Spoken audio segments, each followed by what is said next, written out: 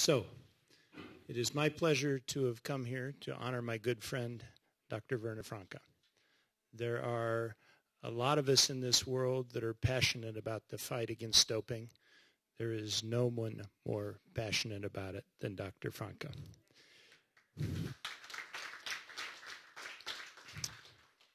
So what Werner has asked me to talk about is using investigations uh, to prove doping cases against the athlete's entourage.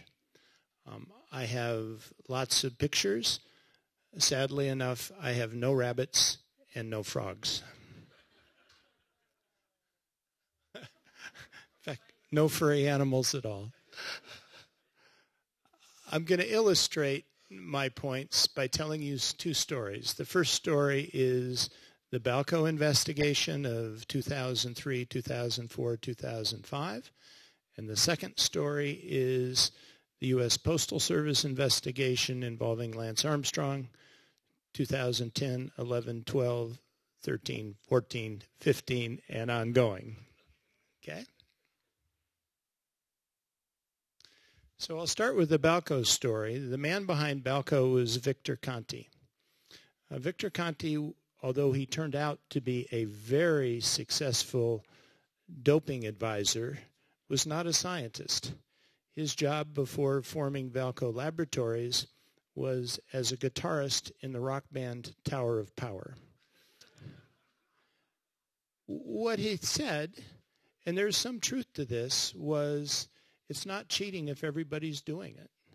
And when we've heard today about you wouldn't dope because you don't want to cheat, It's a very different world when you believe that everybody's doing it. I'll jump forward. We had a case against Michelle Collins. Um, we showed her the documents that made it perfectly clear that she was doping. She didn't have a positive test. We met with her in the Houston airport, and she said, I didn't dope, I didn't dope, I didn't dope, I didn't dope. Michelle Collins won the 200 meter indoor championship. And just as we were leaving, we said, fine, we'll, we'll bring the case. Uh, Terry Madden, who is the CEO of the U.S. anti-doping agency, USADA, said, Michelle, I've got one question I just need to ask you. So I know you didn't dope, but there you are lined up in the starting blocks of the finals of the two, women's 200 meter. And there's seven women on either side of you. How many of them do you think doped? Median answer, all of them. So it's a little hard to talk ethics when an athlete believes that by doping they're simply leveling the playing field. So here's the quick story on Balco.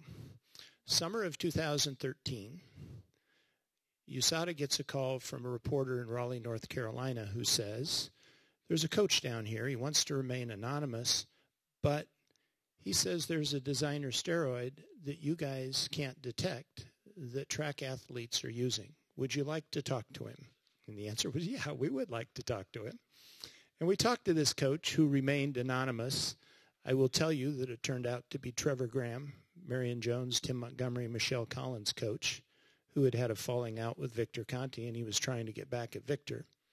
We talked to him. He was still anonymous, but he said there's a lab in San Francisco by the name of Balco, and there's a bad guy by the name of Victor Conti who's going around to athletics meets with his black bag, and he's giving out designer steroids. And then he said, you know, I happen to have a used syringe with some of this compound in it. Would you be interested in that? And the answer, well, yeah, we would. Um, so he sent the syringe, and then he also told us that I can tell you at least some of the athletes who are using this. And he gave us a list, including Dwayne Chambers, fastest man in Europe in time, Regina Jacobs, the best U.S. distance women's runner ever, and some other names. So the next step was for us to figure out a way to identify and then test for this designer steroid.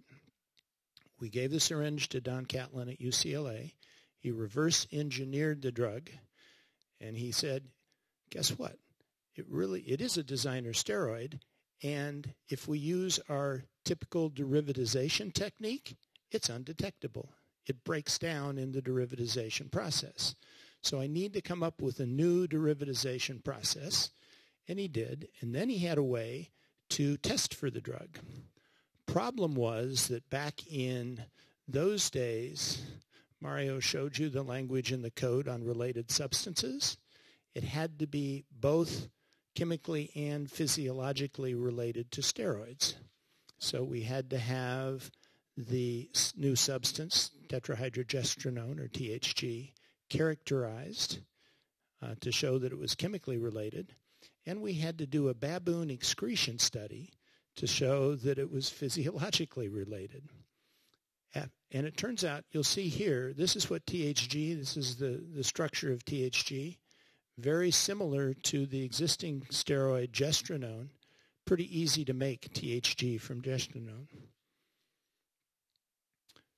So we did the science part. We also put together a web of relationships. Here are the athletes that have had some relationship with Balco. Here are the coaches. And so we had this big web of relationships to see who we ought to target test. It turns out at about the time that Dr. Catlin came up with an analytical method for THG, he also had the samples from the USA Track and Field National Championships in his lab. And we held off reporting those samples until he was able to develop his method. And three of the athletes that we caught using THG were John McEwen, Kevin Toth, and Melissa Price. Um, they were top level U.S. athletes. Two of the athletes that we did out of competition target testing on were Dwayne Chambers and Regina Jacobs, and they also tested positive. Highly contested cases, as you could imagine, because lots of scientific issues, whether it was chemically related, pharmacologically related, whether the test was reliable, and the like. So fast forward to the 2003 World Championships in athletics, and an American sprinter by the name of Kelly White won the 100 and 200, and then she tested positive for modafinil. And I will tell you that the U.S. laboratories were not testing for modafinil. It's not listed specifically on the prohibited list. It's an anti-narcolepsy drug. Um, but the French were. And it turns out that it was the stimulant of choice for Balco. It doesn't give you the jitters of amphetamine, but it works like a powerful stimulant. Problem is that when we're talking about chemically and pharmacologically related, if you go to the manufacturers of modafinil, they will tell you that it's not a stimulant under the classic definition. They're not sure what it is. Uh, but it works like a stimulant. So we had some issues in that case. Uh, we ultimately prevailed, and there you can see the elite level athletes that we caught with modafinil and won cases against.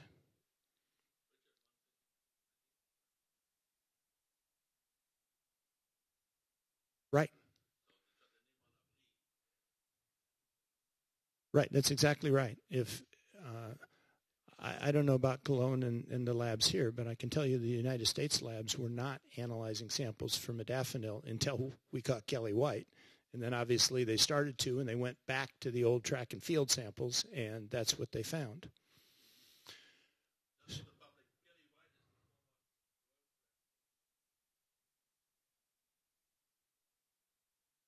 And, and, I'll, and I'll tell you more about Kelly White in just a little bit. So something very interesting happened. This is a picture of a guy by the name of Patrick Arnold. Uh, Patrick Arnold is a bodybuilder. Patrick Arnold is a chemist. Patrick Arnold was the dope supplier for Victor Conte and the Balco Labs. Um, with the exception of THG, which he designed either on purpose or accidentally, what he was really good at is combing the old patent records for steroids that had been abandoned by the pharmaceutical companies because they were too harsh. Uh, and it was okay. He'd give them to his bodybuilder friends. He also gave these steroids to Tammy Thomas. We had the hearing in the Tammy Thomas case. It was a little awkward because the chair of the arbitration panel kept referring to her as Tommy instead of Tammy. Um, it was it was actually uh, she denied it all the way through. The substance which she was using is norbolethone. So here's what happened. This is the best cyclist, track cyclist, female in the United States. Her drug sample is analyzed by UCLA, shows virtually no natural steroids. They had been suppressed by some exogenous steroid, but she wasn't testing positive. So Don Catlin at UCLA went to the internet, got a lot of chatter about norbolethone, got chatter about Patrick Arnold, went to Wyeth Laboratories, who had sold, not sold, they had norbolethone in clinical trials in the 1950s. They were giving it to kids on Indian reservations in Canada. It's the way they did things in those days to deal with stunted growth and they found that it was way too harsh. It worked. It was a very effective anabolic agent, but it was way too harsh. So Patrick dug that up and he made it and he started giving it to athletes. Um, and when we brought our case against Tammy Thomas, she had an, a built-in defense. And that was look at the chemical similarity between norbolethone and levo, levonorgestrel.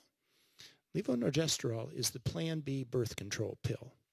So when we went back and analyzed her samples, once we figured out and we got a sample of the drug from Wyeth Laboratories, we went back and analyzed her samples, and lo and behold, all these samples that had no natural steroids had norbolethone in them. Her defense was it just so happens that the night before every one of these samples she had had unprotected sex and needed to take the Plan B birth control pill in the morning. So we had great scientific arguments over that and, and other arguments. So while we're talking about Patrick Arnold, this is the structure of androstenedione. That was the drug that Mark McGwire, the American baseball player, made famous. We had booming sales. It took our uh, FDA several years to get it listed as a steroid. It's a precursor to testosterone. Patrick Arnold was the guy that made a lot of money on this drug. Notice the language that this is written in. This was one of the Balco documents. This was one of the GDR drugs. And Patrick figured those guys knew what they were doing. He would go to those old records, and that's where he copied this from. So obviously we were talking to Don Catlin a lot as he was developing this test for um, norbolethone and THG. And in one of those conversations, he said, Rich, I, I need to tell you something, but I'm afraid to. And he ultimately said, I have been working with the federal investigators on a lab in San Francisco, and they've told me that I'm not allowed to tell anybody on pain of death. So I'm telling you, please, please don't get me killed. So we went to the Justice Department and went to the head of the criminal division and said, look, let us tell you what we know about our investigation into doping. And Catlin has said that he is helping a federal criminal investigation. Please don't kill him. There may be some overlap here. You figure it out. Well, two days later, we get a call from Jeff Novitzky. Jeff is the guy. Uh, he's he's worked with the IRS. He's now works with DEA and FDA. He's the investigator in all of these U.S. doping cases. Very passionate guy. Uh, he says, I want to come meet with you. He didn't know much about doping at the time. He got our spider web of relationships. He got a full explanation of what kind of substances we could detect, which ones we couldn't detect. He started out on the tax department. He's now with the, yeah, yeah. There's money laundering involved in all of this if it's a criminal activity. So it's a, it's pretty much of a one-way street in terms of our providing him information and them not providing us much information. And then we get a call saying that they're going to do a search of the Balco laboratory and they want USADA's chief science director, Larry Bowers, who used to run the Indianapolis laboratory, to go with them. So this is Larry's best day. Larry is a laboratory scientist. They put him in a bulletproof vest. and he walks into the laboratory with the agents who have their guns drawn. And and this is an exciting time for the guy. And it got more exciting because Victor Conti's first reaction was, okay, you got me. I'm going to tell the truth. I'm going to take you to where I keep my records and where I keep my drugs. So they took Larry along to identify the drugs. And while they were questioning Larry, excuse me, Victor Conti, they said, Larry, you know, check out the drugs here. Check out what's in those boxes. What was in the boxes were carefully marked files with athletes' names on them with all sorts of records. And their names like Marion Jones, Tim Montgomery, Michelle Collins, Kelly White. It's the who's who of American athletics and international names as well. And Larry's eyes are getting bigger and bigger and bigger. And so now I will tell you the story of the Balco documents. So we're about uh, nine, ten months away from the Olympic Games. And now we know from Larry that a whole lot of the people that we're going to send to the Athens Olympics and are going to win a lot of medals are dopers. But we need the documents in order to prove that because none of those people tested positive uh, to deal with it. And so we asked the feds, you know, can we have those documents, please? And at first they're going to give them to us, and then they won't give them to us. And there's an issue with our Privacy Act, which the Justice Department was saying you can't have them. There is one exception to the Privacy Act, and that is documents that have been subpoenaed by the United States Congress. So we went to Senator McCain, who was the head of the committee that oversees our Olympic Committee, and we said, look, the only way we get these documents and avoid a horrible, horrible, horrible embarrassment for the United States is if you subpoena them. And his Commerce Committee said, okay, we'll subpoena them, but we won't promise at all that you're going to get them we knew that the minute they got them, we would get them because these are a flaming hot potato and no politician wants to have knowledge of all these elite American athletes doping and winning medals. So sure enough, they had hearings, but it took the unanimous consent of the Commerce Committee, it took the unanimous consent of the United States Senate for us to get those documents.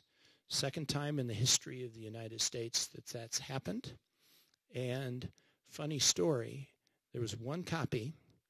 We sent Travis Tigert, who was then a lawyer with my firm, and, and he's now the CEO of USADA, to go pick up the documents in a great big duffel bag. And as he was getting in the cab, the chief counsel from the committee said, Travis, watch your back. So these are some examples of just what those documents look like. Here's a ledger of the drugs that Marion Jones was given right around the time of the Sydney Olympic Games. Same with uh, Christy Gaines. Uh, it shows that she got norbolethone before she competed and then after she competed. This was a calendar that was in the Marion Jones file. You can see her initials MJ at the top, and we have calendars like this on all sorts of the different athletes. So you look at this, and Wednesday's EPO day, and Monday, Wednesday, and Friday is growth hormone day, and intermittently she would take the clear, which was either norbolethone or THG. And you'll notice that throughout this calendar, there are various competitions. When she wasn't competing, she would take more of the clear. The other thing she would take is uh, a cream that was a mix of testosterone and epitestosterone in a ratio that would allow you to take testosterone and still have a TE ratio of around 1 to 1. It was an ointment, yeah, it was a rub-on cream. Um, so Mary, Victor Conti went on television and talked about Marion Jones. Marion Jones started a public relations campaign to clear her name. One of the things she did is she insisted that she would talk with USADA. She came to my office. I questioned her for three hours. And if I wouldn't have seen the documents, I would have swore she was telling the truth.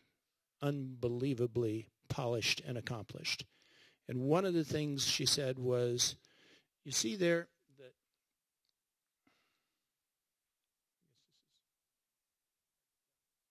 you see there that on the 13th, this couldn't be my calendar because I've never run a 98400.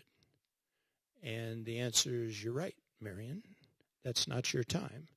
That's Tim Montgomery's time. Your time is on his calendar.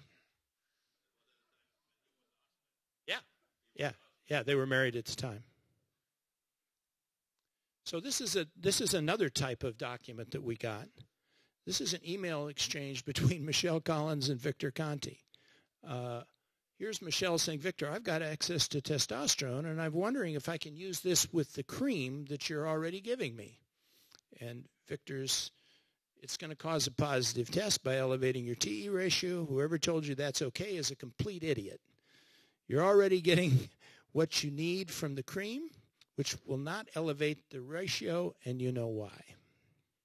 That's pretty damning email.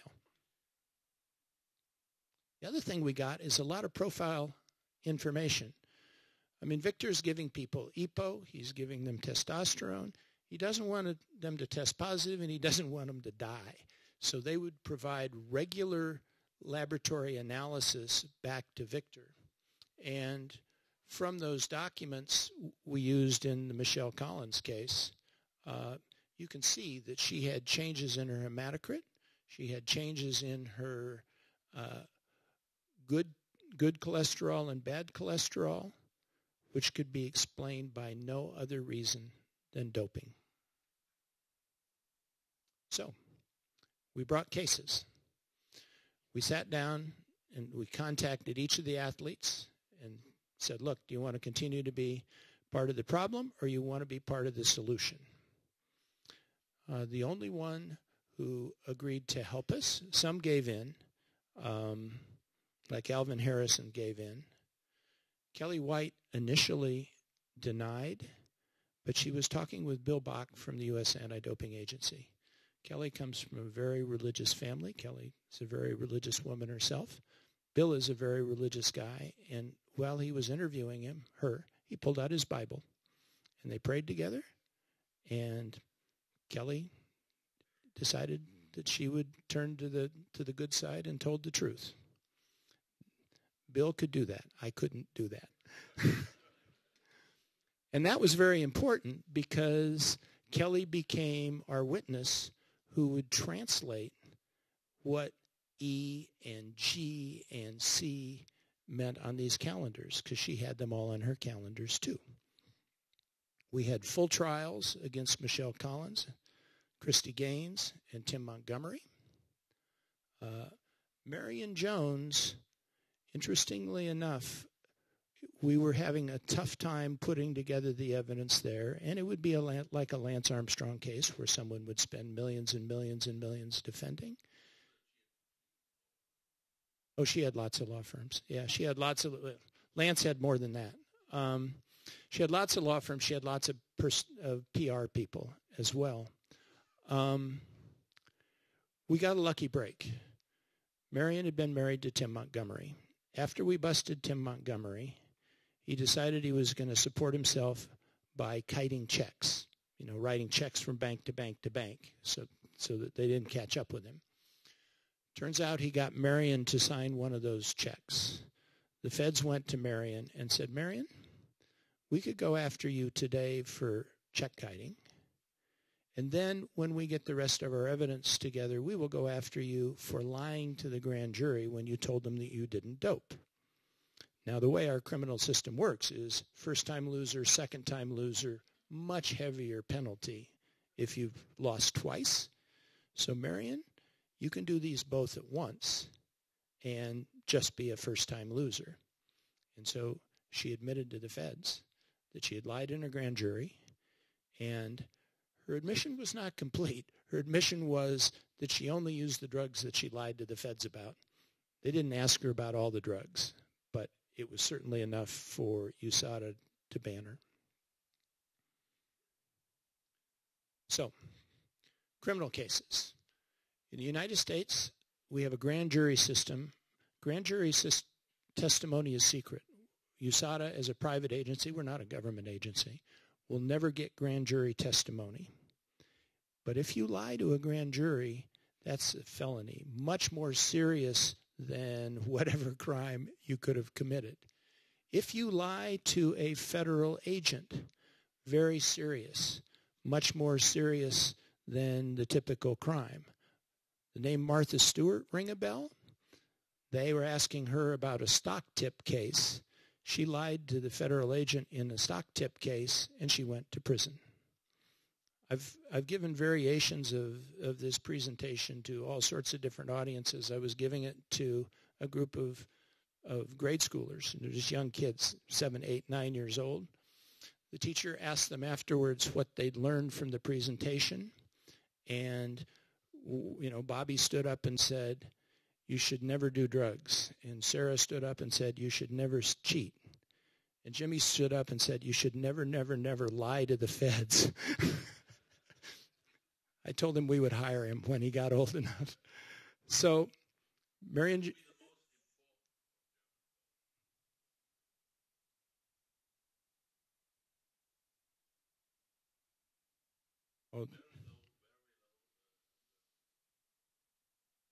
No, this is this is lying to a court, lying to a federal agent when he comes and knocks on your door is a felony.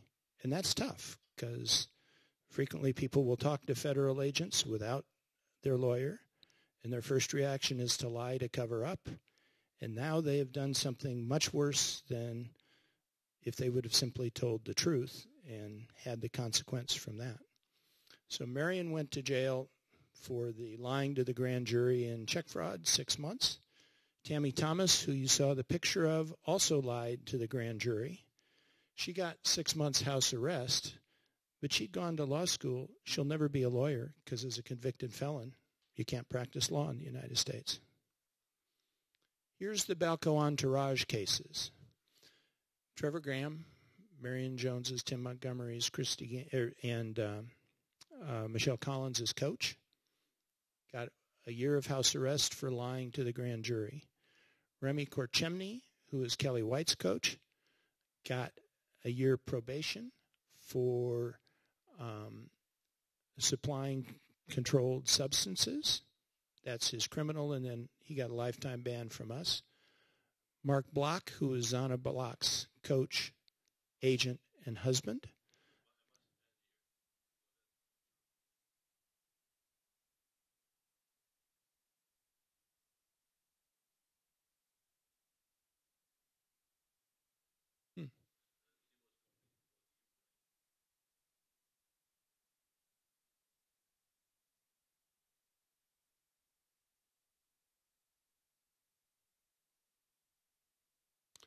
Um, so he got for for supplying her with banned substances. He got 10 years. And then Raymond Stewart was a follow-up of that. He's a coach, and he got a lifetime ban. So that's on the that those are the sporting figures. And the reason we were able to bring cases against the sporting figures is that IAAF at that time and still does requires coaches uh, and agents to be licensed, and part of their license subjects them to the jurisdiction of the anti-doping agencies. The folks here on the right um, are not subject to anti-doping rules, uh, but they are subject to criminal and professional rules, and you'll see that Victor got four months in prison and four months home consi- confinement. Uh, Valente, who was his partner, got probation. This guy, Brian Javi Goldman, is a psychiatrist that was ordering all the blood tests and the like for Victor that he would use in checking on his athletes. Uh, he's also the one that came up with the explanation after Kelly White tested positive for modafinil that, oh yes, she has a family history of narcolepsy, you know, falling asleep in meetings, and that he had prescribed modafinil to her for that. Not so good for him when Kelly said, nobody in my family's ever had narcolepsy. This is total nonsense. This is a fraud that Dr. Goldman and Victor made up to try to cover their tracks. So he had his license suspended, and he's on a probation. Patrick Arnold went to prison for three months. Um, and the last one is pretty interesting. Troy Ellerman. Troy is a guy that I knew he was on the board of directors of the Professional Rodeo Cowboys Association. He was a lawyer in Sacramento, and he was Victor's lawyer. Um, and suddenly, the grand jury transcripts started appearing in the San Francisco Chronicle. And there's only two people that had, two sides that had those transcripts, the prosecutors and the defense. Hmm? well, I wish to hell you would have sent them to us. because because we even we even went to court and tried to get them. It is it is a felony for either the defense or prosecution to let those go. The judge called all the parties in, made them swear that they hadn't given them out, and it turns out it was Troy that gave them out. I think he I think he thought that it was unfair that Victor was going to get a longer sentence and other people were getting away with it. I really don't understand what he had in it. Oh, the the journalist Mark Fainaru-Wada, who published these, uh, was called to court and asked, "Who gave you these transcripts?" And his answer was, "I claim journalist privilege." And the judge said, journalist privilege denied. Tell me who gave you those transcripts. He said no. So she put him in jail. She put him in jail. And so, I mean, it made him famous. Uh, so, but he, but he sat in jail, and eventually she let him out. And it was only it was only when Troy, later as uh, chief executive of the Pro Rodeo Cowboys Association, brought back his investigator to run the Hall of Fame, and then he fired the investigator, that the investigator, out of spite, blew the whole cover. So one of the reasons that that we've made some progress on this in the United States is because of the passion of people like Jeff Novitzky, and it also caught the attention of our Attorney General and our President, who decided that it was important that they speak out against doping, which is a good thing because other federal agencies get to be more cooperative when that happens. So USADA is a private organization. It's not a government agency. Uh, we have all the issues that private agencies have with getting information from the government. So what are the pros and cons of of our interaction with the federal agency in the Balco case. One, if they would have never done their search, we would have never seen the Balco documents, and we would have never gotten Michelle Collins, Tim Montgomery, Marion Jones, and the like. And eventually, we did get those documents. Uh, the feds are loath to cooperate in in sport cases, but we needed somebody to authenticate the documents, and Novitzky came in to our Montgomery hearing and our block hearing to authenticate the documents as having come from Balco's files. Marion Jones would have never pleaded guilty uh, in doping if she wouldn't have had the federal issue over her head. Um, the negatives are that we had to go to Congress to get those documents, and it was pretty scary because we were real close to sending dirty athletes to the Olympic Games. The next is something that is at least worth considering as you come up with legislation in Germany. Victor Conti was very willing to testify for us, but he had the criminal case hanging over his head. Every night, the Tim Montgomery hearing lasted about a week. Every night he would talk to Travis, who was on the case with me, and tell Travis he was going to come into court and testify for us the next day into the arbitration process. So every time the door would open, you would expect to see Victor come through. Victor never came through, and the reason was because he was afraid of the criminal consequence.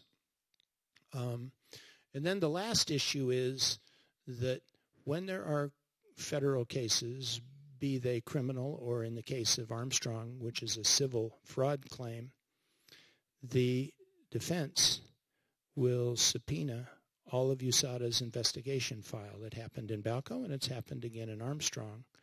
And so we have issues trying to protect our work product uh, that we wouldn't otherwise have. So in response to Balco and similar cases around the world, we made a number of changes to the World Anti-Doping Code. We increased the benefit you could give for substantial assistance. We required international federations to be like IAAF and bring athlete support personnel under the jurisdiction of their rules. We said that if you have a positive case, you have to investigate whether athlete support personnel are involved. And lastly, uh, there's a provision that says each government will encourage all of its agencies to share information with anti-doping organizations unless otherwise legally prohibited. That unless otherwise legally prohibited was something that we had to deal with in the 2015 code amendments. So, next, and this will be briefer, U.S. Postal Service investigation. If you want to know what was going on, you can read it in USADA's reasoned decision. 160 some pages with thousands of pages of attachments. It's on USADA's website. It's an interesting read. Okay, good.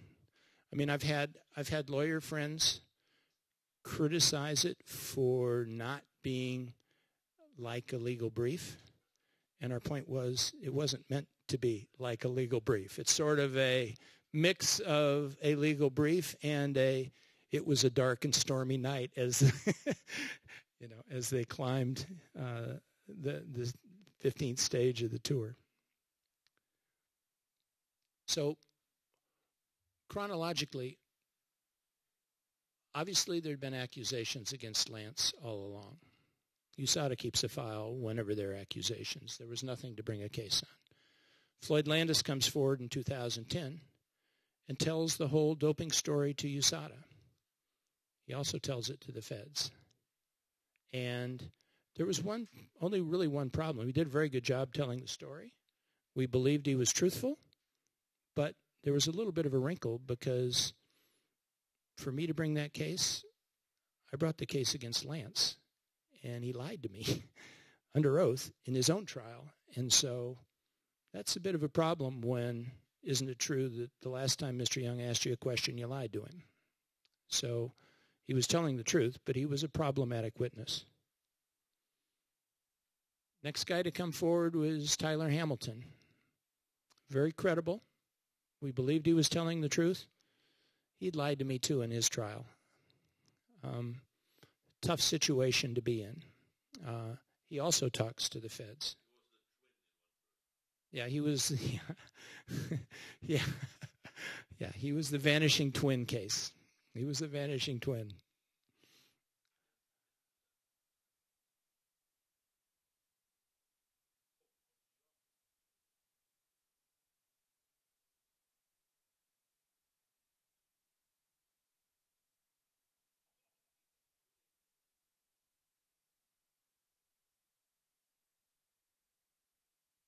It was it was actually it was a bit of a challenging scientific case for me. Their expert was a professor at both Harvard and MIT, And he had founded a analytical company that owned the company that owned the company that my expert worked for. and so, so he was, I, I knew that he was going to be difficult when he walked into the courtroom and he talked to the court reporter, you know, the transcriber, about what kind of system she was using, and he plugged his computer into her machine, so he got live transcript as he was sitting there in the courtroom. He, but he was also the most arrogant person in the history of the world, and this is this is a bit of a digression, but so he starts out his testimony just very very quiet, barely barely talking, and the panel asks him to speak up, and he said, "Well, would you mind? You know, I'm used to lecturing in a classroom. Would you mind if I gave my testimony standing?" So there he was lecturing all of us, and he would look down, Mr. Young, do you understand that? You know, and just totally arrogant. So when it was time for my cross-examination, uh, he's standing there, and I said, you can sit down now. And he said, oh, I'd prefer to stand. And I said, I know you would. I'd prefer that you sit down like a normal witness. And he looked at the panel, and they said, sit down. And Interestingly enough, this guy who's very, very bright, it broke. He broke right there. He, he turned out to be a terrible witness on cross-examination. So, so federal case against uh, Lance Armstrong.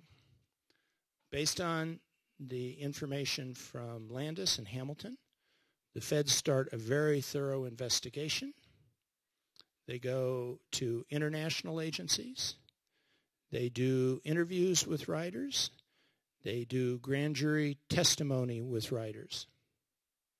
Um, at their request, and this is another issue to deal with in the interplay of statutes, the feds asked us to stand down USADA's investigation because they didn't want us interviewing witnesses at the same time they were interviewing witnesses. So we stood down and it was our assumption, and it was Jeff Novitzky's assumption, and the lawyers involved in the case, that the case would go forward.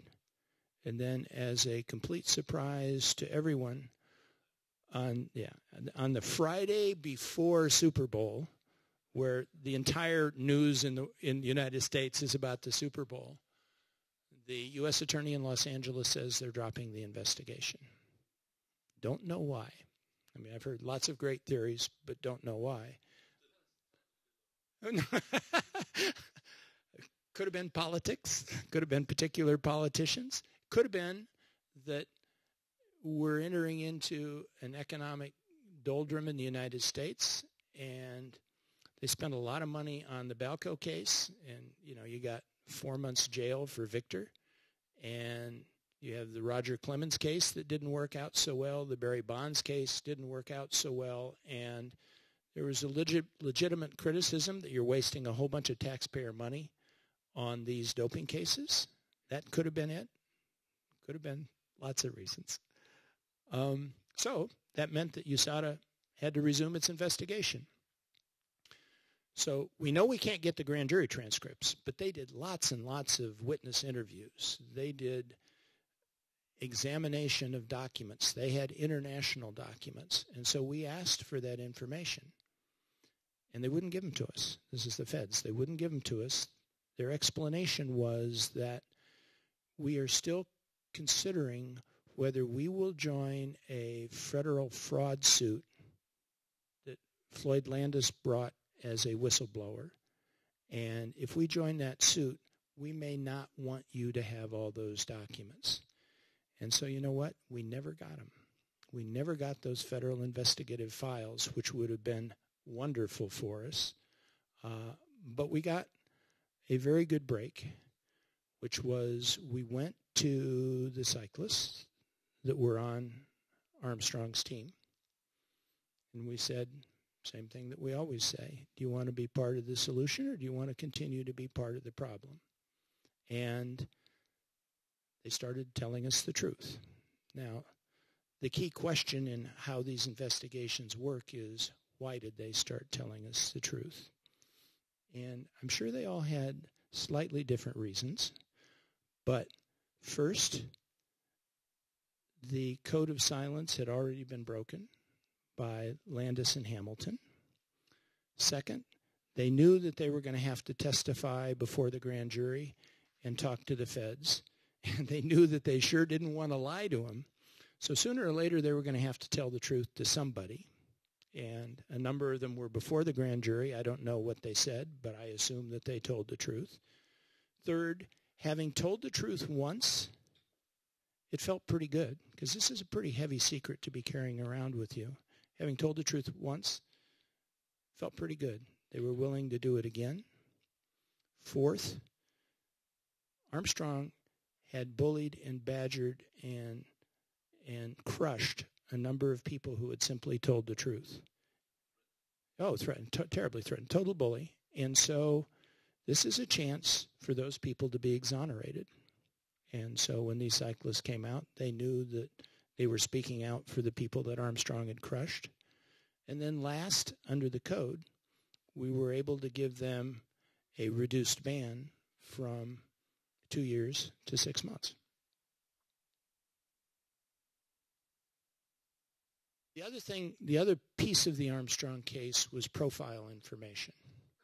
It's along the lines of the athlete's biological passport, but it turns out that his percentage of reticulocytes, these are the baby red blood cells, were radically different when he was competing in the 2009 and 10 Tour de France than they were during periods where he wasn't competing in the Tour de France.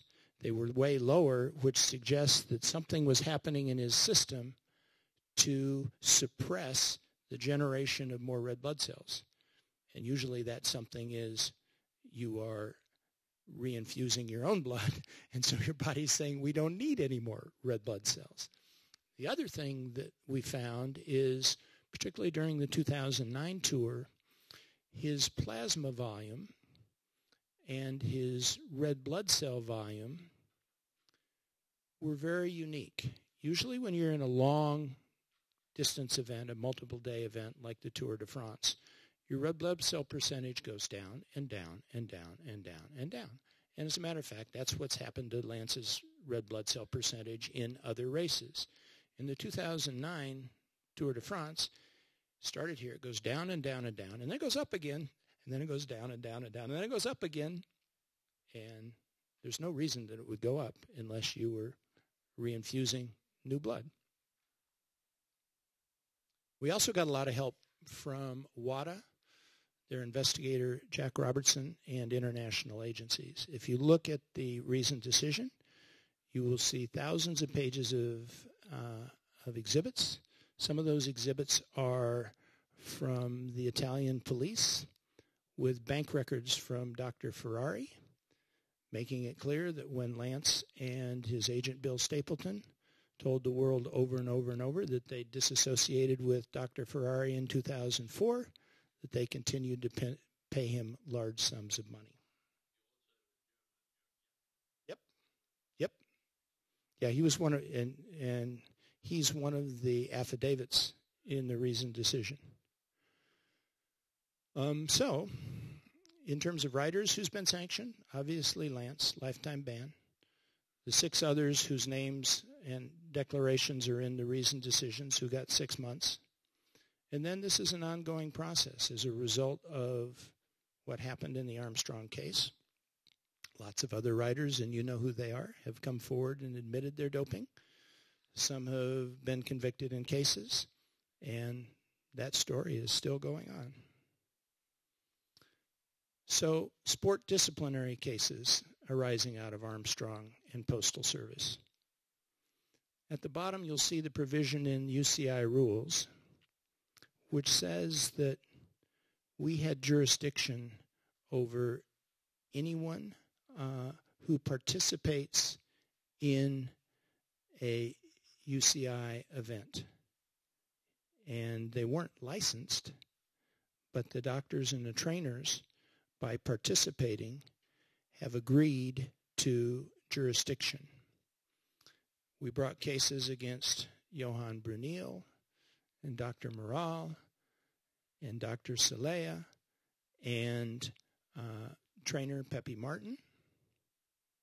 Um, Ferrari, Ferrari and Dr. Demirel did not challenge the cases, and they got lifetime bans.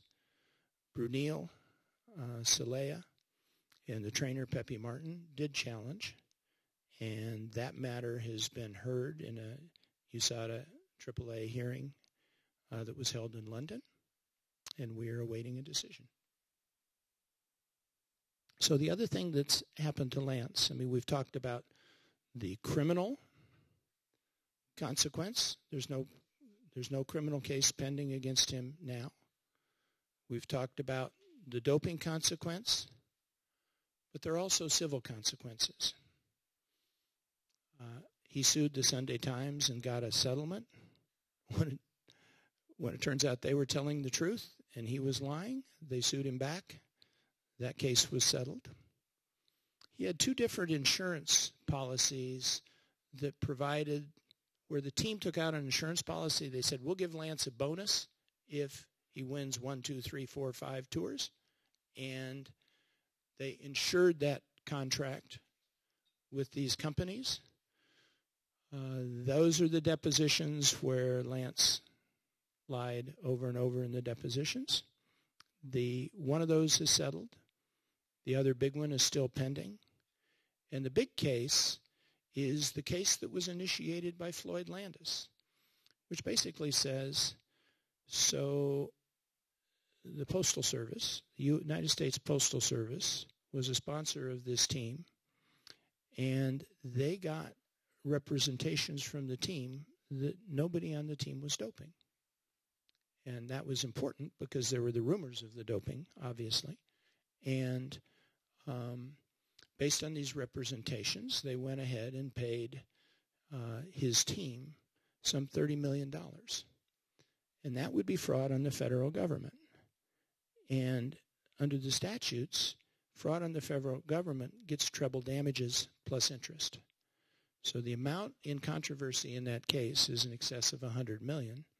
And they didn't just go after Lance and the team. They went after all the money guys behind the team. So if you go down that list of names like Thomas Weisel, these are big guys. These are big guys with a lot of money. So very interesting case. Floyd brought that case. It was only very late in the game that the federal government decided that they wanted to join. And so in the irony of ironies, as the whistleblower who brought the case, Floyd Landis will be entitled to about 20% of whatever they recover interesting, interesting cycle of, of Floyd's life. Um, pros and cons. I'm not sure that the writers would have talked to us if they wouldn't have had the threat of the feds. The fact that the feds were doing it made it clear that the truth would come out sooner or later. Uh, our feds worked with international law enforcement. That was very helpful. The bad things were they delayed our investigation while they were doing their ours, their own that they cut short, and we never got the documents. So I'm not going to go through all of these, but these are just a handful of the changes that now appear in the 2015 code that aid investigations and put a tighter focus on uh, doping by athlete support personnel. One of the interesting ones and one of the controversial ones was Article 210 of the code, the prohibited association. We knew that Tim Montgomery and Marion Jones were working out with Ben Johnson's coach, who was banned for life. And there's nothing we could do about it. We couldn't. He's banned for life. What are we going to do to the guy?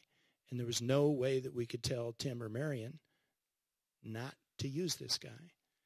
Victor Conti was at the London Games guy who's been convicted criminally of doping athletes. There's no way we could tell athletes, you can't use this guy.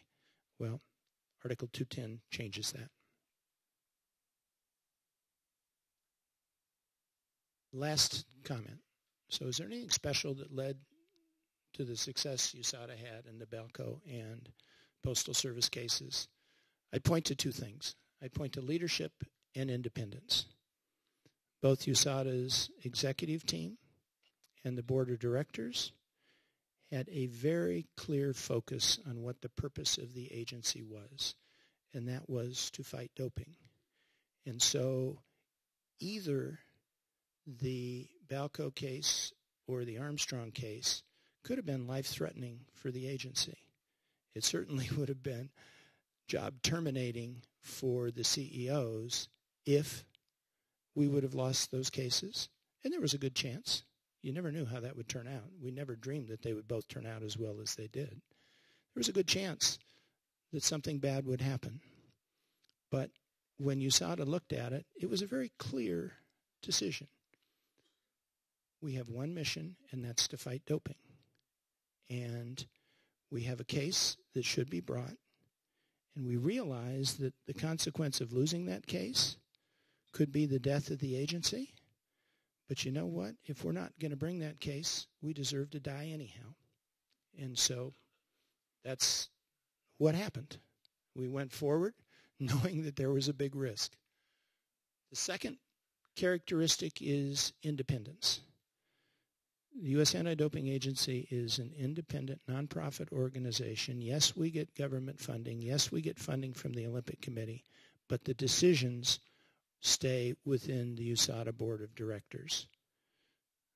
On both Balco and Armstrong, we had congressmen calling us up to appear before them to dis- to explain why it is that we're attacking national treasures.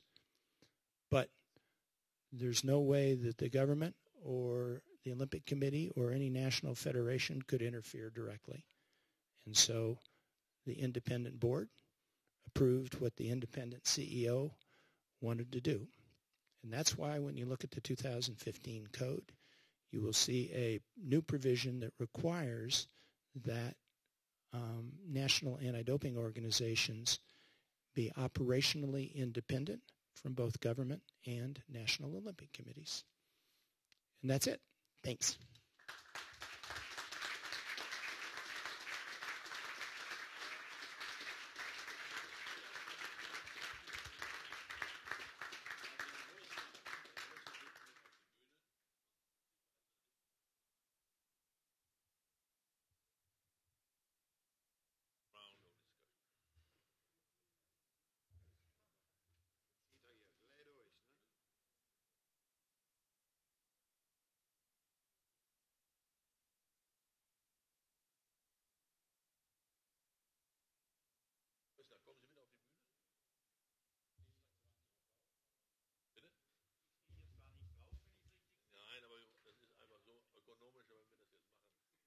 was für Fragen kommen.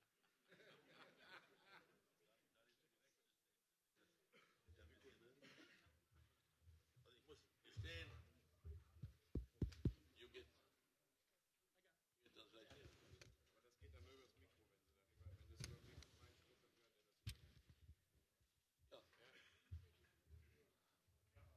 The idea was to have the two of you on the stage here to see what the Germans could learn from the the Germans could learn from the American system and vice versa.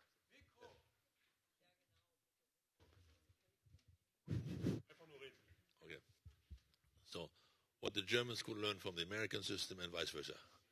So the question is, Mr. Seppelt. Question. a question to Rich. Uh, I'm interested to learn um, how many people linked to sports organizations or members of sports organizations are in the uh, board of directors of USADA. Hello. Um, USADA has three categories of board members. It has uh, two representatives that are nominated by national governing bodies, but USADA doesn't have to take those nominations. Um, it has two members that are nominated by the Olympic Com- Committee's Athletes Commission, but again, USADA could choose other athletes, other elite athletes. So that's four, and then it has five independent members. They have scientists, lawyers, businessmen, a, a good mix. Um, and it, um, it, it turns out that in terms of uh, being hawkish, if you would say, I mean, being really tough on doping, uh, the athletes are probably the toughest.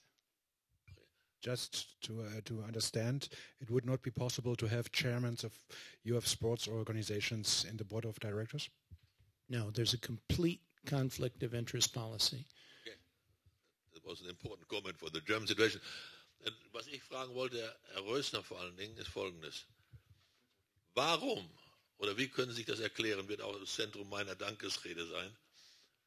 Warum ist keiner den, der Person, die ich für den Verantwortlichsten halte, nämlich die Sportmediziner, nur die können oder Wissenschaftler, jemals in Deutschland nicht nur nicht bestraft worden, sondern nicht mal vor einem, ja, bei einem Gericht gestanden, auch im Fall von hier, äh, äh, Jan Ulrich und so weiter nicht. Niemals mit einer Ausnahme.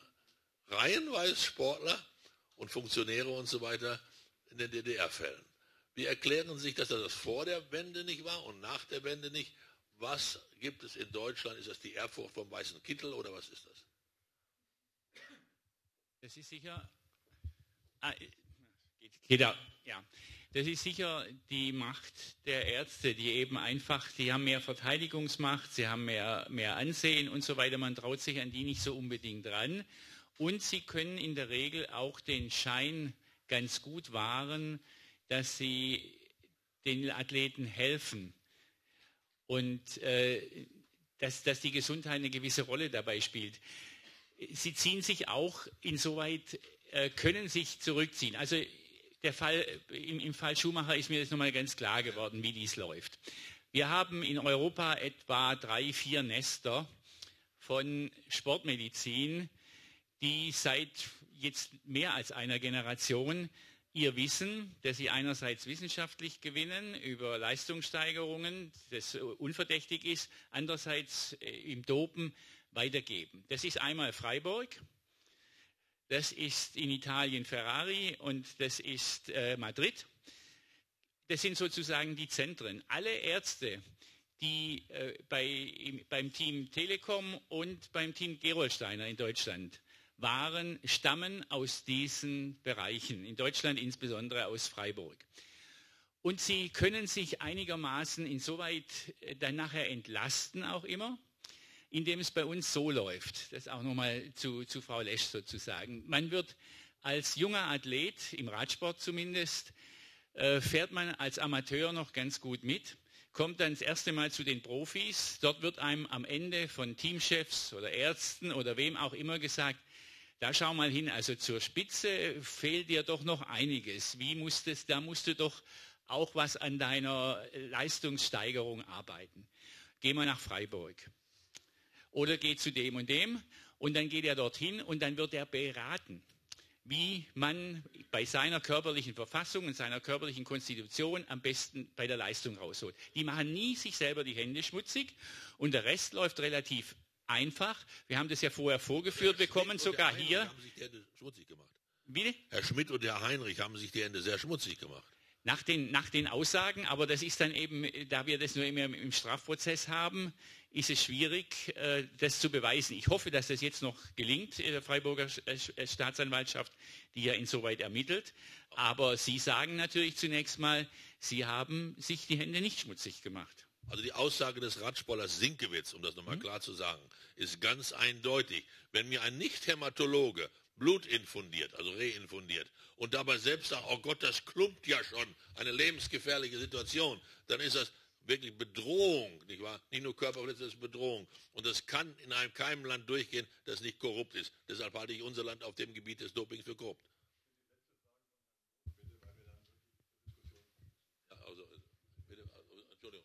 bitteschön. Ja, vielen Dank. Herr Rösner, Sie werden verstehen nach Ihrem sehr eindrucksvollen Vortrag, in dem Sie den BMI ja doch deutlich angegriffen haben, dass ich äh, mir die Freiheit nehme, doch zwei Anmerkungen dazu zu machen.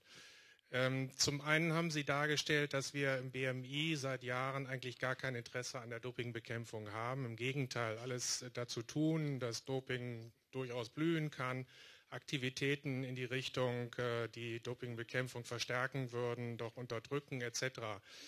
Äh, ich kann nur sagen, als derjenige, der in dem Hause arbeitet und für Doping zuständig ist, das trifft die Wahrheit bei weitem nicht. Das äh, lasse ich einfach mal so stehen und das wissen Sie auch. Äh, wie wir engagiert äh, uns für Doping einsetzen in der Behörde, ist Ihnen auch bekannt. Das Zweite, ähm, Sie haben gesagt, dass es ein leichtes wäre, ein Gesetz, das Sie verwendeten den Begriff, es bedarf eines Federstriches, ähm, ein Gesetz äh, zu erstellen, was Doping wirksam auch strafrechtlich bekämpfen kann. Auch das, das will ich gar nicht kommentieren. Ich nehme Ihre Auffassung einfach zur Kenntnis. Ich möchte nur darauf hinweisen, dass es im BMI auf der Website eine Darstellung von den Experten, an dem Expertengespräch haben Sie ja auch teilgenommen, ähm, gibt, die jedermann nachlesen kann, wo die rechtlichen Probleme, und das sind rechtliche Probleme, keine Probleme, die mit dem Willen der Dopingbekämpfung zu tun haben, wo die jeder, für jedermann nachlesbar sind. Ich weise nur darauf hin und insofern ist Ihre Auffassung eine wichtige für uns. Das, äh, ich streite mich auch immer gerne mit Ihnen, auch juristisch. Äh, und in vielen Punkten finden wir auch gemeinsame Lösungen, da bin ich ganz sicher. Ähm, aber es gibt eben auch andere Auffassungen und da wollte ich nur darauf hinweisen. Dankeschön. Herr Rösler? Nicht zu antworten. Es, es gibt in der Juristerei immer viele Meinungen. Aber der Gesetzgeber hat es in der Hand, sich für die eine oder andere Meinung zu entscheiden. Das ist der Punkt. So funktioniert Recht. Und deshalb steht dem BMI nichts entgegen, eine entsprechende Gesetzesverfassung, Gesetz, Gesetzgebung zu machen. Eins muss doch gesagt werden als Außenstehender von dem System kann man das ja wohl nicht für wahr empfinden, nach dem engen Verhältnis, das besonders Freiburg mit dem BMI hatte über all die Jahrzehnte. Ich werde Bilder heute Abend zeigen, wo es eine Rede gibt, wo sie praktisch Doping empfohlen haben aus ihrem Haus, in Freiburg bei der Öffnung eines Gebäudes. Das heißt also, so, das Bundesministerium, das BISB, war ein Motor hinterm Doping. Sie wollten Medaillen sehen. Gibt es die aus, dann gibt es sie alle. Äh,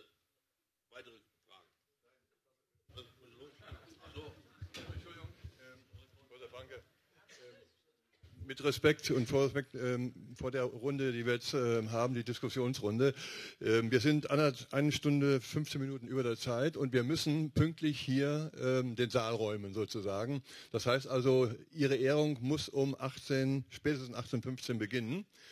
Deswegen habe ich jetzt erstmal ganz herzlichen Dank zu sagen, äh, Richard Ihnen und Professor Rössner. Und bitte einen Wechsel vorzunehmen. Die Diskussionsrunde, bitte. Zack, zack. Zack, zack, das aber hier Wir, wir werden in Abstimmung mit äh, dem Haus, Herr Sagnenko, äh, auf die danach geplante Kaffeepause äh, verzichten. Die lassen wir dann in das, in das, sozusagen in das Essen mit einfließen. Wir haben, wir haben keine andere Chance. Wir haben keine andere Chance. Ähm, ähm, bitte. Ähm, ja. Ja, ja. Hallo. Hey, Formel 1 Reporter, komm, du bist sonst so schnell. Zack, zack. Ja. Klaus, komm doch.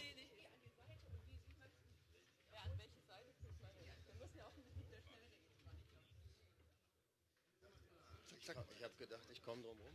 Ja, ja, ja, das könnte so passen.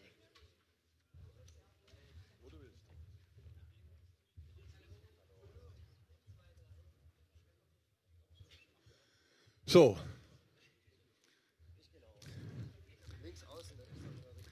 Vor der Verleihung des Heidi-Krieger-Preises jetzt die Diskussion, das Thema, das Thema äh, Dopingrepublik Deutschland. Nach dem Verlust der Legitimation, nach dem Verlust der Glaubwürdigkeit ist ein neuer Sport möglich.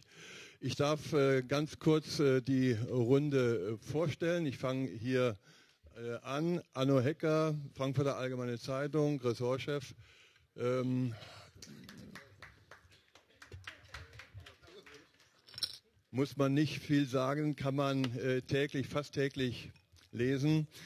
Ähm, als nächstes dann Klaus Tuchscherer. Klaus Tuchscherer, Olympiavierter für die DDR in der nordischen Kombination bei den Winterspielen in Seefeld, äh, Innsbruck. Dann ähm, geflüchtet, im Lande geblieben. Ähm, der einzige Fall eines DDR-Athleten, der dann nochmal zurückkehren durfte in die ähm, DDR. Der Grund war, dass Klaus gesagt hat, ich ähm, bin nicht aus politischen Gründen ähm, abgehauen, sondern das ist einfach, es, ähm, der Grund war eben eine Bekanntschaft, äh, seine spätere Frau, die er da kennengelernt hat.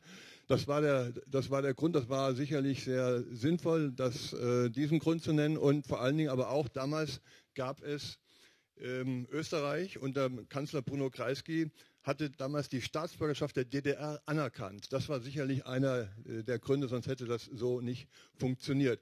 Klaus Tuchscherer ähm, hat dann erst nach dem Fall der Mauer, konnte er wieder in seine äh, Heimat äh, reisen und ähm, mischt sich inzwischen erfreulicherweise öfter auch in die Sportpolitik hier in, in Deutschland ein. Viola von Gramont, ja, dein Beifall. Viola von Gramont, ähm, schön, dass Sie da sind. Ähm, in der vergangenen Legislaturperiode die äh, Sportsprecherin und Obfrau der, von Bündnis 90 Die Grünen im Bundestagssportausschuss. Ganz knapp äh, gescheitert diesmal. Das war der Genosse Trend, der Ihnen zu Verhängnis geworden ist. Wir freuen uns, dass Sie weiterhin in der Sportpolitik bleiben. Und ähm, für ähm, Manfred von Richthofen, der uns eben hat mitteilen lassen, er ist erkrankt, äh, ähm, haben wir gebeten, nochmal Perge Simon auf in die Bütt zu gehen. Das Ganze wird moderiert von Astrid Rabol, Deutschlandfunk, Redaktionsleiterin. Bitte sehr, Astrid. Ja, vielen Dank.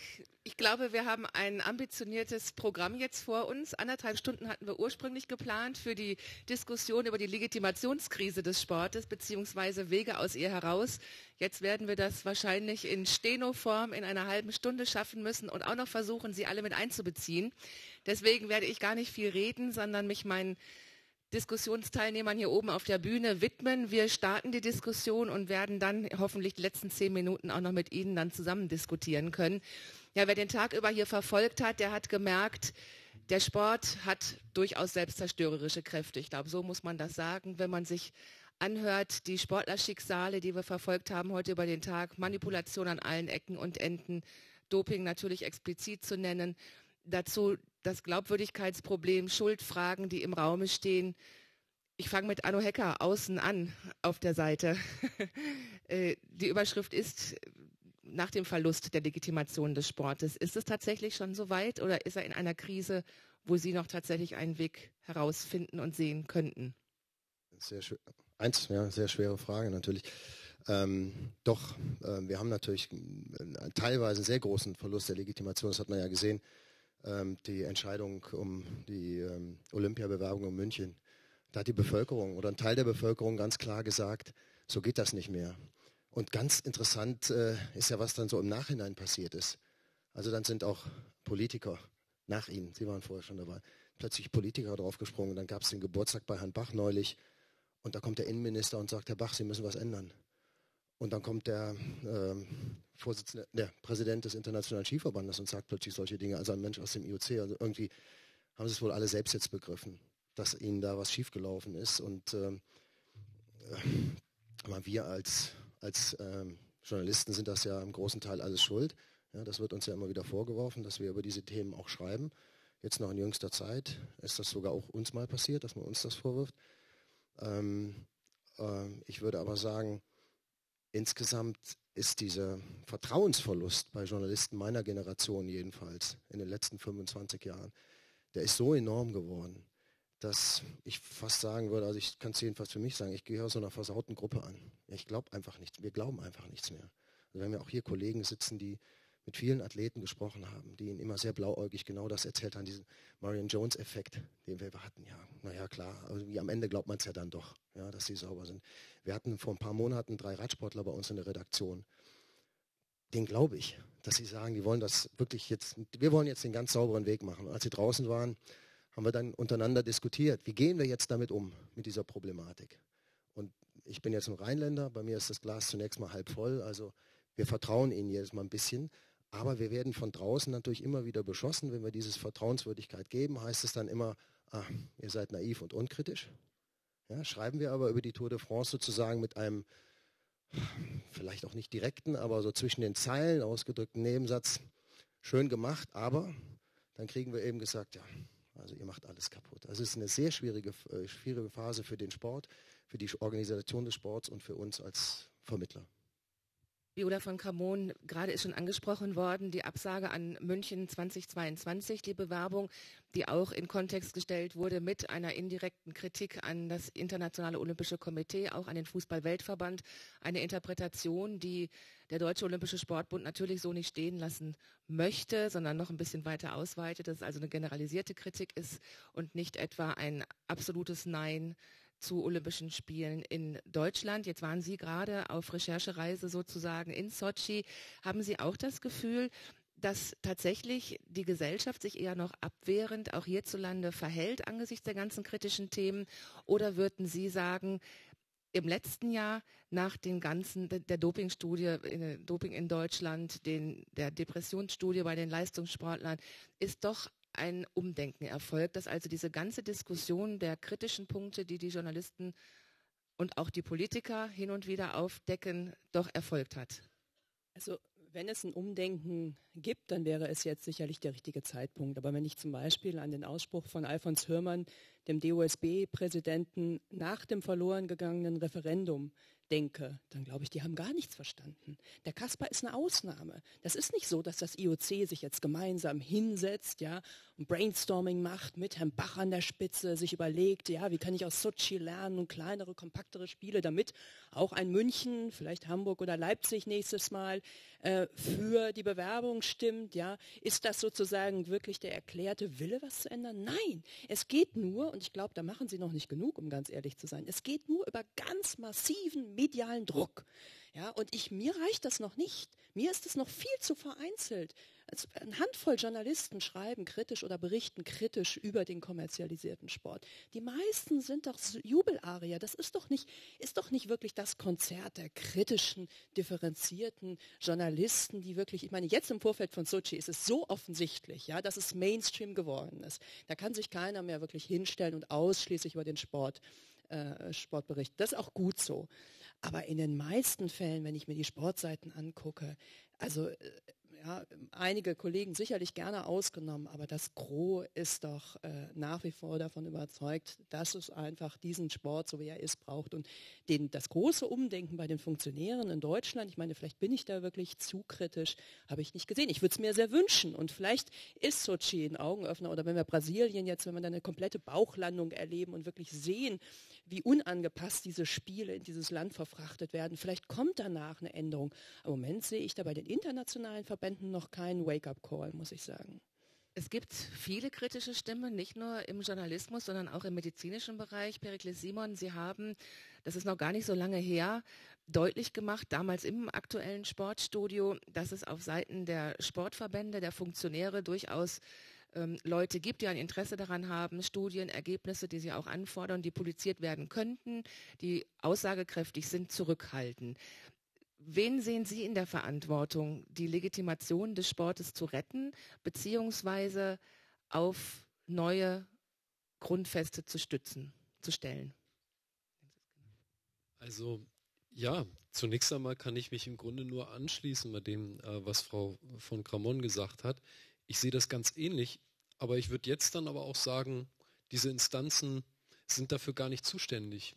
Also es sind die falschen Instanzen warum soll sich das Bundesministerium des Inneren, das sich im Prinzip ganz klar einfach nur an die Athleten wendet mit der klaren Aussage, hier, da ist der Medaillenspiegel, der soll es werden, macht. Und wir geben Geld. Wir zahlen Infrastruktur, wir geben Geld, wir machen Sporthilfe und all das läuft. Und wir machen auch ein bisschen Anti-Doping und da kann man auch genau, kann man ja schauen, wie viel Geld wird für was ausgegeben. So, warum sollen die jetzt tatsächlich dafür zuständig sein, ähm, das Dopingproblem effektiv zu bekämpfen? Oder warum sollte das der DOSB machen? Oder warum sollte das IOC das machen? Also wir könnten auch sagen, dass ja der Fall der USADA in gewisser Weise Hoffnung macht.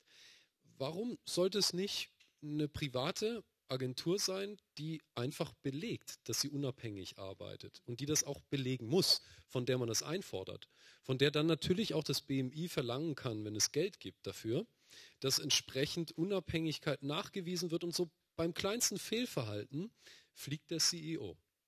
Ich meine, das ist im Grunde wenn Sie so wollen, ein sehr straffes Modell. Und da wird es vielleicht in Deutschland Schwierigkeiten geben, weil letztendlich sind da Leute bei der USADA am Gange, ja, wenn, wenn die halt fliegen, dann machen sie was, wo sie mehr Geld verdienen. Äh, den Zustand müssen wir in Deutschland erstmal erreichen. Ja, dass, dass solche Leute sich um den Anti-Doping-Kampf kümmern. Ähm, wenn wir den haben, ähm, warum sollte das Ganze nicht besser funktionieren? Also ich bin ein Stück weit optimistisch und man muss halt einfach sehen, ähm, es ist eigentlich egal, auf welchem Niveau Sie gucken, wenn Sie das Stakeholder-Modell bedienen, und das ist ja eigentlich in kleinem Ansatz auch bei der USADA mit drin. Man muss einfach schauen, okay, wie stark ist diese Einflussnahme, ähm, wie viel Informationen sind dadurch in Bereiche, wo vielleicht Informationen nicht hin sollten. Aber, das hatte ich ja auch im Vortrag betont, generell würde ich sagen, dem Athleten gegenüber hätte der Anti-Doping-Bereich eine große Verpflichtung zur Transparenz. Sie können eigentlich vom Athleten nur Transparenz fordern in diesem Ausmaß, wie Sie das momentan bei Trainingskontrollen machen, wenn Sie selber transparent agieren und wenn Sie zeigen, dass Sie mit den Proben der Athleten kein Schindluder betreiben. Und zwar egal von wo. Also komplette Chain of Custody, von vorne bis hinten. Und nicht einfach nur Herrn Tevis die Proben schicken und zeigen, dass seine Analytik funktioniert. Die funktioniert. Das können Sie auch problemlos überprüfen. Nur zu zeigen, dass das komplette System funktioniert, was hier die Leistung erbringt, ist schwieriger. Und weil das so schwierig ist, bin ich eher dafür, zumindest mal genau die zwei Punkte, die Herr Young zum Schluss seines Vortrags auf der Tafel hatte, die umzusetzen. Das werden wir gleich bestimmt noch mal weiter vertiefen. Ich würde jetzt auch gerne noch Herrn Klaus Tuchscherer ansprechen, denn eigentlich exemplarisch, wie der Sport behandelt wird, die Sportler behandelt werden, haben wir jetzt auch absichtlich diese Diskussion begonnen. Die Medien erst zu Wort kommen lassen, die Politik gleichrangig und die Medizin. Aber das Wichtigste, was dem Sport die Legitimation überhaupt gibt, das Dasein, ist doch der Sportler. Herr Tuchscherer, wie hat sich das über die Jahre in Ihrer Wahrnehmung verändert, auch in den unterschiedlichen ähm, Systemen? Und wo sehen Sie den Weg hingehend? Wo muss tatsächlich ein Umdenken erfolgen? Sport ist für mich immer legitim, das soll er legitim bleiben, weil ich persönliches Bedürfnis habe, Sport treiben zu wollen. Ich denke, das geht jedem hier so, der äh, Sport als Elixier äh, für sich braucht und Medizin als erst, erst selber äh, Recht oder Pflicht. Sport zu fördern, äh, rein für die Volksgesundheit, sage ich jetzt mal so. Aber speziell für Leistungssport sind wir jetzt in einer Position, es ist zwar ein sehr komplexes Thema und sehr umfassend. Äh, unsere Personen, um die es heute geht, die sitzen hier. Das sind die Geschädigten, die aus dem DDR-System äh, kriminell behandelt werden. Die haben keine Lobby. Den Kampf, den Kampf, was die führen, den Kampf, was die führen, der ist so anstrengend. Und die Ines, die investiert unwahrscheinlich viel Zeit und Energie. Und die Politik, das ist mein Eindruck, die wünscht nicht, dass die zu viel Publicity haben. Und das ist der Grund, dass man versucht, das finanziell nicht zu stützen. Die versuchen jetzt durch eine Stiftung private Gelder zu lukrieren und die belassen die. Die Politik kann sagen, es wird doch was gemacht und es geht seinen Weg und geht seinen Lauf. Das Beispiel heute die Österreicher. Der hebt die Nada, die interessiert sich nicht, die Berichte abzugeben. Das ist für mich eine, eine Perversion im, im, internationalen Leistungssport, spiegelt auch wieder oder reflektiert genau den Zustand des internationalen Sports. Weil die Lobby untereinander sich so gut versteht und die Wirtschaft, der Sport braucht die Wirtschaft, keine Frage. Sport ohne Wirtschaft funktioniert nicht. Aber die Steuerung im, die Steuerung im Hintergrund und der Einfluss der Wirtschaft, der ist so enorm. Und für mich war eine, wir sind jetzt in einem Zeitalter, wenn man mit 41 Jahren die Vuelta gewinnen kann. In dem Zeitalter sind wir. 2013, die Vuelta hat ein 41-Jähriger. Ja? Die wurden zwar überführt dann, aber ich sag mal immerhin. Also insofern. Jetzt, jetzt ist es immer die, die, diese, diesen Verdachtsmoment. 100 Meter, ja, ja. als Großvater. Jetzt wird denn sein, sein, sein Blut äh, gespeichert, beziehungsweise Urin. Und dann kann man nach einer bestimmten Zeit, kann man das nochmal analysieren. Und das ist natürlich für die der Vorteil, die sind den Prüfern voraus. Und das ist eben das Problem. Und das Problem ist, dass einfach die Leute, die gesundheitliche Schäden haben und mit dem leben müssen, die in einen, in einen also rein sozial und materiell nicht abgesichert sind. Da höre ich zum Teil, zum Teil Beispiele, die haben Hartz IV. Und die müssen jetzt darum kämpfen, dass sie die eine oder andere Nebenbeschäftigung bekommen. Und das muss noch kontrolliert werden, dass sie ja nicht zu viel verdienen.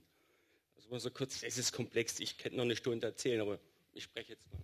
Ja, Sie haben ja völlig richtig angesprochen, dass es ganz viele ähm, Interessensgemeinschaften, Verkettungen, Verknüpfungen in diesem Unterhaltungsgeschäft Sport gibt, in allen Bereichen. Und was mich berührt hat, ist, dass auf der neu gestalteten Internetseite, Internetpräsenz der Dopingopferhilfe, äh, ein ganz klarer Vorschlag gemacht wird, der möglicherweise utopisch ist, aber sehr charmant, nämlich zu sagen, wer sich nicht an die Regeln des Sportes hält, der spielt nicht mit. Wer dopen will, kann das machen, aber in einer eigenen Liga. Aber es gibt, das haben wir ja auch heute Morgen schon in dem Vortrag gehört, in dem Gespräch mit ähm, der Gabi, ähm, es gibt den echten Sport noch und den sollte es weitergeben. Die Frage ist nur, wie kommen wir dahin? Welche Instanz kann das leisten, möglicherweise? Fange ich wieder mit Anno Hecker an. Wir nicht, wir können das nicht leisten. Das ist nicht, also ich weiß auch nicht, ähm, Medien sind dazu da, darüber zu berichten, was passiert, ja, und vielleicht die Leute daran zu messen, an dem, was sie, was sie tun wollen. Und, äh, und das zu vergleichen mit dem, was dann wirklich dabei rauskommt. Das ist unser Job, wenn uns das halbwegs. Äh, Moment.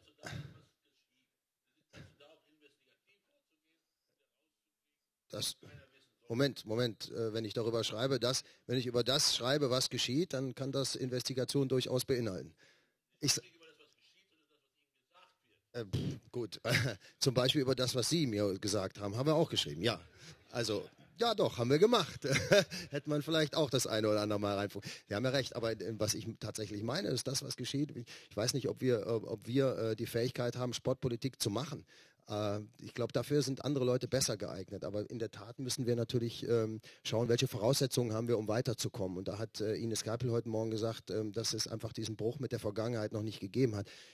Äh, ich, ich sehe da ähm, gewisse Unterschiede. Ich weiß nicht, ob man wirklich so einen, so, so einen linearen Bruch, ob man überhaupt jemals kriegen wird. Das wohl nicht. Aber ähm, wir wären nicht hier, wenn nicht viele Leute ähm, doch bereit gewesen wären, in Brüche einzugehen. Ja, und das eben auch äh, mit sich zu machen. Was ich nur nicht verstehe, ist, dass wir im Westen, wo es ja eben nicht nur systemisches Doping gegeben hat, sondern es hat auch in einzelnen Verbänden bis, bis das konnte man ja jetzt auch äh, stückweise nachweisen. Also im Radsportverband haben wir es ja ähm, auch dokumentieren können, hat es ein systematisches Doping gegeben, ja, unter Klümper. Ja, wahrscheinlich hat es noch mehr gegeben, aber wir konnten es nur einmal an diesem einen Fall beweisen. So, da haben die Leute unter Stoff gestanden. Ein Bundestrainer hat gesagt, mit der Schubkarre ist das Zeug reingefahren worden. Wo sind diese Leute? Wo sind die Leute, die mit diesem, mit dieser Vergangenheit brechen? Wenn wir die nicht haben, wenn die nicht hingehen und das auch mal erzählen, dann werden wir auch nicht die Chance bekommen, auch an diesen Punkten anzusetzen und sagen, wieso ist denn der ehemalige Doper jetzt Verbandsfunktionär oder Jugendtrainer oder umgekehrt Jugendtrainer und dann Verbandsfunktionär. Das ist ja die Karriere die haben wir ja heute noch. Und in dem Zusammenhang nur eins, in dem Zusammenhang äh, hatten wir ein Interview hochinteressant mit einer ehemaligen sehr, sehr guten Leichtathletin aus dem Osten, kann man ja sagen, mehr sage ich dazu nicht. Es war sehr interessant, die hat wirklich alles erzählt. Und dann hat sie gesagt, an einem Punkt, ähm, warum? Ich bin im Vorlauf 11.08 gelaufen, meine westdeutsche Konkurrentin 11.02. Warum bin, gelte ich bis heute als die Gedobte und die andere als die großartig Ausgezeichnete? Und das war der Knackpunkt für dieses Interview, was nie erschienen ist. Weil sie dann beim später, beim Wiederlesen, ist ihr das alles nochmal hochgekommen, hat gesagt, wieso muss ich mich jetzt hier entblößen und meine Kollegin nicht. Sie wäre bereit gewesen, darüber zu reden, wenn ihre westdeutsche Kollegin mit ihr an einem Tisch darüber geredet hätte, in aller Öffentlichkeit. Ach, Herr Professor Franke. Bitte? Wie auch immer, spielt, darum, es spielt ja keine Rolle, wer das jetzt im Einzelnen ist, aber es war natürlich in dieser Phase, in dieser Zeit. Und wir haben versucht, dieses Gespräch zu moderieren. Es ist nicht zustande gekommen.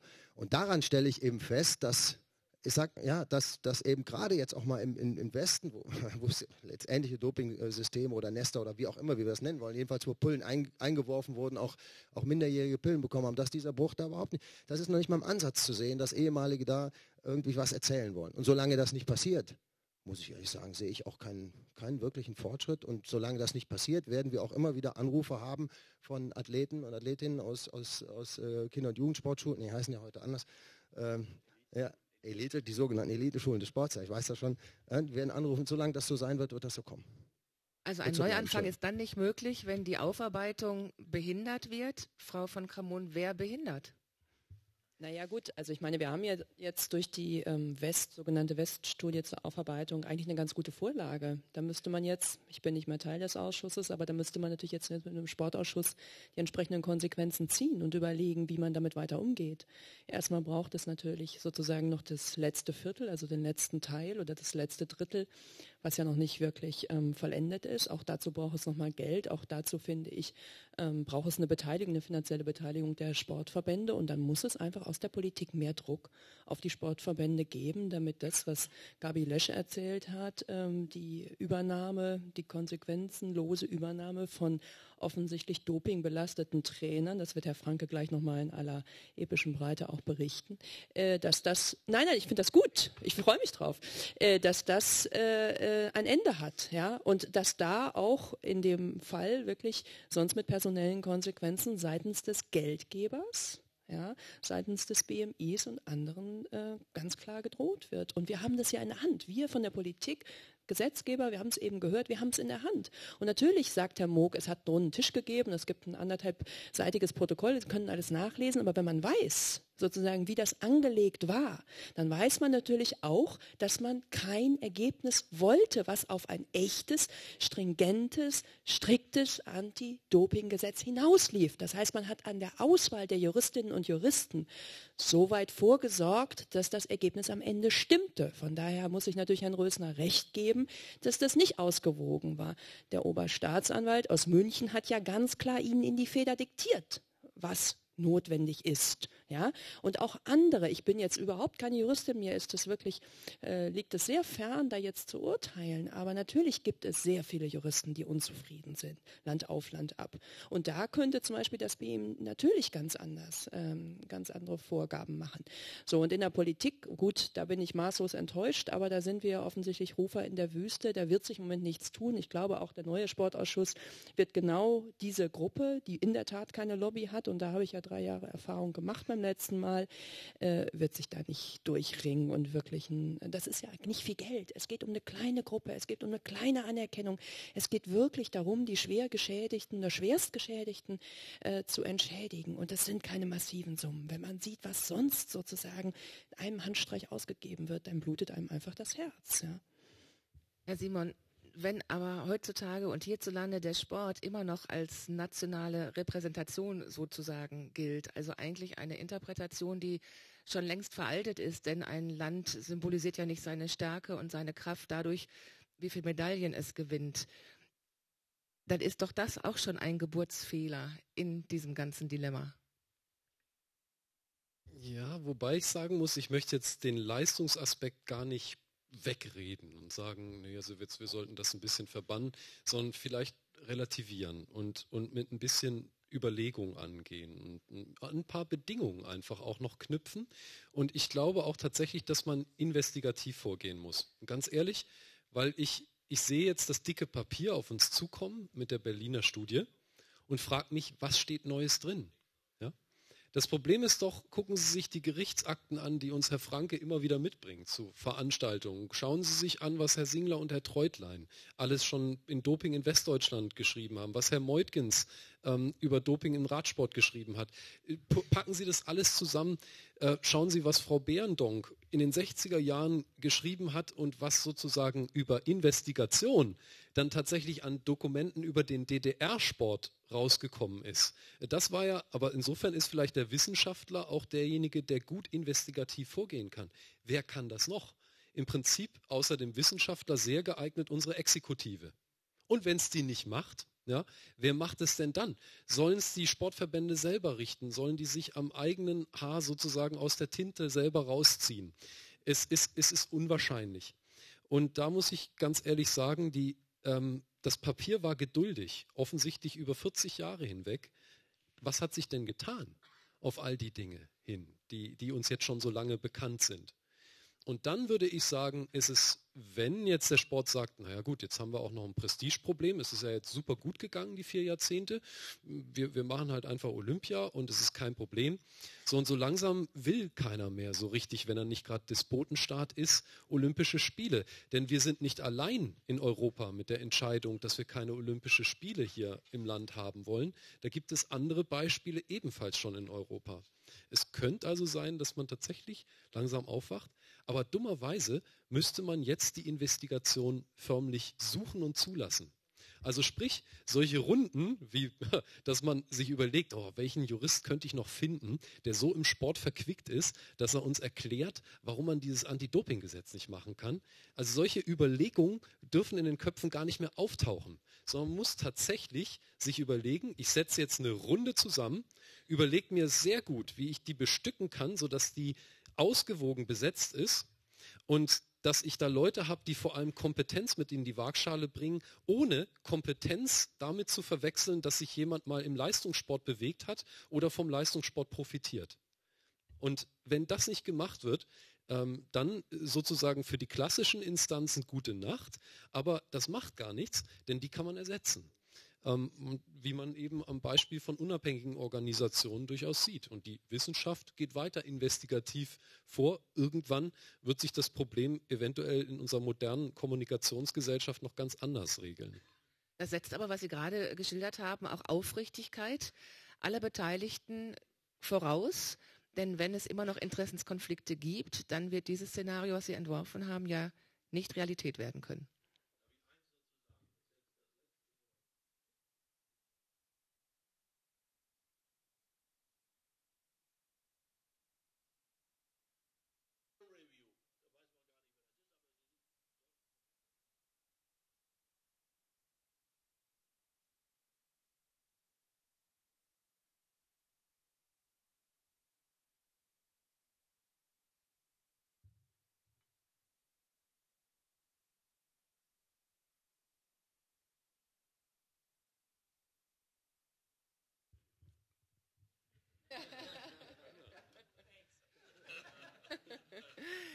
Herr Franke, Sie haben natürlich völlig zu Recht den Einwurf äh, gemacht, denn so kann ich jetzt auch noch mal in das Publikum schauen und mal nachfragen, ob Fragen da sind. Da geht auch schon der Finger hoch und dann fangen wir bei Ihnen an und gehen dann auf die linke Seite rüber, von mir aus gesehen. Mein Name ist Wolfgang Zengel. Ich komme vom Netzwerk Olympia aus München.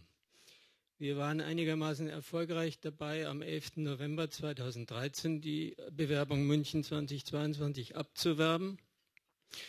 Nichtsdestotrotz muss ich sagen, wir machen mit Graubünden 2022 kooperiert, auch erfolgreich. Ich möchte schon davor warnen, vor irgendwelchen Strukturen im deutschen Sport äh, aktuell irgendwelche Hoffnungen zu setzen. Von 18 Mitgliedern des Bundessportausschusses sind elf engstens mit der Sport dem Sport verbandelt, entweder als Funktionär oder in Ämtern, in irgendwelchen sonstigen Verbindungen. Bach hat offensiv verhindert, dass der äh, Besitz geringer Mengen an Doping äh, äh, quasi äh, unter Strafe gestellt wird. Wenn man weiß, wie Herr Hörmann ins Amt kam und wie der Nachfolger vom Hörmann beim Skiverband ans Amt kam, dann ist es Sportdemokratie pur. Grundsätzlich gibt es keinen Gegenkandidaten. Also die Perspektiven sind schlecht. Wir haben durch unsere Webseiten olympia.de inzwischen über 800.000 Besucher. Wir machen diese Investigation, die gefordert wird. Wir haben vieles untersucht und wir haben eigentlich äh, einen sehr tiefen Einblick und ich möchte auch aus diesem Grund der Dopingopferhilfe alles Gute wünschen.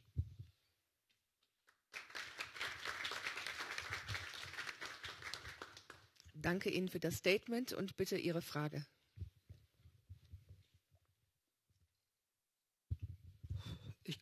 Zwei, zwei Fragen habe ich. Ich glaube, die gehen beide an den Biochemiker. Zu dem einen festgestellt habe ich irgendwie durch die ganzen Vorträge, dass Sie auch mitunter sehr häufig gegen das Recht stoßen, nicht weiter zu können. Äh, um herauszufinden, ob das nur ein Alibi ist oder ob das sich wirklich so verhält, frage ich einfach, ähm, nehmen wir mal an, wir würden von außen die Mitwirkungsbereitschaft des Sportlers motivierend erzeugen, wie auch immer. Und wir würden die Rechtsvorschriften, die Ihrer Meinung nach theoretisch im Raum stehen, etwas verrücken. Wären Sie als Biochemiker überhaupt in der Lage, über ein Wissen zu verfügen, das tiefer geht, um sozusagen tatsächlich Nachweise vornehmen zu können, Doping in dem Fall, oder sind Sie da vielleicht selbst am Ende Ihrer eigenen Kennt äh, an, an, Ihrer Fachkunde am Ende und können überhaupt gar nicht tiefer forschen? Also das heißt, dass wir uns gar nicht einen Kopf machen brauchen, ob man da noch mehr Türen öffnen muss. Also das zum einen. Und das Zweite ist, was ich versäume, äh, was ich äh, schon seit, ich glaube, 15 Jahren verfolge ich so ein bisschen nebenbei, diese Diskussion Doping. Und da stelle ich fest, ich habe Sorge, dass sie alle sich aufs Glatteis führen lassen. Weil mit Doping wird sofort auf Körper geguckt. Und alle gucken und starren drauf und versuchen da alles heraus auszuwerten. Und dann erfahren wir auch noch, dass das Dopingproblem in der Regel nur Spitzensportler trifft und eigentlich nicht den Breitensport. Und dann komme ich hin, dass ich sage, weißt du, wir reden jetzt hier um etwas und kämpfen um etwas, was ich marginaler finde als 0,001 Prozent im Vergleich zu den 99,999 Prozent, wo geistige Manipulation stattfindet. Weil am Körper hängt ein Geist und der Geist steuert in der Regel den Körper. Und gestatten Sie mir, wir haben es da draußen eben mit erwachsenen Kindern zu tun, die teilweise im Sportbereich unterwegs sind. Fazit ist, könnte irgendwie einer sagen, dass er irgendwo erkennt, dass an der Ausbildung, an dem Verantwortungsbewusstsein eines Sportlers auch schon langsam geguckt wird. Denn wenn da nicht irgendwo mal Reglements aufkommen, äh, dann kommen wir da kein Stück weiter. Und Entschuldigung, und Sie fördern mit all Ihren Maßnahmen weiterhin nur eins, den Strukturapparat, den wir hier haben, wo nämlich Sportler in bestehende Strukturen gefangen sind und wie Marionetten behandelt werden dürfen und auf jedes kleine Angebot, was man ihnen reicht, Ja sagen, weil wie ich höre, da Hartz-IVer um ihre Existenz kämpfen und all solche äh, Niedlichkeiten, sage ich mal, und dafür bereit sind, ihre Gesundheit zu, zu ruinieren. Also vielleicht und eine kleine Information an der Stelle wäre, wenn der Sprung vom Breitensport zum Spitzensport an der Stelle ein Korrektiv rein müsste, dann müsste der eigentlich wie beim Führerschein, weiß ich nicht, eine Zwangsschulung bekommen, wo es heißt, pass auf, äh, hier kleines Handbuch kriegst du in, in der Hand, da stehen alle organisatorischen Tricks und Manipulationen, die wir kennen von Trainer und Organisationen aus Deutschland und einen zweiten Katalog, wo drin steht, hier stehen bezogen auf deine Sportart all die gesundheitsschädlichen Problemlagen. Haben Sie noch eine konkrete Frage jetzt an Herrn Simon? Ja, das ist es ja, Bitte. dass ich sage, mit mhm. diesen beiden Beispielen ja, klar machen ist, muss bei dem Sprung von dem Breitensport zum Spitzensport nicht ein Korrektiv eingebaut werden, wo sie eigentlich eine Sonderschulung kriegen, damit sie auch ihren Geist ein bisschen auf die Reihe bringen und sich ein bisschen los abkoppeln können von den Strukturen, in denen sie alle drin verhaftet sind. Vielleicht zunächst zur äh, Frage der Analytik und zur Frage, was kann man alles manipulieren, was kann man dann alles nachweisen.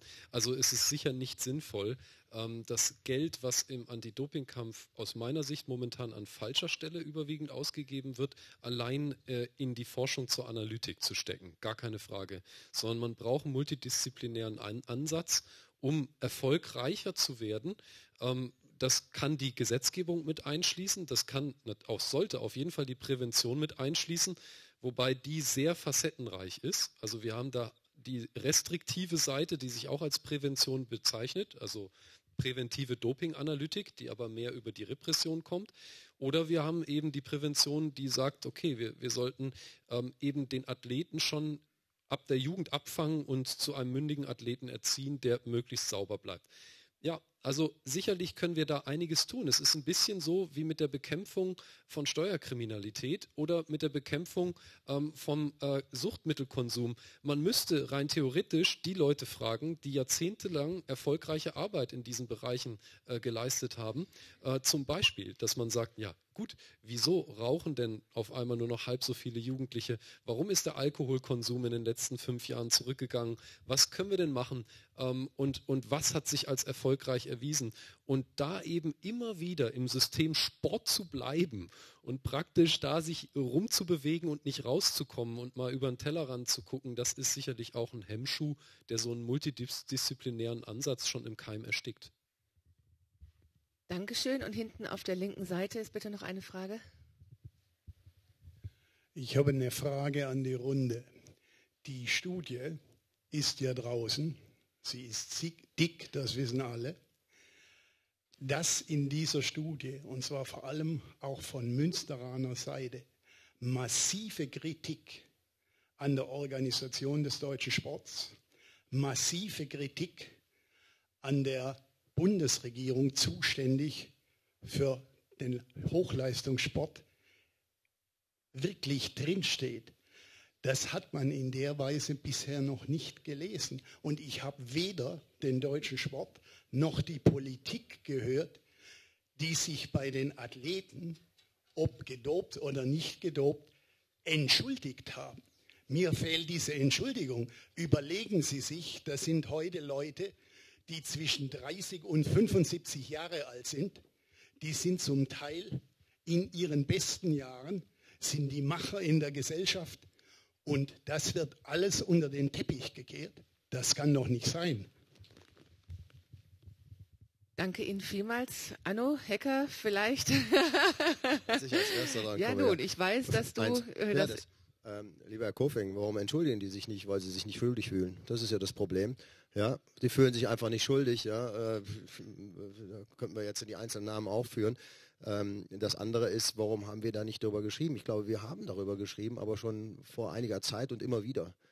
Also es ist ja nun nicht so, dass wir, äh, ob nun zu Recht oder, oder zu Unrecht, die Bundesregierung äh, oder auch das Bundesinnenministerium, die haben wir immer mal wieder angegriffen. Ob zu Recht oder zu Unrecht ist was, ist was anderes. Wir haben äh, also die Sportführung, äh, den Bereich Leistungssport. Äh, also ich glaube schon, dass wir all diese, diese Themen, die in der Studie vorkommen, äh, schon angefasst haben. Deswegen hatten wir, ähm, ich meine, es ist gut, dass sie da ist, ganz wichtig, ja, dass sie auch diesen offiziellen Auftrag hatte, der ja über den Sport kam, ist ganz wichtig, dass das alles nochmal rausgekommen ist. Das Medienecho war ja auch gut. Ich glaube, da haben viele, die leider lange Jahre nicht richtig Zeitung gelesen haben, nicht unsere, aber keine Ahnung, Süddeutsche vor allen Dingen nicht, Frankfurter Rundschau, all diese ganzen Zeitungen, Welt, die Zeit, ja, äh, mit, Frau Berndonks äh, Initialartikel kann man sagen, 69, hat ja fast das Gefühl, als hätten wir gar nichts gemacht bis dahin, aber in Wahrheit ist es so gewesen, dass wir das alles schon mal aufgeschrieben hatten. Und äh, ich glaube, deswegen haben sie vielleicht auch dieses Defizit jetzt bei uns da so erkannt. Wir sehen es nicht ganz so. Ja. ja. warum auch nicht? Also kann ja schon sein. Ich versuche nur zu, ja, versuche nur zu, Ihre Frage zu beantworten. Ja. Gibt es weitere Fragen zu diesem Zeitpunkt im Moment? Ja, genau. Sonst hätte ich nämlich noch mal die Aktion hier auf das ähm, Podium ich geholt. Ich denke auf, auf die Vorführung vom Professor Rösner. Die Bundesrepublik als gewachsener Rechtsstaat verweigert sich, eine gesetzliche Grundlage zu schaffen und den Tätern auf die Spur zu gehen. Hier wird nur manipuliert, geredet. Die Ausführung, das reicht mir, Herr Rösner. Es war für mich begreiflich. Das war für mich ein klares Signal an, die, an das BMI. Und wenn die gesetzliche Grundlage nicht geschaffen wird, dann geht es weiter wie bisher. Das BMI hat Interesse daran, dass diese Disziplinierungsmaßnahmen bei den Vereinen bleiben, bei den Verbänden bleiben und die machen das schon. Das ist ja sowas von Befangenheit. Das hatte mit der Rechtsstaatlichkeit überhaupt nichts mehr zu tun. Da lacht da jeder drüber. Ich bin da, ich komme von Österreich rauf und interessiere mich für diese Diskussion. Und Herr Rösner, es ist der springende Punkt. Nichts, nicht böse ans BMI, aber es ist einfach das Signal. Da muss reagiert werden. Und warum das nicht geschieht, das wird sehr bedeckt gehalten. Bitte, da vorne links noch. Ich frage mich, ob wir uns nicht immer an andere die Verantwortung verteilen. Können wir nicht auch an uns denken? Wir Verbraucher, wir Konsumenten, wir wollen ganz saubere Politiker. Bei drei Bonusmeilen regen wir uns drüber auf. Bei jeder Steuererklärung freuen wir uns, wenn wir 100 oder 1000 Euro sparen oder wenn wir Bayern, München sind, dann vielleicht ein paar Millionen sparen. Wir, wir sagen, wir wollen sauberen Sport, aber wir wollen Sieger sehen. Ist das nicht auch eine Gesellschaft, die sich was ändern muss, die nachdenken muss, was sie eigentlich will? Wir regen uns auf und sagen, du Flasche, du warst nur Vierter von sieben Milliarden Bürgern, ja, Vierter immerhin, weil du keine Medaille kriegst und wollen einen sauberen Sport. Ich denke, muss die Gesellschaft auch was tun und nicht nur an Institutionen geben. Ja, der Sport ist eine Unterhaltungsindustrie und die Konsumenten wollen unterhalten werden. Frau von Kramon, Sie stimmen meine, dazu? Es ist natürlich unsexy, einem Neunten ähm, als Politiker oder eben auch als Zuschauer dann entweder die Hand zu schütteln oder das in der Zeitung zu lesen, das macht sich halt nicht so gut. Und ich habe jetzt auch im Vorfeld von Sochi immer mal wieder Wintersport geguckt und da wird eben der vierte Platz schon nicht mehr gefeiert. Ja? So, und wenn es dann sozusagen einen zweistelligen Bereich gibt, dann ist es eben geht, dann ist es eben unter ferner Liefen. Da braucht es irgend, ich meine, das ist ein blödes Wort, aber so eine Art Gesinnungswandel oder so ein, so ein äh, Ruck bräuchte es schon. Oder eben anderes Anreizsystem, was Frau Ravol ja zu Recht sagte, wir sind eigentlich eine relativ erfolgreiche Staat. Brauchen wir das wirklich noch ähm, zur Profilierung, ja, dieser Medaillenspiegel, der vollkommen unrealistisch ist. Was hat der Vesper gesagt? Zwischen 27 und 40 ist doch Muppets. Ja? Und das tunen wir ja auch nur über unsere Bobfahrer, sonst wären wir ja auch unter ferner liefen. Also na gut, also die Bobfahrer vielleicht, weil diesmal der Schlitten nicht. Aber im Grunde, im Grunde, im Grunde ist das ganze System schon immer noch darauf, ge, äh, darauf getuned und darauf ausgerichtet, mit den meisten Medaillen irgendwie nach Hause zu gehen. Vollkommen verrückt, ja.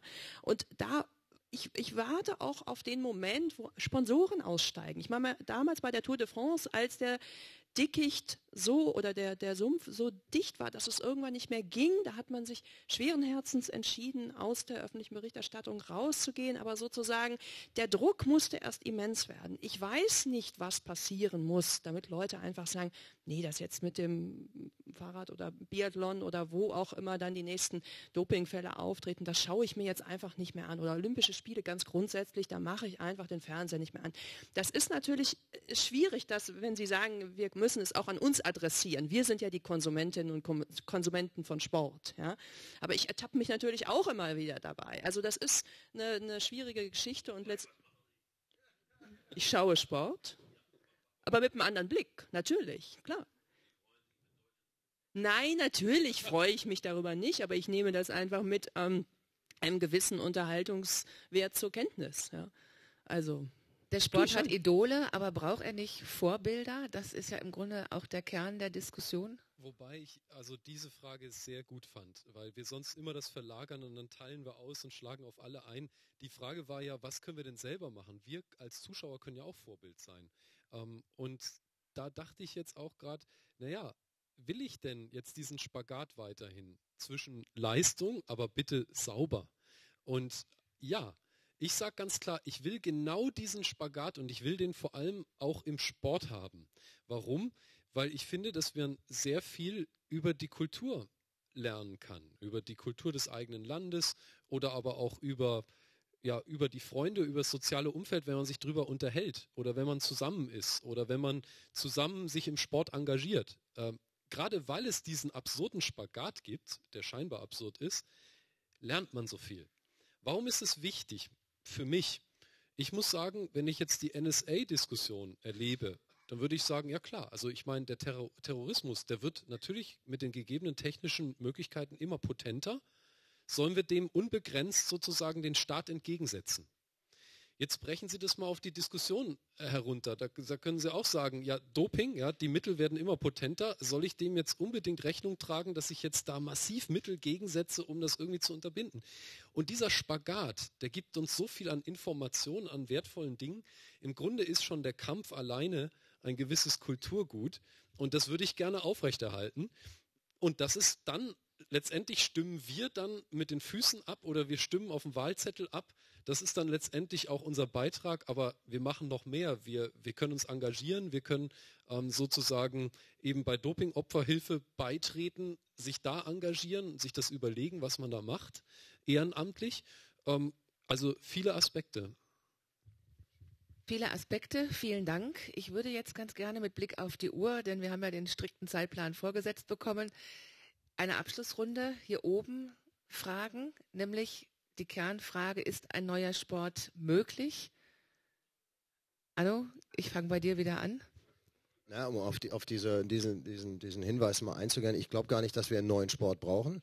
Ich bin der Meinung, dass äh, der Kampf um Platz 1 und 2 absolut ehrenwert ist. Ich, ähm, ich sage jetzt auch mal hier ganz offen, vielleicht ist es auch nicht opportun, ich gucke mir das sehr, sehr gerne an. Ich gucke mir das, ich bin da wahrscheinlich interessierter als beim Kampf äh, Platz 15 und 16. Aber mit dem Aber Bewusstsein. Der kann mich auch, der kann mich auch äh, natürlich fesseln, ja, je nachdem, wie das präsentiert wird von uns. Ich sehe uns da auch ähm, in der Verantwortung, das einzuschätzen. Aber es ist natürlich klar, es muss eine Priorität geben und sagt, es, es muss natürlich sauber sein oder so sauber wie möglich sein.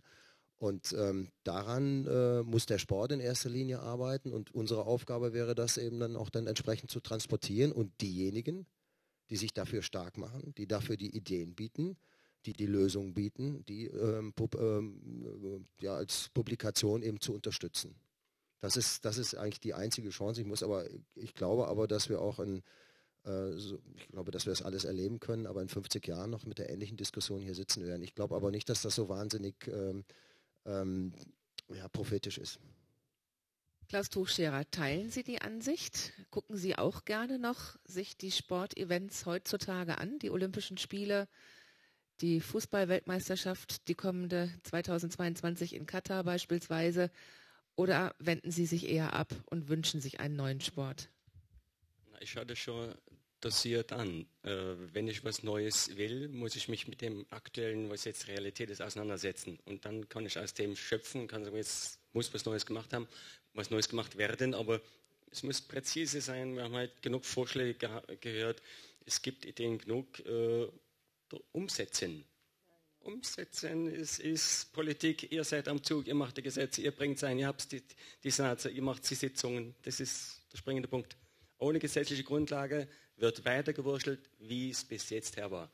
Da kann der Professor Franke schimpfen, immer schimpfen, bis geht nicht mehr. Schön, aber die gesetzliche Grundlage fehlt da innen, um noch direkter vorgehen zu können. Na, einige positiv schimpfen.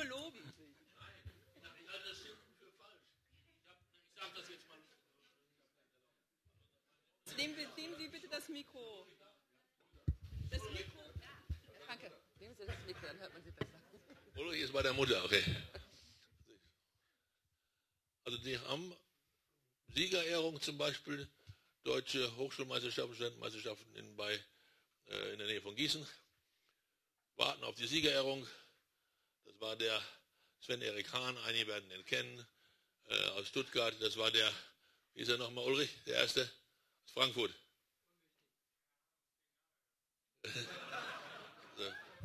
Gehört oder so? Und er war Dritter. Die standen da die ganze Zeit, mussten warten auf die Siegerehrung und haben das Ganze nur mit satirischen ja, Dingen erzählt. Das ist das Einzige, was hilft, glaubt es doch. Böse Satire, wo er das so verarscht, dass Kugelstoßer nach dem vierten Versuch dann sich irgendwas verrenken, scheinbar weg müssen zum Arzt, bloß damit nach dem sechsten dann nicht mehr der Kontrolleur sie kriegt und so weiter. Das sind alles bekannt, diese Dinge. Auch in, in den verschiedenen Nationen ist es doch bekannt. Da kann man nur noch eigentlich Scherze drüber machen. Witz, Scherz ist falsch. Witze, böse Witze. Ich mache gleich ein paar. Ja, da freuen wir uns schon drauf. Zwei abschließende Statements hätte ich gerne noch, Frau von Kramon. Die Politik ist natürlich wieder angesprochen worden. Ich sehe auch Winfried Herrmann hier vorne sitzen, auch einen weiteren Mitstreiter, früher jedenfalls für die Interessen des Sportes. Muss ja. ein hartes Anti-Doping-Gesetz, ein scharfes, ein erbarmungsloses kommen?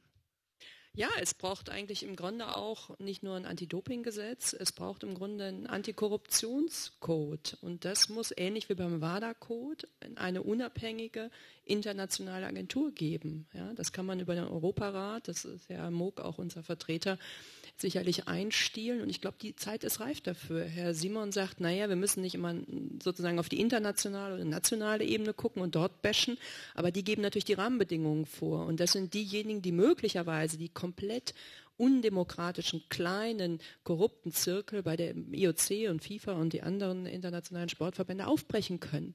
Denn das muss man ja einfach sagen, das Verschieben ja, von Millionen, von Milliarden in kleinen Privatclubs, die in der Schweiz steuerfrei agieren, da sind wir doch alle satt. Also da muss man doch irgendwann ran, wenn man da sozusagen in einem anderen System sozialisiert ist. Und dass es da eine kleine Gruppe an Regierungen gibt, die sagen, wir wollen uns jetzt mal da gab es ja auch bei der Weltsportministerkonferenz einen ganz guten Abschlusskommuniqué. Äh, äh, da kann man nochmal anknüpfen und dann kann man auch natürlich sagen, auf der, Internet, auf der nationalen Ebene gehen wir voran, indem wir zum Beispiel ein, ein durchaus ambitioniertes Anti-Doping-Gesetz beschließen. Aber eigentlich glaube ich schon, dass die Glaubwürdigkeit des Sportes auf der internationalen Ebene be besonders ramponiert ist und dass Deutschland da die eine oder andere Initiative durchaus starten könnte. Eine kurze Frage, Mr. Young.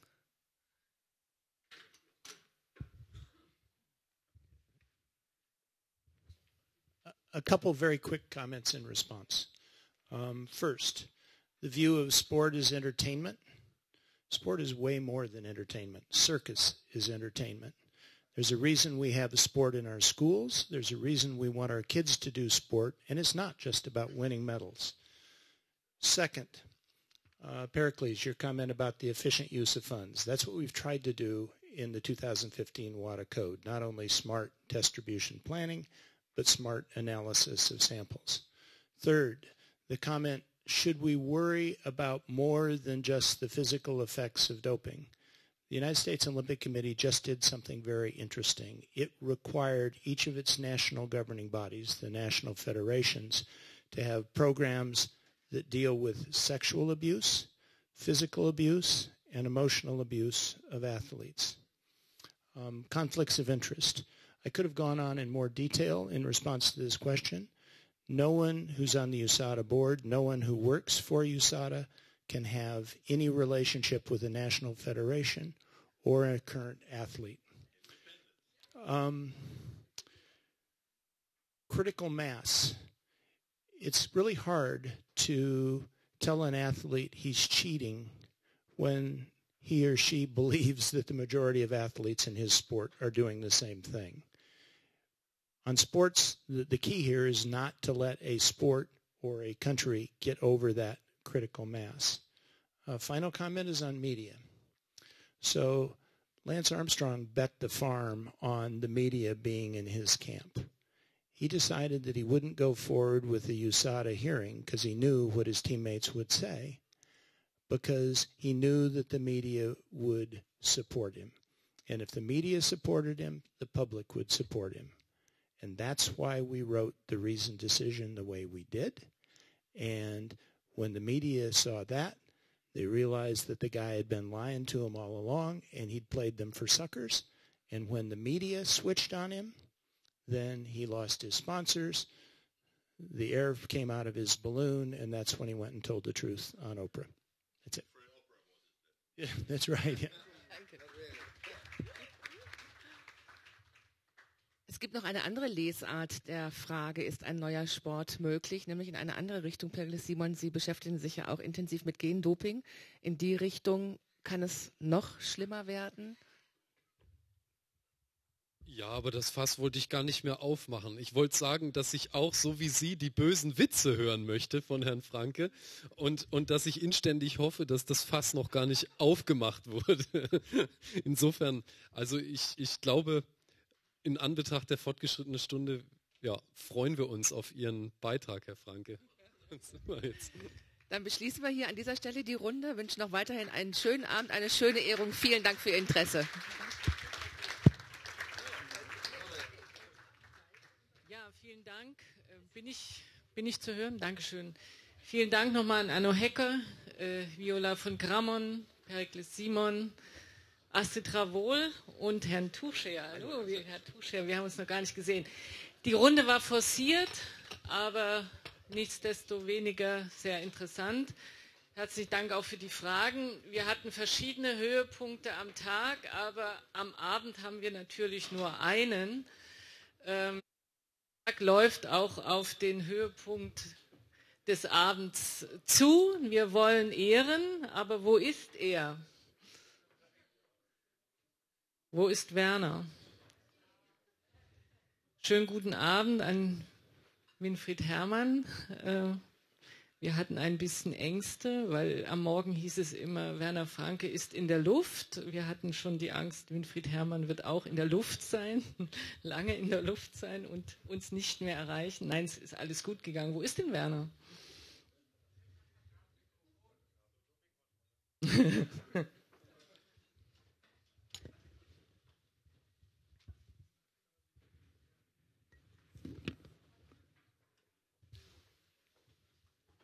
So, das ist jetzt, läuft auf die große Performance hin. Mhm.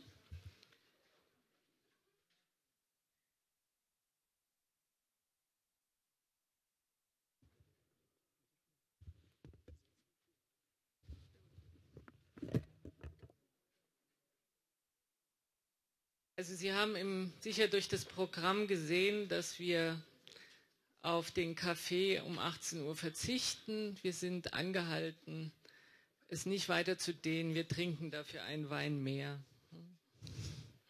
Werner, wir wollen dich ehren. Du erhältst den achten Heidi Krieger Preis und äh, du weißt, dass du bei uns kein Geld bekommen kannst, aber deswegen können wir uns ein bisschen Mühe geben mit ein paar Sätzen. Eher umgekehrt. Schaffen wir noch nicht, vielleicht irgendwann. Die achte Heidi Krieger Medaille, die weltweit einzige Auszeichnung für Engagement gegen Dopingmissbrauch, erhält im Jahr 2014 der Heidelberger Zellbiologe und Krebsforscher Professor Dr. Werner Franke.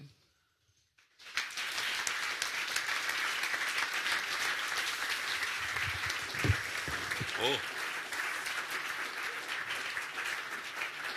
Wo ist er? Wo ist er?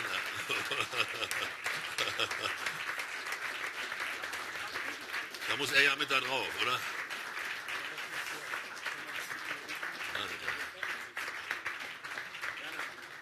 Also ich muss ja mit dir zusammen drauf, das ist ja dein Ding. Ne? Das ist mein Ding, das ist jetzt dein Ding. Na, ein Jahr. Ist, äh, historisch ist es deins. Die Dopingopferhilfe ehrt ihn und seine Vita Activa als ein einzigartiges Lebenswerk. Zitat, ich kann nicht gegen meine ethischen, moralischen und wissenschaftlichen Prinzipien handeln, sagte Werner Franke einmal in einem Interview, Interview nur, weil es schwierig ist. Dieser Ethik der Wahrheit hat sich Professor Dr. Werner Franke seit mehr als einem halben Jahrhundert verpflichtet und sie völlig unbeirrt gegen die Pathologien eines dopingbelasteten Elitesports gestellt. Professor Dr. Werner Franke klärt auf, unmissverständlich, umfassend, unkonventionell. Seine unüberhörbaren Interventionen haben dabei eine lange Geschichte.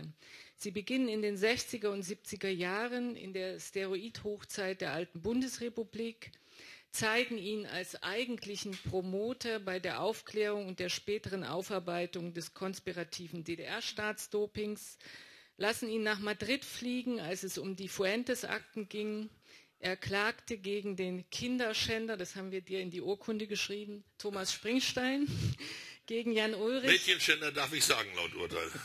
Gegen Jan Ulrich. Und nicht Schwein. Gegen Jan Ulrich, gegen die Freiburger Sportmedizin. Professor Dr. Werner Franke kennt die Logik des Systems, besorgt die Akten, stellt Strafanzeigen, kümmert sich um Grundzeugenregelungen und spricht mit den Betroffenen. Er ist es auch, der immer wieder in aller Deutlichkeit auf die Verantwortung der Ärzte, der Politik, der Medien verweist, aber auch auf die hohe Adaptionsfähigkeit so alter Systeme wie das des DDR-Systems. Die Geschädigten des deutschen Sports haben ihm viel zu verdanken. So hat er den Berliner Prozess im Jahr 2000 angestrengt, vorbereitet, Akten bereitgestellt und nun schon 20 Jahre lang medizinisch-pharmakologische Gutachten geschrieben. Er war da für die Betroffenen, hat erklärt, Beistand geleistet und ihnen kategorisch Räume eröffnet. Professor Dr. Werner Franke spricht von Wahrheit und es ist Liebe gegenüber dem Leben. Dieser Wahrheitssinn verknüpft wissenschaftliches Credo, politisches sowie ziviles Engagement und den Schutz der Athleten auf unnachahmliche Weise. Berlin den 21. Januar.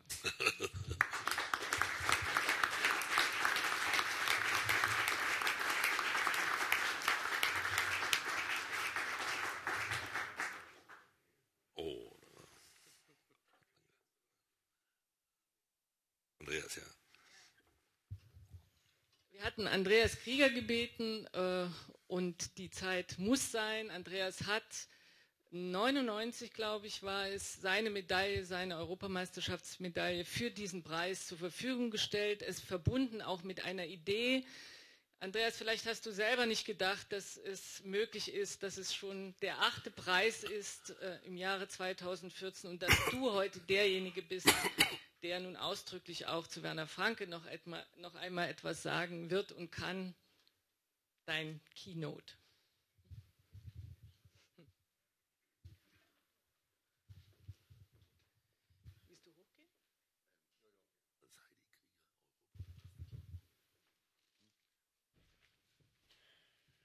Ja, damit habe ich jetzt wirklich nicht gerechnet, dass ich doch noch mal rankomme heute.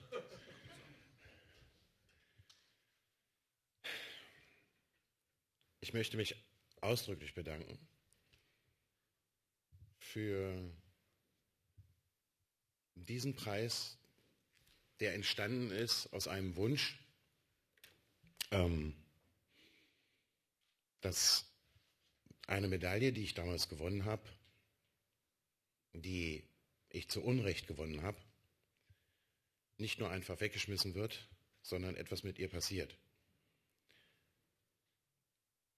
Ich finde es großartig, dass dieser Preis daraus entstanden ist und zum achten Mal und jetzt an wirklich einen Menschen, den ich sehr schätzen gelernt habe,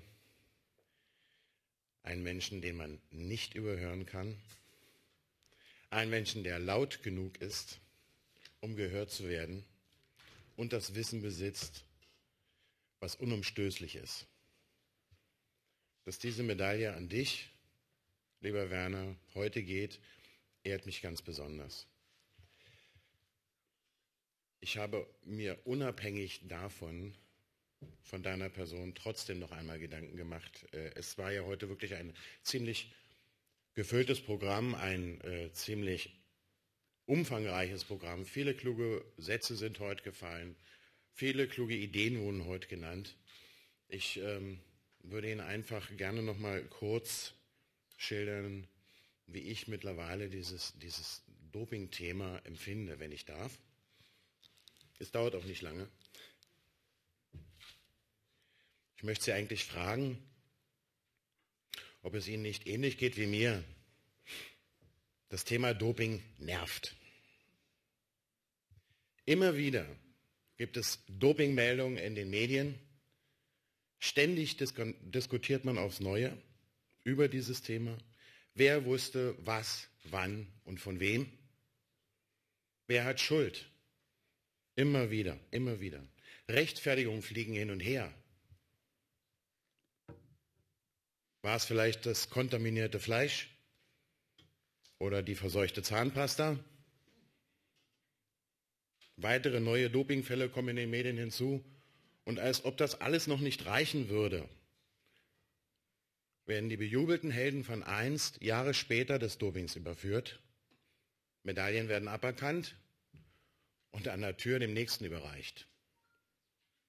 Aktive Sportler fühlen sich heute als die neuen Dopingopfer weil sie sich um ihre eigene Leistung und ihren Erfolg betrogen fühlen. Und dann kommt noch die Mana. Finden Sie nicht auch, das Thema Doping nervt? Alle reden darüber. Doch wer handelt wirklich? Sportler sollen sich dem Regelwerk des Sports unterwerfen. Sie sollen mit Ehrenerklärungen ihre Anti-Doping-Haltung bekunden und möglichst zu jeder Tageszeit für etwaige Dopingkontrollen zur Verfügung stehen. Von aktiven Athleten verlangt man, dass das Reglement, nein, Entschuldigung, von aktiven Athleten verlangt das Reglement absolute Transparenz bis in den Privatbereich hinein. Von Sportlern wird heute erwartet, dass sie sauber alte dopingverseuchte Rekorde knacken können. Fördergelder werden von einem vorbestimmten Leistungsniveau abhängig gemacht. Sieht so der Schutz vor Dopingmissbrauch aus? Und was tun die Verantwortlichen von Politik und Sport, wenn es wieder mal um diese Frage Doping und, einem, und einer positiven Dopingmeldung geht? Sie berufen Kommissionen ein. Diese Dopingwelle werden alle einzeln analysiert. Das Zauberwort ist hier Einzelfallprüfung. Mir hängt das so zum Hals raus. Also wieder endlose Debatten, Sachverhalte werden geprüft, Gutachten angefordert. Dann informieren diese Kommissionen die entsprechenden Verbände über die Ergebnisse und sprechen Empfehlungen aus.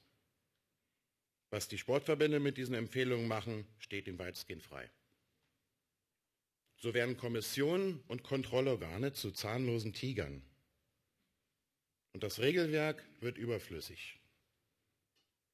Die postulierte Null-Toleranz-Politik von Herrn Bach zerplatzt hier wie eine Seifenblase.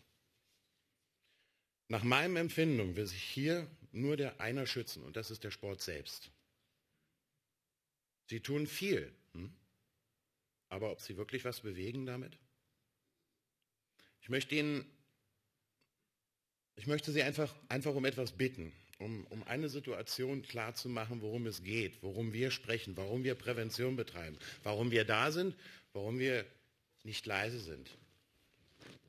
Ich möchte, dass Sie, vielleicht der eine oder andere, die Augen schließen und sich einfach mal in die Lage eines Trainers versetzen. Bei Ihnen zu Hause klingelt das Telefon. Und es meldet sich eine Mutter bei Ihnen, dessen Kind bei Ihnen begeistert Sport getrieben hat. Dieses Kind war talentiert und wollte ganz nach oben. Es wollte Erfolg haben und irgendwann mal ganz ein gefeierter Star werden. Es hat sein, ganzen, sein ganzes Leben diesem Sport untergeordnet. Und nun ist dieses Kind tot.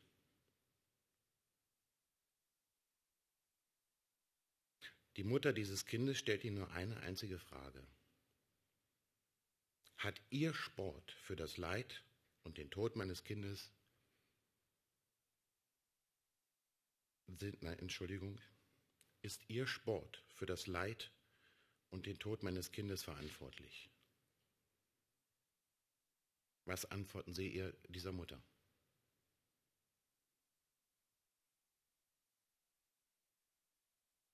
Danke.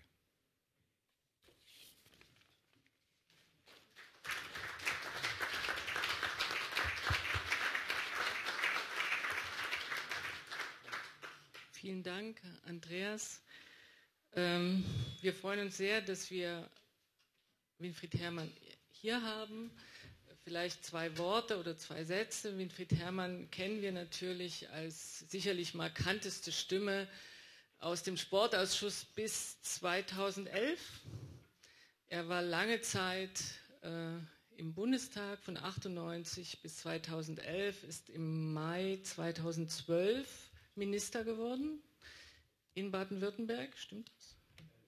Doch schon, ja im Mai 2011 Minister für Verkehr und Infrastruktur. Ihn wollte ich eigentlich fragen, ob Ihnen die Diskussion, die er jetzt mit hat anhören können, so anders vorkommt als zu der Zeit, als er selber immer in der Runde saß und mitdiskutiert hat. Aber das wird er uns vielleicht sagen. Ähm, sehr schön, dass Sie da sind.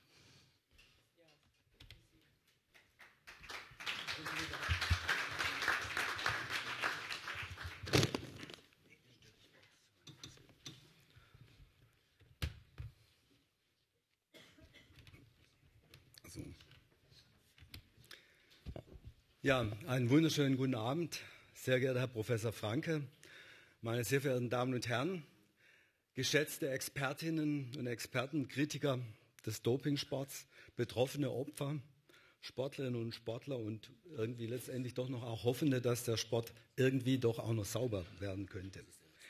Wenn man äh, sich die Liste anschaut des heutigen Symposiums, dann muss man schon sagen, es, war so, es ist sozusagen der komplette Kader des Anti-Doping-Kampfs der letzten 25 Jahre. In den Medien, in der Politik, in der Wissenschaft. Ich war wirklich beeindruckt, wer alles Ihnen zu Ehren, Professor Frank, gekommen ist. Schon das ist eine gewaltige Ehrung, die Sie damit erfahren. Und ich selbst fühle mich auch sehr geehrt, dass ich diese Laudatio halten darf. Ich habe sofort zugesagt, obwohl ich nicht wusste, wie ich das terminlich realisieren kann. Und ich kann hier ja sagen, es ist sozusagen der Terminchenflexibilität des Kommissars für Verkehr zu verdanken, dass er seinen Termin nochmal umgelegt hat mit mir. So bin ich gewissermaßen mit der Beihilfe der EU hierher gekommen. Oder auch so, die Laudatio ist mit Beihilfe der EU zustande gekommen. Eine Laudatio auf Professor Franke zu halten und all seine Verdienste aufzuführen, ist eine, wie ich finde, nicht lösbare Herausforderung. Der Mann hat so unglaublich viel geleistet und ist schon so lange wissenschaftlich wie politisch aktiv. Das aufzuzählen, was er alles gemacht hat, ist, wäre wahrscheinlich eine endlos lange Geschichte und wir würden das Abendessen heute nicht mehr erreichen. Ich habe das für mich entschieden, das mache ich nicht. Ähm, wir gehen die Sache anders an. Ich versuche das anders. Sie hier im Raum, wenn ich so in die Runde schaue, ich kenne sehr viele persönlich, habe viele in den letzten Jahren persönlich kennengelernt. Und viele von Ihnen, würde ich sagen, haben sehr viel Verdienste im Kampf gegen Doping im Sport. Aber Sie werden mir zustimmen, keiner von uns hier Anwesenden hat das geleistet, was Professor Franke in, sagen wir, 30 bis 50, Jahr, 50 Jahren geleistet hat. Wissenschaftlich, politisch, als Aufklärer.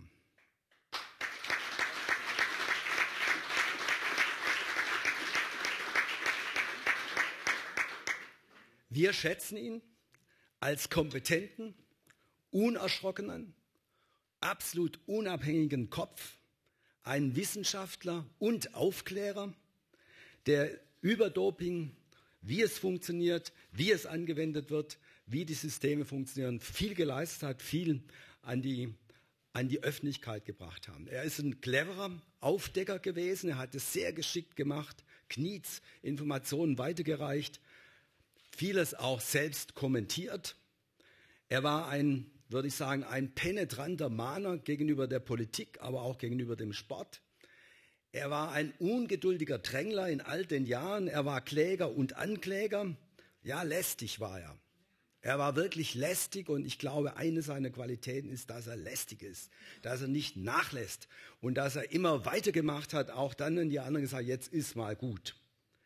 Und in dieser Rolle, die ich jetzt gerade so beschrieben habe, ist er, wie ich finde, wirklich einzigartig.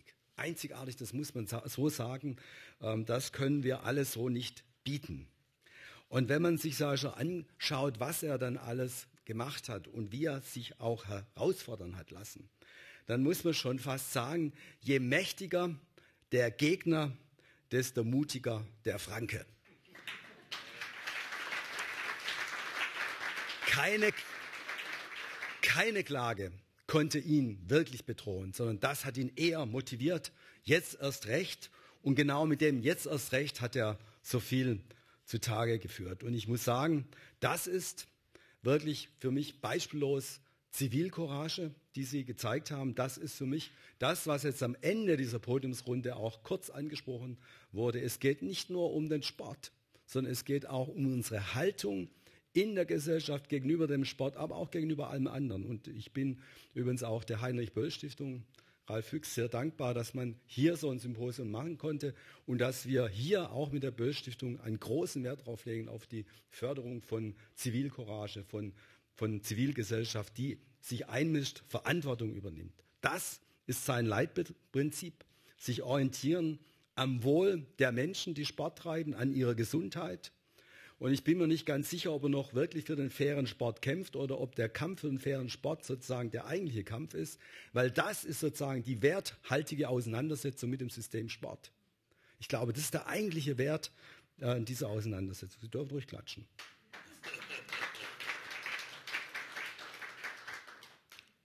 Sehr geehrter Herr Professor Franke, seit Jahrzehnten führen Sie einen leidenschaftlichen Kampf aber, und was sie auszeichnen, immer auch wissenschaftlich fundiert.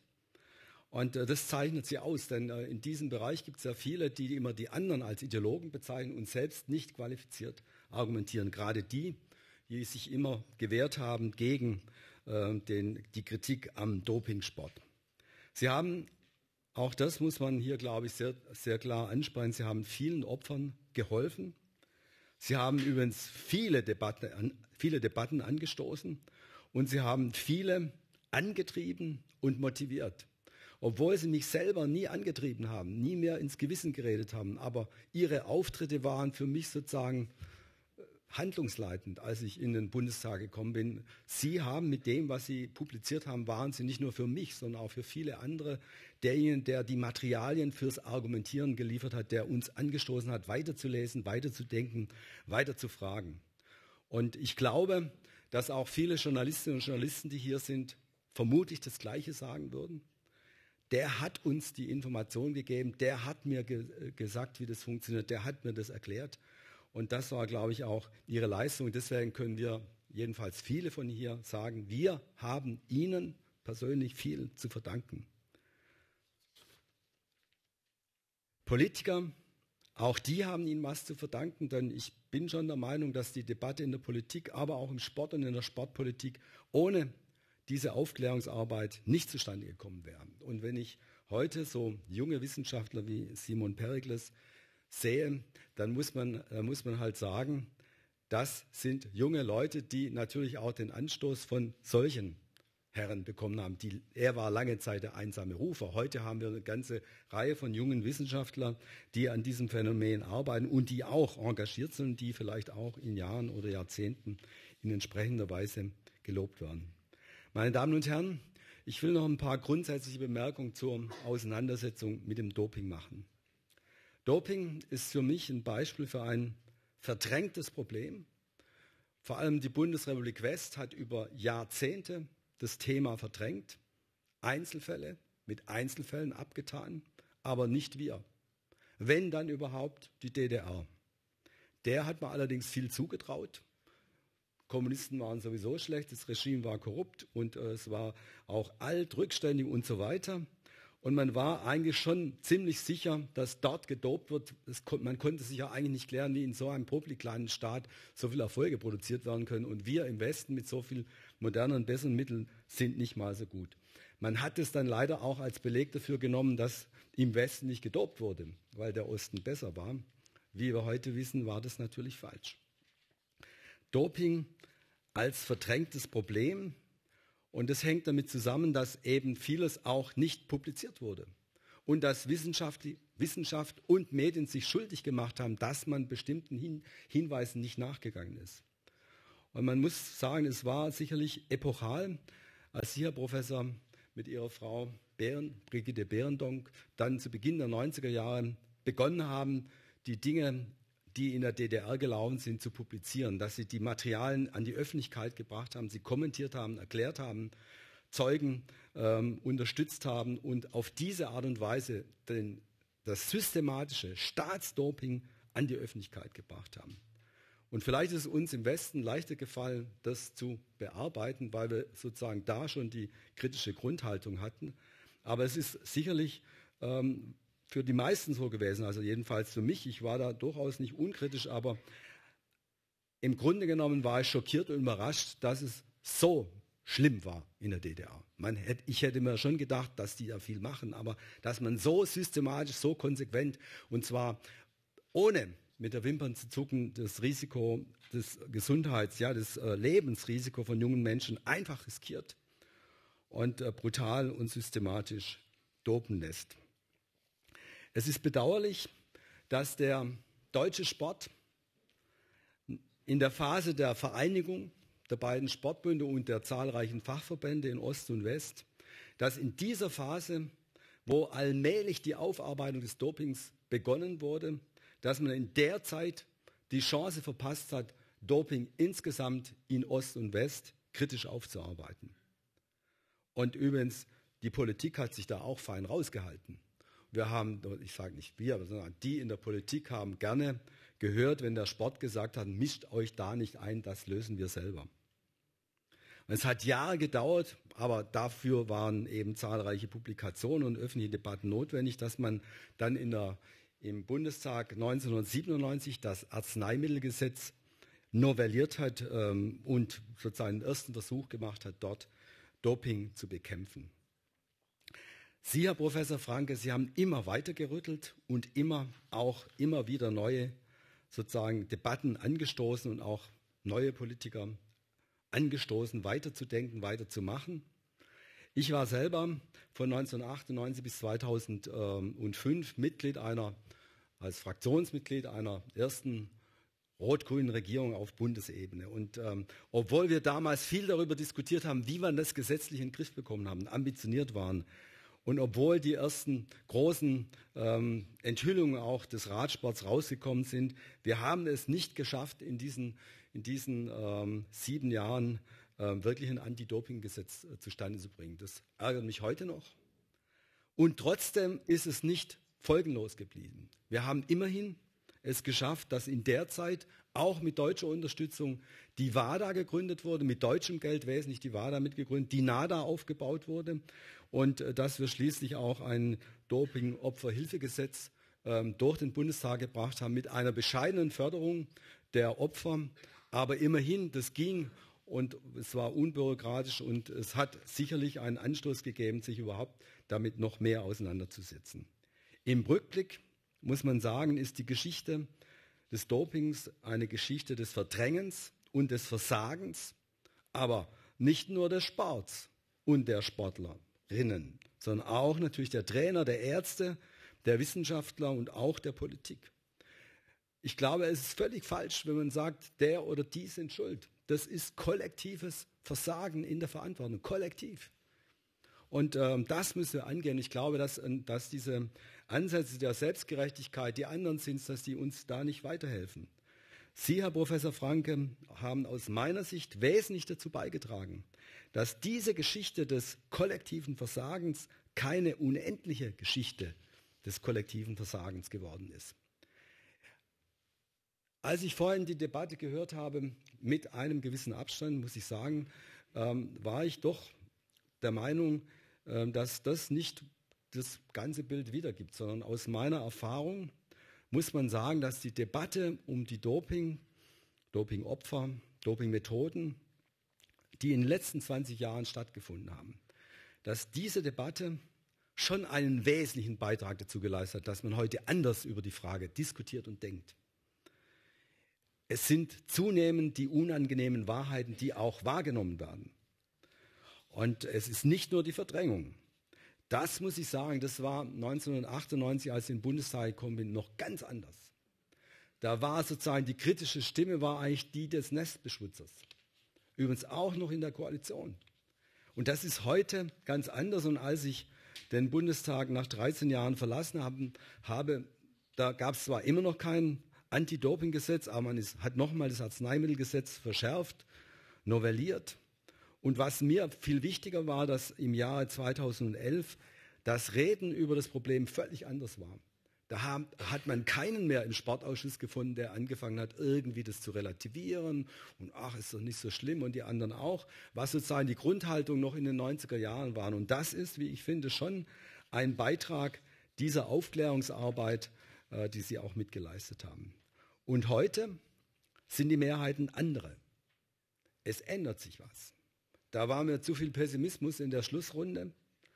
Vor bald drei Jahren hat sich in Baden-Württemberg im Land der Unmöglichkeit eines Regierungswechsels, 58 Jahre CDU-Regierung, überraschenderweise eine neue Mehrheit unter grüner Führung, eine grün-rote Koalition gebildet. Und es war kein besonders schwieriges Unterfangen mehr für mich, meine Anliegen, die über 13 Jahre nicht im Bundestag habe einlösen können, in den Koalitionsvertrag mit anderen zusammen reinzuschreiben.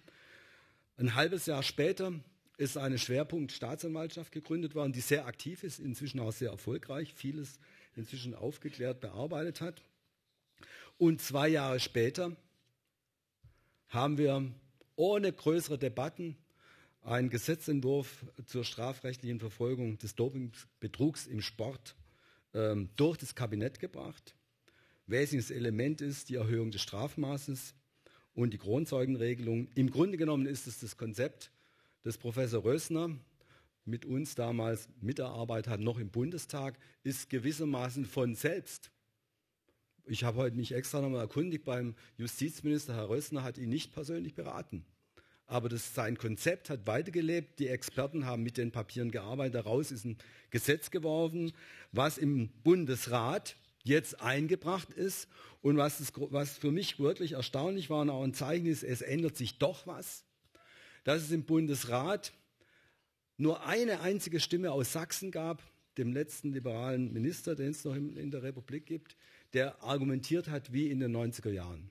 Und alle anderen haben gesagt, das ist der richtige Weg. Sportbetrug ist ein Ansatz, mit dem man was machen kann im, im Wettbewerb des Berufssports. Das ist ein wichtiger Ansatz. Und äh, wir haben nichts dagegen, höchstens, dass es kein eigenes Gesetz ist, sondern dass es immer noch im Arzneimittelgesetz stehen soll. Aber im Grunde nach ist mit großer Mehrheit dieser Beschluss dann im Bundesrat gefasst worden. Jetzt liegt der Ball im Bundestag. Ich bin gespannt, ob sich da was geändert hat. Ob es jetzt dort neue Mehrheiten gibt, die Vorlage ist da. Immerhin haben alle Länder parteiübergreifend diesem Vorschlag im Grundsatz zugestimmt.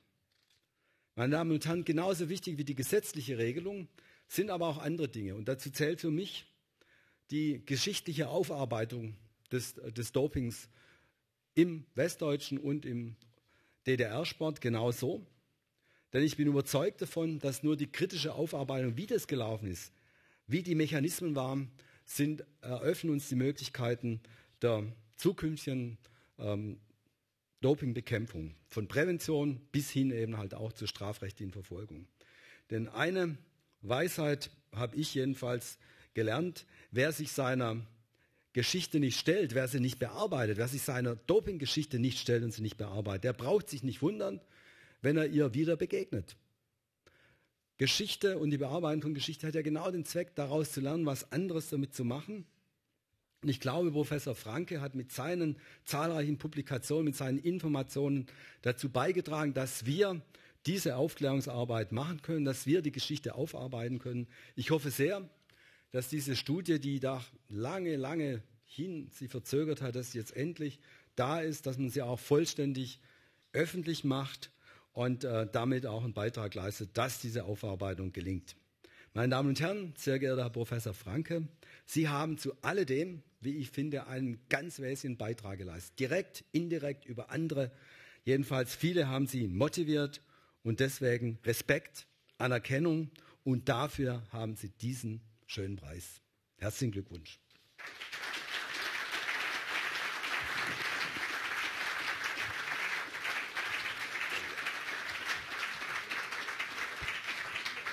Werner, Werner, bitte eine Sekunde. Herzlichen Dank, äh, Winnie Herrmann, für diese engagierte Rede. Äh, es ist natürlich für uns auch vorzüglich, weil wir ja im Böllhaus sehr, in der Böll-Stiftung sehr angehalten sind, die Zeiten an, einzuhalten.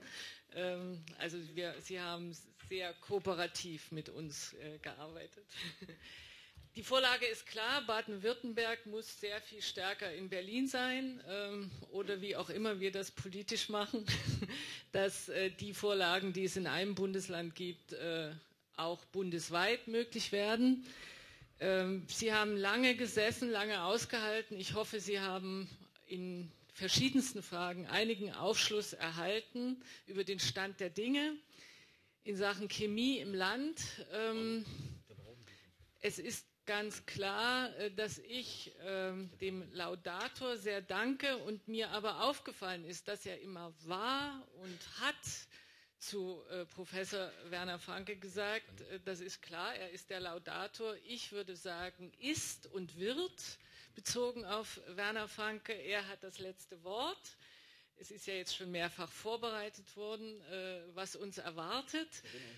Bevor diese Dankesrede äh, sein wird, möchte ich noch einmal sehr danken Ralf Füchs, der Böll Stiftung, allen, die mitgetan haben, die mitvorbereitet haben. Ihnen sehr danke, sehr herzlichen Dank für äh, die engagierten Diskussionen.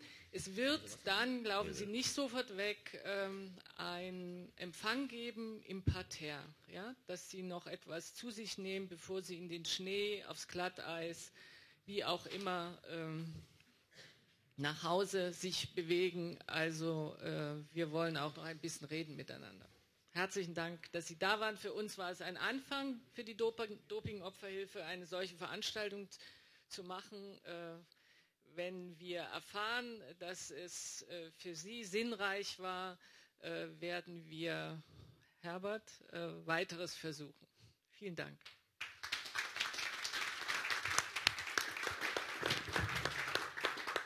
Vielen Dank äh, für all die beeindruckenden Worte, speziell unerwartet aus einem Ministermunde. Äh, ich habe es fast geahnt, wie das hier ablaufen würde.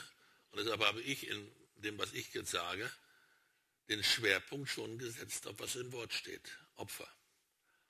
Das wird nämlich vergessen. Es wird auch wenig in Vorträgen gemacht. Ich weiß nicht ganz warum. Ich hatte einige Opfer eingeladen. Wer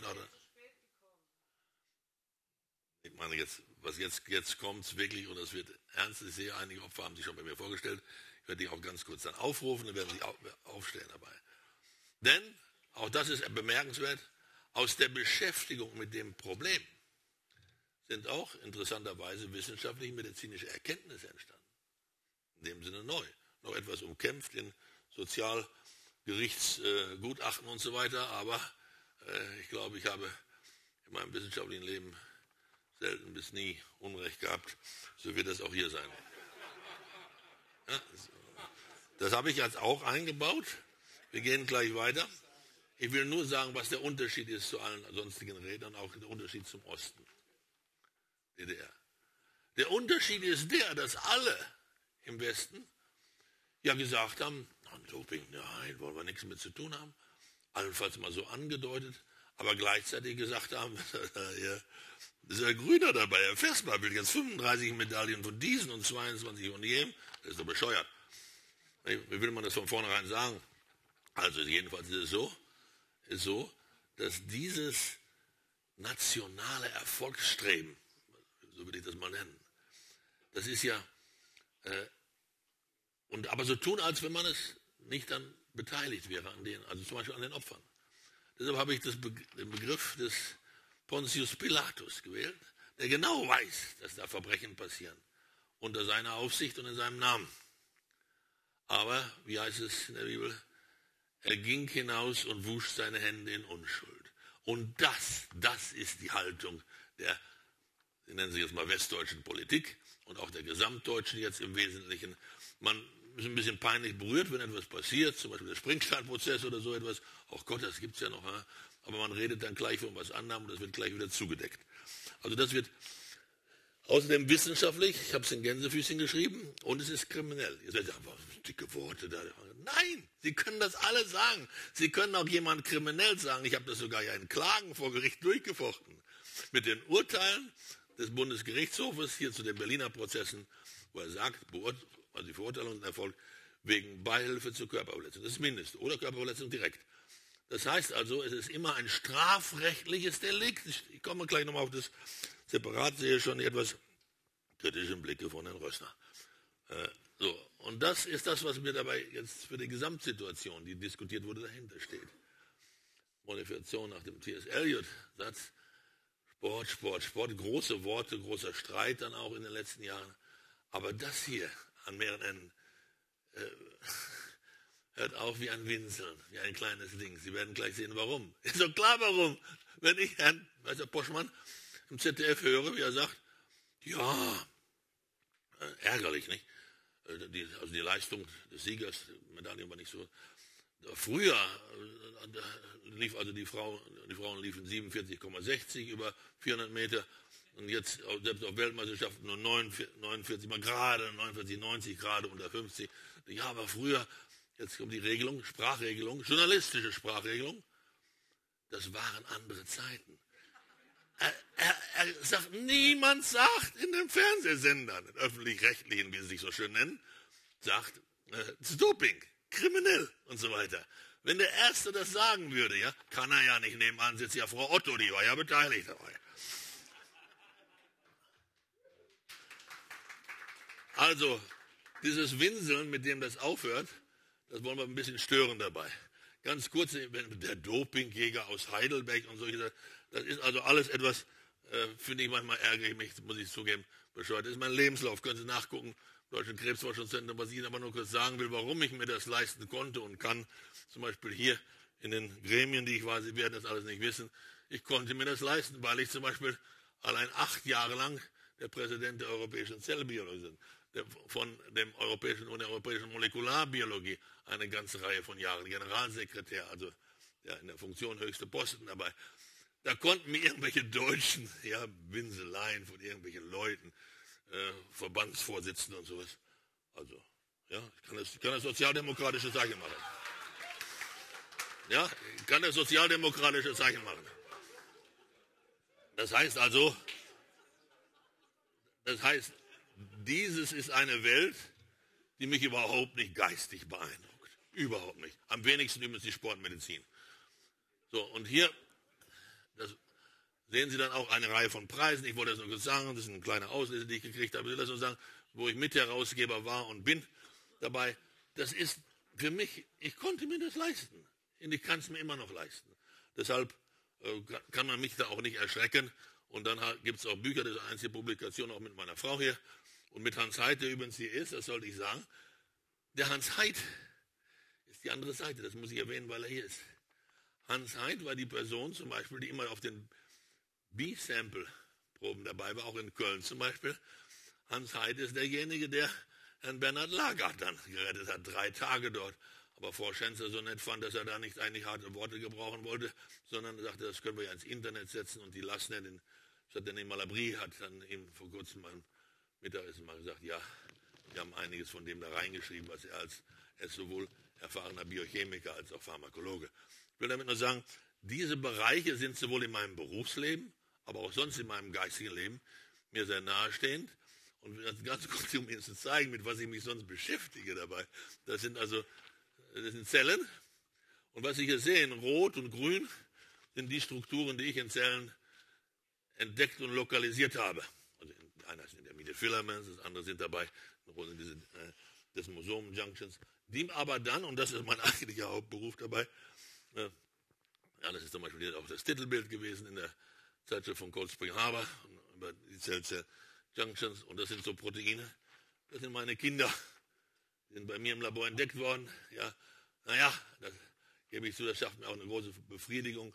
Nichts ist wirklich aufregender, als wenn Sie ein neues Molekül finden irgendwo. Und meine Frau sagt dann, was machst du da? Dann, dann habe ich so, ich habe so dicke, wie heißt das Ding, das dicke lateinische? Georgia. Und dann muss ich ja die adäquate Nomenklatur finden für diese Dinge. Nicht? Das ist auch dann lateinisch richtig stimmt, auch im Bild richtig. Zum Beispiel das Vimentin, eines der häufigsten Proteine. Und so wie Sie hier vor mir sitzen übrigens, wenn ich Ihre Muskelmasse abziehe, sind das Ihre häufigsten Proteine. Das ist das, was daraus dann entstanden ist. Und das ist das, die Anwendung in der Krebsforschung und ich glaube, ich kann sagen, dass es keinen Ort in der Welt gibt, wo nicht inzwischen in der Pathologie, immunzytochemisch nennt man das, diese Methoden angewandt werden, vor allen Dingen dann, wenn man Metastasen erkennen soll, klassifizieren soll, wo sitzt der Primärtumor und so weiter. Und auch das, ich gestehe es, gibt mir Vergnügen. Und auch da ist die Frau vom Hans Heidegger, der Bruder da, für die Firma, die ich so gegründet habe, äh, um das umzusetzen. Nicht? Das ist natürlich schon typisch für mich wie für andere, wenn man was findet und man sieht, das müsste eigentlich jetzt zunutze kommen, der Menschheit, wie man so schön groß sagt, dann versuche ich das. Und so haben wir da so eine vier Wissenschaftler, Günter Hemmerling, der Immunologe, Ecke Bautz, der, der Molekulargenetiker und Peter Gruß, den werden einige von Ihnen erkennen als den Max-Planck-Präsidenten jetzt. Also wir haben dann diese Firma Progen gegründet und da werden diese hergestellt. Ganz kurz ein Beispiel, wie das aussieht. Das hört sich dann so komisch an für Sie. Das sind hier jetzt einige ein bestimmtes Molekül, ein sehr häufiges Zytoskelettprotein in bestimmten Zellen. Und das ist dann aber, und jetzt werden Sie sich wundern, Lymphknoten, da sieht kein Pathologe weltweit einen Tumor drin. Aber wenn Sie jetzt molekulare Reagenzien benutzen, dann sehen Sie das in Zellen verstreut und so weiter. Das ist eine Kolon-Karzinom-Metastase in einem Lymphknoten, die man mit an, nur mit dieser Methode überhaupt sehen kann, weil die Zellen auch so verstreut sind und so weiter. Und das ist meine eigentliche Haupttätigkeit. Also schreiben Sie nicht immer der Dopingjäger oder so. Also, und das ist zum Beispiel jetzt hier, was dann da rauskommt. Sie sehen das hier noch, damals hieß die Firma noch Böhringer Mannheim. Inzwischen hört die auch zu Roche.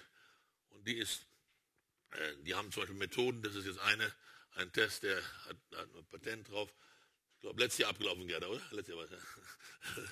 Aber das, damit Sie das mal sehen, das wurde weltweit eingesetzt. Ich habe dabei viel gelernt. Bestimmte Tumoren, die in China häufig vorkommen, bei uns sehr selten sind und so weiter. Man lernt dabei sehr viel auch über in der Epidemiologie. Und die werden in, bei Heidelberg in meinem kleinen Ort namens Wiebling äh, da hergestellt. Eine weitere Sache zu diesen Proteinen, mit denen ich arbeite, sind bestimmte Erkrankungen. Wenn der Körper selbst Antikörper, sogenannte Autoantikörper dagegen macht, hier sehen Sie das bei einer älteren Frau zum Beispiel gegen solche Junctions. Und hier sehen Sie das auch bei einem neugeborenen Kind. Das Protein, auch natürlich getauft von mir, hat nun diese Schäden gleich von der Geburt an.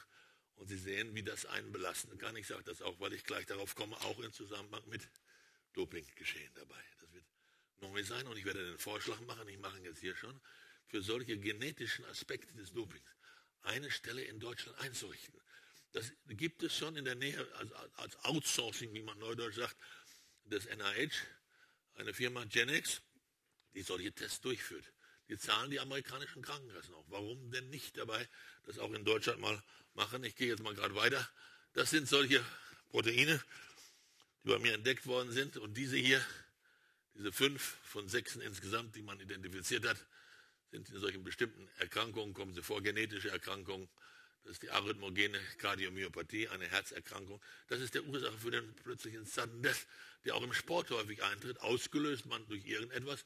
Aber das ist eine Erkrankung oder ein, eine Situation, eine genetische Gegebenheit, die gerade junge Menschen, vor allem junge Männer, äh, erwischt, wollte ich sagen. Und dann mein Argument, deshalb habe ich auch bei Herrn Minister Hermann bitte erstaunen, der Wissenschaftler, oh, und da macht er noch sowas.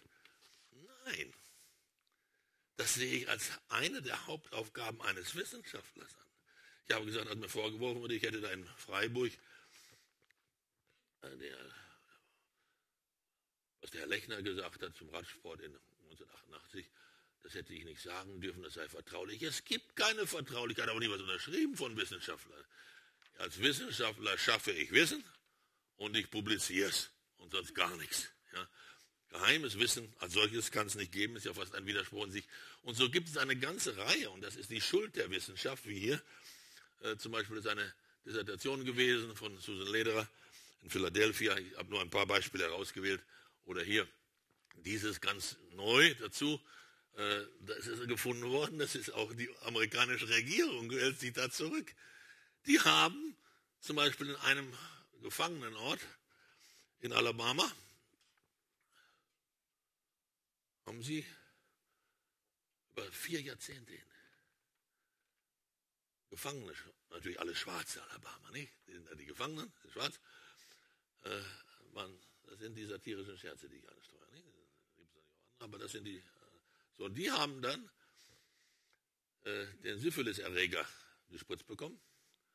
Und das hat man dann bis zum Ende, das endet ja oft mit sehr starken geistigen Beschwerden auch und so weiter. Und ich hatte da mal eine sogenannte Harrison Lecture dort zu allen, so eine Ehrenlecture in Birmingham, Alabama, abends beim Abendessen, es kommen auch Leute der Fakultät von früher dazu. Und ich habe mir dann erlaubt, mal zu fragen. Da war einer war dabei von dieser Kommission, längst emeritiert. Und er sagte dann in diesem typischen Südstaaten Englisch, ich sagte, warum haben Sie das denn gemacht? Well, at the time we didn't know the full cause of the disease. Das war der Anlass dabei. Und das geht heute weiter. Jetzt machen die Amerikaner das, aber dann seitdem häufiger. Sie sehen das hier äh, anderswo, in Guatemala in diesem Fall. Gibt also noch mehr. Ich kann ganz natürlich Vorlesungen über sowas halten, aber auch deutsche Fälle haben Sie hier. Käufliche Wissenschaft, auch tödliche Wissenschaft sind Bücher, das letzte von Benno Müller-Hill. Nicht nur im Dritten Reich, sondern auch jetzt, nicht wahr? Sie haben diese Situation am Rhein. Spiegel hat vor kurzem darüber geschrieben, hat aber den Haupttäter nicht genannt. Deutscher mit dem Schweizer Namen. Die haben Blutprodukte weiter vertrieben. Das war in den 80er Jahren. Weiter vertrieben. Also Personen, die im Blutkrank waren, das gegeben, von denen sie wussten, dass sie HIV infiziert waren. Da ist in Deutschland nichts passiert. In Frankreich war es ähnlich. In Frankreich gingen die Leute auf die Straße, haben sie sogar zwei der daran beteiligten Wissenschaftler in Gänsefüßen bestraft. Aber in Deutschland ist das genauso verschwunden wie die Kontergan-Sachen und so weiter. Wir sind, weiß Gott, nicht gerade führend in, der, äh, in die Verantwortung ziehen von Wissenschaftlern dabei. Dann haben Sie noch eine weitere Seite von mir, die habe ich lange immer wieder verstecken müssen. Äh, wenn Sie hier sehen, hoppla, es war im Spiegel von, was weiß ich, 1964, ja, da sehen Sie hier, mich erkennen damals, ähm, 24 Biologie stand Algen, das fand ich so komisch beim Spiegel, wenn er Franke kann und so weiter, ja, also, ich habe da geschrieben und wenn Sie für viele Gruppen, auch für Rund- und Fernsehen, das will ich gar nicht wissen, hier sehen Sie zum Beispiel ein Programm vom Komödie mit Hachfeld und zusammen mit Martin Morlock, Sie sehen da meinen Beitrag. Ich sage das deshalb und deshalb habe ich es reingetan. Damit Sie nicht immer sagen, der Franke mit seinem, der riecht sich so auf. Nee, das ist, ich spiele das. Sie kennen bestimmt einen Kabarettisten, das ist einer aus Essen, ich weiß nicht, wie der heißt, Schwitter oder so. Wie? Wie? Der spielt immer in Köln, aber ich glaube, er kommt aus Essen ursprünglich. Wie? Schmickler, genau, ja. Der kann sich da immer so künstlich aufregen dabei, in, in solche Nummern. Und das ist, war auch eine solche Nummer. So eine nach wie vor schöne Nummer hier, die erste gerade, das geht an die Nieren, mit natürlich hervorragenden Schauspielern dabei auch der Ernst Hilbig, da haben sich die überlegt bei der Operation, was sie jetzt machen könnten in der Operation. Muss ich überlegen, 70er Jahren. die haben sich dann überlegt, 60er Jahre was sie jetzt die Operation verändern können, damit es möglichst lukrativ wird äh, in der Abrechnung gegenüber den Kassen. Sehr putzige Sache. Und deshalb, das sehen Sie jetzt das Wunder, schauen Sie mich an. Außer Jesus Christus bin ich nachweislich äh, wieder auferstanden. Dabei hier, ja, denn ich war schon gestorben und Sie sehen, äh, das ist nicht der Fall dabei. Gut. Das ist die Person, die alles in Schuld hat, wie man so sagt. Äh, also Brigitte Berndonk hier, die von den Olympischen Spielen 1968 1968 zurückkam. Ich war da auch in der Universität Heidelberg Coach und sagte, da habe ich gemerkt, in, das ist ja komisch. Also ich kann nur was merken, wenn ich drüber nachdenke und experimentiere und so weiter. Es gibt was auf dem X-Chromosom. Die riechen was und merken was, ohne irgendwelche rationalen Gründe. Ich sagte, da ist was los. Und so ist der Artikel entstanden, der dann in der Zeit erschienen ist, äh, ganzseitig damals, über das Doping, wie das dann anfing und dann auch auf Frauenübergriff. Und sie und Liesel Westermann waren die Personen, die dagegen eben vorgegangen sind, übrigens auch im deutschen Fernsehen. Und das war jetzt beim Länderkampf und hier Titelbild. Und das ist noch aus neuerer Zeit, sind so, dass so Diskusslady immer noch klasse, so steht das bei uns in den Heidelberger Zeitungen dabei, weil sie dann auch in ihren Altersklassen immer noch ja, besondere Leistungen erbringen kann. Und ich habe dann einiges, und jetzt kommt das Eigenartige, einiges immer wieder erlebt. Ich möchte Ihnen diesen Dualismus da machen. Das war die Eröffnung des einzigen Instituts zur Ceausescu-Zeit in Bukarest, wo ich dann auch mit teilgenommen habe. Der äh, Erstautor dort oben, Palade, George Palade, der einzige rumänische Nobelpreisträger, äh, der hatte dem Jimmy Carter beim Essen mit den Ceausescu zusammen aus den Rippen genudelt äh, Geld zur Gründung eines Zellbiologie-Instituts in Bukarest. Das war dann, das war die Öffnungsveranstaltung dort. Und das sind also die Leute, mit denen ich gerne zu tun habe, also wissenschaftlich auch George Ballade, Günter Blobel, ein ursprünglich Deutscher, auch Rockefeller University, auch Marilyn Farquhar ist noch, jetzt in San Diego, ist auch schon längst jenseits, würde ich sagen, wie alt, aber sehr alt. Sabatini, alle noch aktiv. Christian de Duve, auch Nobelpreisträger. Und unten damals war ich ganz blutjung. Äh, ein Teil von denen. Also in diesem Bereich, an demselben Tag, deshalb zeige ich das, bin ich auch von einer Person, eine Wettkampfgegnerin von meiner Frau, äh, Lia Manolio, die als 36-Jährige die Goldmedaille noch gewann in Mexico City.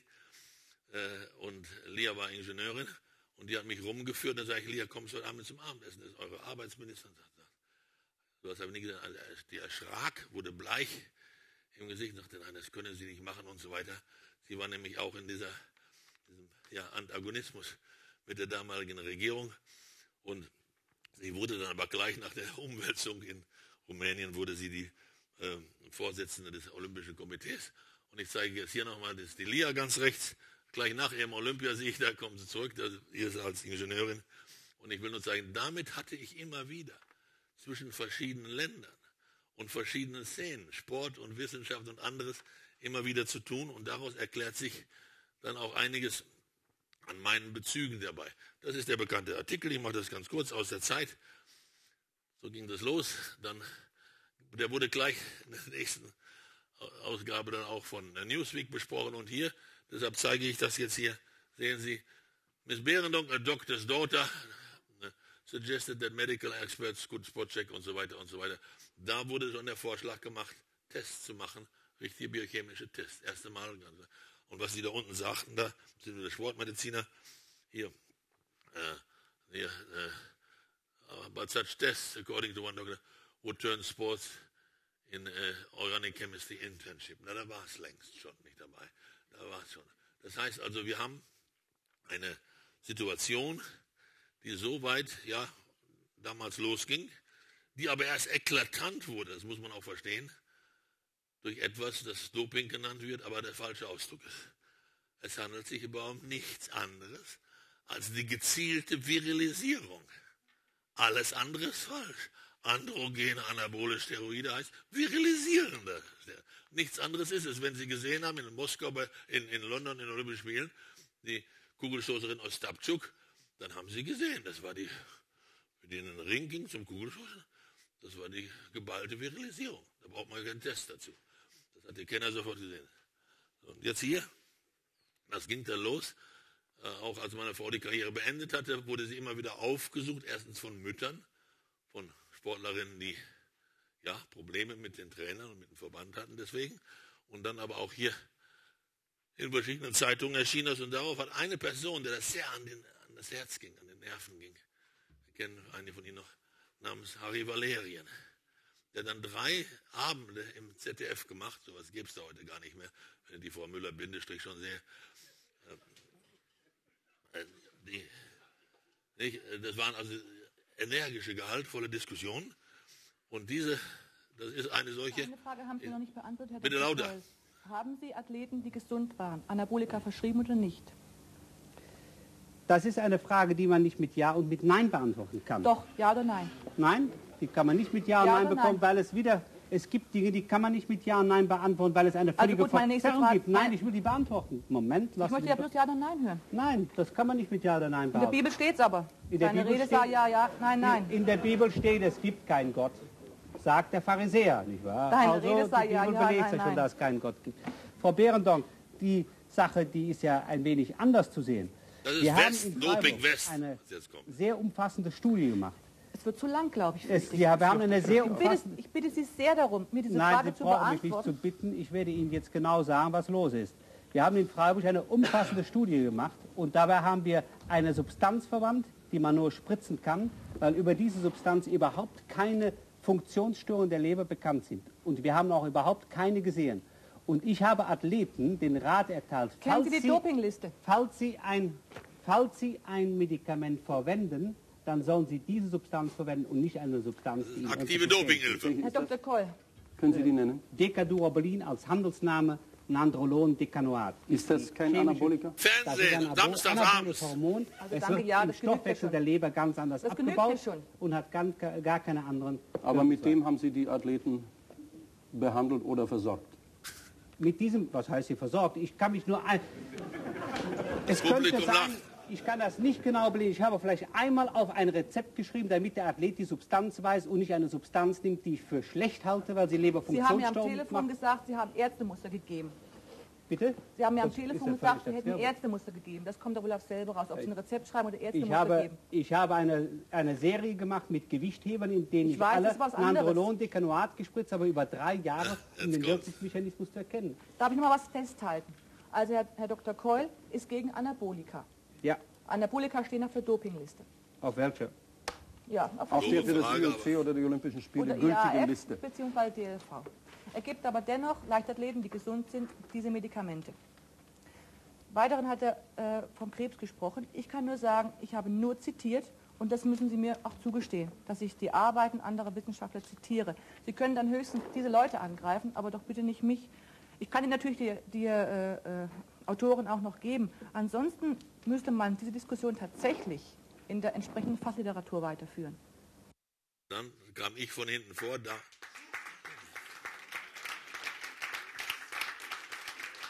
Da kam ich von hinten vor, setzte mich hin und damals habe ich noch ganz anders geredet, nämlich sozusagen äh, kollegial, Professor zu Professor, die Inhalte, das ist weg. Ich habe mir einen proletarisch gesunden äh, äh, Wortstil angewöhnt und, äh, und habe gemerkt, er ist viel wirkungsvoller. Kurz aufgepasst, der andere Freiburger Professor. dass der Sportler sich selbst und frei Selbe entscheiden kann. Und dass wir also nicht, wie das immer hingestellt wird, hier eine planmäßige Verseuchung von Athleten mit Anabolika betreiben. So wird es nämlich in letzter Zeit in vielen Diskussionen hingestellt. Und dagegen möchte ich mich ganz entscheidend wehren. Wir haben immer in der- individuell entschieden Individuell. und individuell im Rahmen der persönlichen Freiheit ja- Anabolika gegeben. Das zweifelsohne. Also das war 1977, gleich kommen wir noch 76. Damals war es doch klar. Das Bundesministerium des Innern wusste das doch. Die waren auch in einer solchen Sitzung dabei gesessen, zusammen mit Herrn Daume. Da brauchen wir auch jetzt keine Studien mehr zu schreiben. Das ist alles längst bekannt und veröffentlicht dabei. Dieses hat deutsche ja, Regierung gegeben und der Professor Keul hat auch nur Kohle gekriegt, sogenannte Förderungsmittel, nicht wahr? Für was eigentlich Wissenschaft ist da wenig übrig geblieben. Äh, nur damit das richtig lief dabei. Ich komme gleich noch auf einen weiteren Beitrag. Das ist er. Bitte? Der kommt von hinten, der ist auf einem anderen Band, der muss nicht extra noch einwand. Das ist Ministerialrat Gerhard Gross, der ein, äh, in Freiburg ein Gebäude eröffnete. Das Stichwort medikamentöse Leistungsbeeinflussung veranlasst mich, einen Augenblick bei diesem Thema zu verweilen. Ist dies doch ein Fragenkomplex, der seit Montreal BMI. die Öffentlichkeit und die zuständigen Gremien des Sports immer wieder beschäftigt. Mir ist bekannt, dass sich auch Freiburg, wenn ich einmal Ihre Person, lieber Herr Professor Keul, mit Freiburg identifizieren darf, hierzu mehrfach geäußert hat. Wenn keine Gefährdung oder Schädigung der Gesundheit herbeigeführt wird, halten Sie leistungsfördernde Mittel für vertretbar. Der Bundesminister teilt grundsätzlich diese Auffassung. Jawohl! Was in anderen Staaten erfolgreich als Trainings- und Wettkampfhilfe erprobt worden ist und sich in jahrelanger Praxis ohne Gefährdung der Gesundheit der Athleten bewährt hat, kann auch unseren Athleten nicht vorenthalten werden. Diese Einschätzung ergibt sich zwangsläufig wenn wir mit der Weltspitze der Sportbewegung Schritt halten wollen. Das ist Und wichtig. dies wollen wir. Wir können nicht auf der einen Seite eine Leistungsoptimierung unserer Spitzensportler anstreben, wie dies unter anderem Aufgabe der Gruppe beim Bundesinstitut für Sportwissenschaft ist, die neue, den Hochleistungssport fördernde Methoden und Techniken entwickeln soll, und andererseits auf gesundheitsadäquate physiologische Hilfen verzichten. Eine andere Betrachtung halte ich für widersinnig. Eines muss freilich feststehen. In jedem Falle hat die Gesundheit des Sportlers absolute Priorität. Okay. Dann kann man da. Damit ist, glaube ich, genug gesagt über Doping West in der Vergangenheit. Alles andere wäre nun noch widerlich. Ich habe nur mehr solche Beiträge. Kann er mit ganzen Filmen füllen, wenn es sein muss. Nur das Letztgesagte, ja, ja, aber nur, wenn es keinen Schaden hervorruft zeugt von so einer abgrundtiefen Unkenntnis überhaupt von Pharmakologie. Es gibt keine Arzneimittel, die über keine Nebenwirkungen wirken. Das kann schon physiologisch gar nicht sein. Wenn also hier etwas genommen wird, geht es immer ein bestimmtes Risiko ein. Und das, äh, mit dem haben wir in dem Opferbereich uns ja mit Ost genug auseinandergesetzt. Ich gehe jetzt ganz kurz darüber. Und wie sieht das aus? Denn das sind, ist sozusagen unsere Klientel. 1991 und dann 92 erschien dieses Buch und löste dann einen kleinen Sturm aus. Insgesamt über 20 Prozesse, die aber dann alle gut ausgingen dabei. Ich gebe gleich noch einige Ergebnisse dazu. Und besonders der Rückhalt für mich und für meine Frau dazu war in der internationalen Wissenschaftspresse, Science, Nature und so weiter, die haben uns den Rücken an mehreren Seiten hin, vorne in den editoriellen Teilen. Und die haben zum Beispiel dabei auch dieses gesagt, ein Professor Simon, der war der äh, ja, Vorsitzende des Wissenschaftsrates, für den hatte ich in einer Kommission, damals waren wir durch die Akademie der Institute der DDR gereist, hier in Berlin Buch auch und so weiter, und haben dann was für Vorschläge gemacht, was kann man da verbessern und so weiter und so weiter. Aber ich wurde, ich sage jetzt mal das Wort so wie es ist, rausgeworfen aus der Kommission. War ja nicht schlimm, diese DDR-Busse riechen ja immer auf, ganz furchtbar damals. Ich habe dann, es gab ein Schreiben von Professor Riedel, wie er hieß, der wurde in Bayreuth, Bayreuth ist überhaupt so ein Ort, nicht? Wie hieß der nochmal, Hugenberg oder wie? Nee, nicht. Wie? Huttenberg, okay. Hugenberg war ein anderer, ja. Auch ein Scherz. Ja, nicht, da scheinen also einige akademische Dinge möglich sein, die an anderen Orten nicht möglich sind. Äh, dieser Riedler ist mit null Publikationen, also relevanten Publikationen, Professor für Sportmedizin geworden an einem Ort, an einer Universität, die überhaupt gar keine medizinische Fakultät hatte. Ja, aber man wollte das machen. Nun ist es rausgekommen dann nach den Prozessen, auch dem bayerischen Kultusministerium bekannt geworden, dass sie ihn dann praktisch entlassen mussten dabei. Er hat das dann auch eingesehen hier. Der, ich dachte, ich war naiv. Manche Naturwissenschaftler sind ebenso Lakaien des Systems, wie es andere sind und so weiter. Na klar, Das ist das, was ich meinte. Das ist ein junges tschechisches Mädchen, großgewachsen, nicht unkräftig, Fiebinger Rover. Kugelstoß über einen Platz vor oder hinter meiner Freundin. Das war eine Europameisterschaft 1971 in Helsinki. Dieselbe Person ein Jahr später. Das ist was, was all die Jahrzehnte stattgefunden hat. Die Leute haben am Biertisch da manchmal auch Witze drüber gemacht, über die Klitorislänge und sowas. Körperhaarwuchs und so. Auch hier in den Prozessen kam das ja vor. Einige der jungen Frauen waren ja hier so mutig und haben, ich werde nicht vergessen, eine Kriminalbeamtin, die dann als die Anwälte der äh, Gegenseite der DDR-Sportmediziner sagte, äh, was haben Sie Haarwuchs, äh, am, Haarwuchs am Rücken? Sagte, ja, soll ich mich, ich mache sie, ich ziehe mich aus im Gerichtssaal. Ja. Dann war natürlich Stille dabei. Das heißt also, es gibt da bizarre Dinge, die sind in der Fachliteratur bekannt. Da gibt es vielleicht gibt's mehr als 100 Publikationen dazu. Ganz kurz, es sagen, sagen Ostbeispiel, Osten. Nee, also nehmen wir die Besten.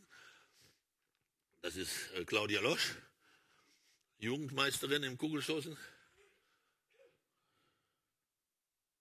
Eine Jahre später, dieselbe Person. Olympiasiegerin übrigens 1984 in Los Angeles. Das heißt also, wir haben systematisch auch als Bevölkerung zugeguckt, was da mit Mädchen und Frauen angestellt wurde. Nicht nur Einzelfälle, sondern systematisch in vielen Disziplinen. Hier in den Kraftabhängigen fällt es natürlich äh, besonders auf. Aber heute, wenn es dann heißt, Kugelstoß-Weltrekord Frauen, glaube 22,85 oder sowas, wieder der Poschmann-Satz. Ja, aber das waren damals noch andere Zeiten. Nein, das war eine virilisierte, arme junge Frau. So muss man es sagen. Das sind Opfer. Und zwar im wahrsten Sinne des Wortes genauso wie die, die eine Krankheit haben. Das ist er. Christian Germann. Ist ja Kofing, oder? Der musste weg, ja. Der ihr Kofing wurde nämlich abgelöst vom Deutschen Leitlingverband. Äh, ihm zuliebe. Ja, Kofing, dessen Frau war ja auch, Tübingen kommt, da äh, aktive Kugelschusserin. Und die konnte nie zu, auch Gabi Lesche, nicht zu Olympischen Spielen fahren, sowas. Denn äh, es hieß damals, hier, also wer nicht über 20 Meter stößt oder solche, solche Zahlen, der hat da nichts zu suchen dabei. Jeder wusste, dass so etwas eben nur so geht, indem man sowas macht. Also war Christian Germann. Da hat meine Frau und auch ich ein paar Mal Strafanzeigen gestellt. Da wurde auch gesagt, wo das Zeug liegt, bei ihm hinten im Auto. Keine Staatsanwaltschaft, das wollte ich Ihnen sagen, ich habe ein ganz anderes Bild von Staatsanwaltschaften, hat je was gemacht. Ich zeige das gleich noch, was ein Münchner Oberstaatsanwalt, der gleichzeitig auch äh, die Schulung für Herrn Prokop, der jetzt im Leichtathletikverband ist, äh, da äh, durchgeführt hat, was der gesagt hat. Aber das ist jetzt das Wesentliche hier, deshalb kann ich das nochmal zeigen. Die erste Frau, 1,68, Margitta Gummel, wir haben die dann alle entschlüsselt, nicht?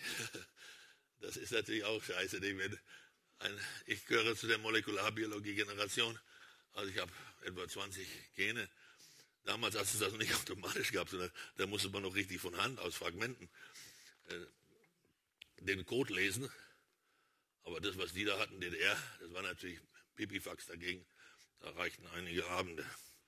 So, und Sie sehen hier, diese Frau Margitta Gummel war vierte oder fünfte der Olympischen Spiele 1964 gewesen vorher und hielt den deutschen Rekord hier in der so, und dann nahmen sie hier die ersten Tabletten, Oral-Turinabol, also ein androgenes Steroid, und bumm. Ja. Hier war sie dann als Weltrekord, gewann dann die Goldmedaille in Mexico City und, und, und. Will das gar nicht weiter ausführen. So sieht das aus. Da können Sie doch heute auch nicht sagen, ja, wir erwarten das und das. Oder Sie dürfen ja auch heute mal fragen, wenn einer in die Gegend stößt, äh? Ne? Kann das so kommen? Dann aber, nach dem Fall Ben Johnson, 1988, auf den komme ich ja nochmal zurück, hier ist das. Sehen Sie, wie durch wenige Kontrollen, Herr Tevis, durch wenige Kontrollen schon sich die Leistung total, das ist immer die Spitzenleistung der Welt, das ist der Durchschnitt der besten zehn, zum Beispiel hier im Speerwerfen, äh, im äh, Diskuswerfen und im Kugelstoßen ging es herunter. Es ging herunter in einer nahezu idealen, nah asymptotischen Kurve, aber sie ist noch nicht, und das kann ich klar sagen, sie ist noch nicht eigentlich in dem Bereich, wo sie wäre, ohne jede, auch ohne die berühmten zwei bis drei Takes, die heute noch Leute nehmen, ohne dass die Kontrollen es erwischen, weil die Kontrollleute eben nicht wissen, wie der Trainingsaufbau ist. Es ist so. Wichtig ist auch dann noch, das ist auch DDR, das zeigt nur wieder diese Orwellsche Kategorie, äh, das ist äh, die erste Auswertung. Also die Olympischen Spiele von 68 bis 72 wurden da ausgewertet. Alles auch Akademiker dabei, klar. Deutschland, in der deutschen Geschichte waren viele Schweine-Akademiker. Und ja, doch. Einige haben sich ja Gott sei Dank bei Kriegsende 45 wenigstens auch selbst erschossen. Ja, preußische Offiziere taten früher sowas. Das ist unten die Fußnote. Unterstützende Mittel im Weitere nur noch UM. Als UM werden in diesem Fall ausschließlich anabole Steroide angesehen. Bis zum Ende der DDR, Sie haben es in dem Beispiel gesehen, was ich mit der äh, Gabi Lesch angeguckt habe, wurde dieser Begriff immer noch weiter verwandt. Das ist das, ich gehe mal schnell weiter. Und hier, das ist auch interessant, ich nehme nur das eine Beispiel. Die Firma Jena Farm, äh, und das ist der Dr. Riedel, und dessen Arbeitsbuch steht, bei auf einmal stellt Epitestosteronpropionate. Das hat überhaupt keine pharmakologische Wirkung. Das wird nur gemacht, wenn es gemacht wird. Also fürs Labor vielleicht mal, aber das sind ja nur kleine Mengen. Nein, die haben das gemacht, auch gezieltermaßen, um es mit Testosteron in einem Gemisch von 1 zu 1, damals durch Injektion, in die Pobacke zu spritzen. Ja, so sah das aus. Nun werden Sie sagen, naja, DDR-Zeiten längst vergangen. Nein, the cream. Da ist es. Und an zig anderen Enden auch. What's the name of this guy in Texas? Renner? Dr. Dr. Renner. Ne? Also einer, hat sich da zur Ruhe gesetzt in Texas und macht nur the cream. He still exists, right? Also der versorgt die USA mit einem solchen idealen Dopingmittel dazu. Ich gehe weiter. Das sind nach wie vor, ich habe ja viele gefunden, nach wie vor geheime Doktorarbeiten, die bis heute, ich sage das deshalb, glauben Sie doch auch nicht, das gibt es ja nicht mehr im Kosovo, hier gibt es Doktortitel mit Doktorarbeiten, die aber nicht aufzufinden sind. Meine Frau hat eine Diskussion gehabt damals mit Herrn Biedenkopf im MDR. Biedenkopf sagt, das gibt es doch gar nicht. Dann hat er einen Brief schreiben müssen. Auch ihm als Ministerpräsident war es nicht gelungen, die aufzutreiben dabei. Nein, das sind alles Dinge, die besonders schlimm, äh, auch Handballfrauen und so weiter. Hier mietlich ist eine solche Arbeit. Und da sind, ich konnte einige Teile wenigstens noch finden, dass man weiß, was da jeweils drin stand auch, auch nur zu erwähnen, alle, alle, alle Wissenschaftler, die da mitgemacht haben, waren auch Informanten der Staatssicherheit. Alle. Dafür kriegten sie dann, weil sie ja ihre Ergebnisse nicht publizieren konnten, ja, ne, äh, kriegten sie einen Publikationsersatz der TSE. Sie kriegten 200 Mark pro Jahr als Entschädigung für die Nicht-Publizieren, das Nicht-Publizieren. Das sind jetzt die von Jena Farm, die beteiligt waren dabei. Will das jetzt nicht weiter eingehen. Und das sind die Strafen in den Berliner Prozessen. Wir hatten das kurz gesagt. Ich will nur kurz sagen, dass dabei, also Manfred Eber, 22 Monate. Sie wissen, warum 22 Monate. Kann ich mal juristische Laien hier fragen?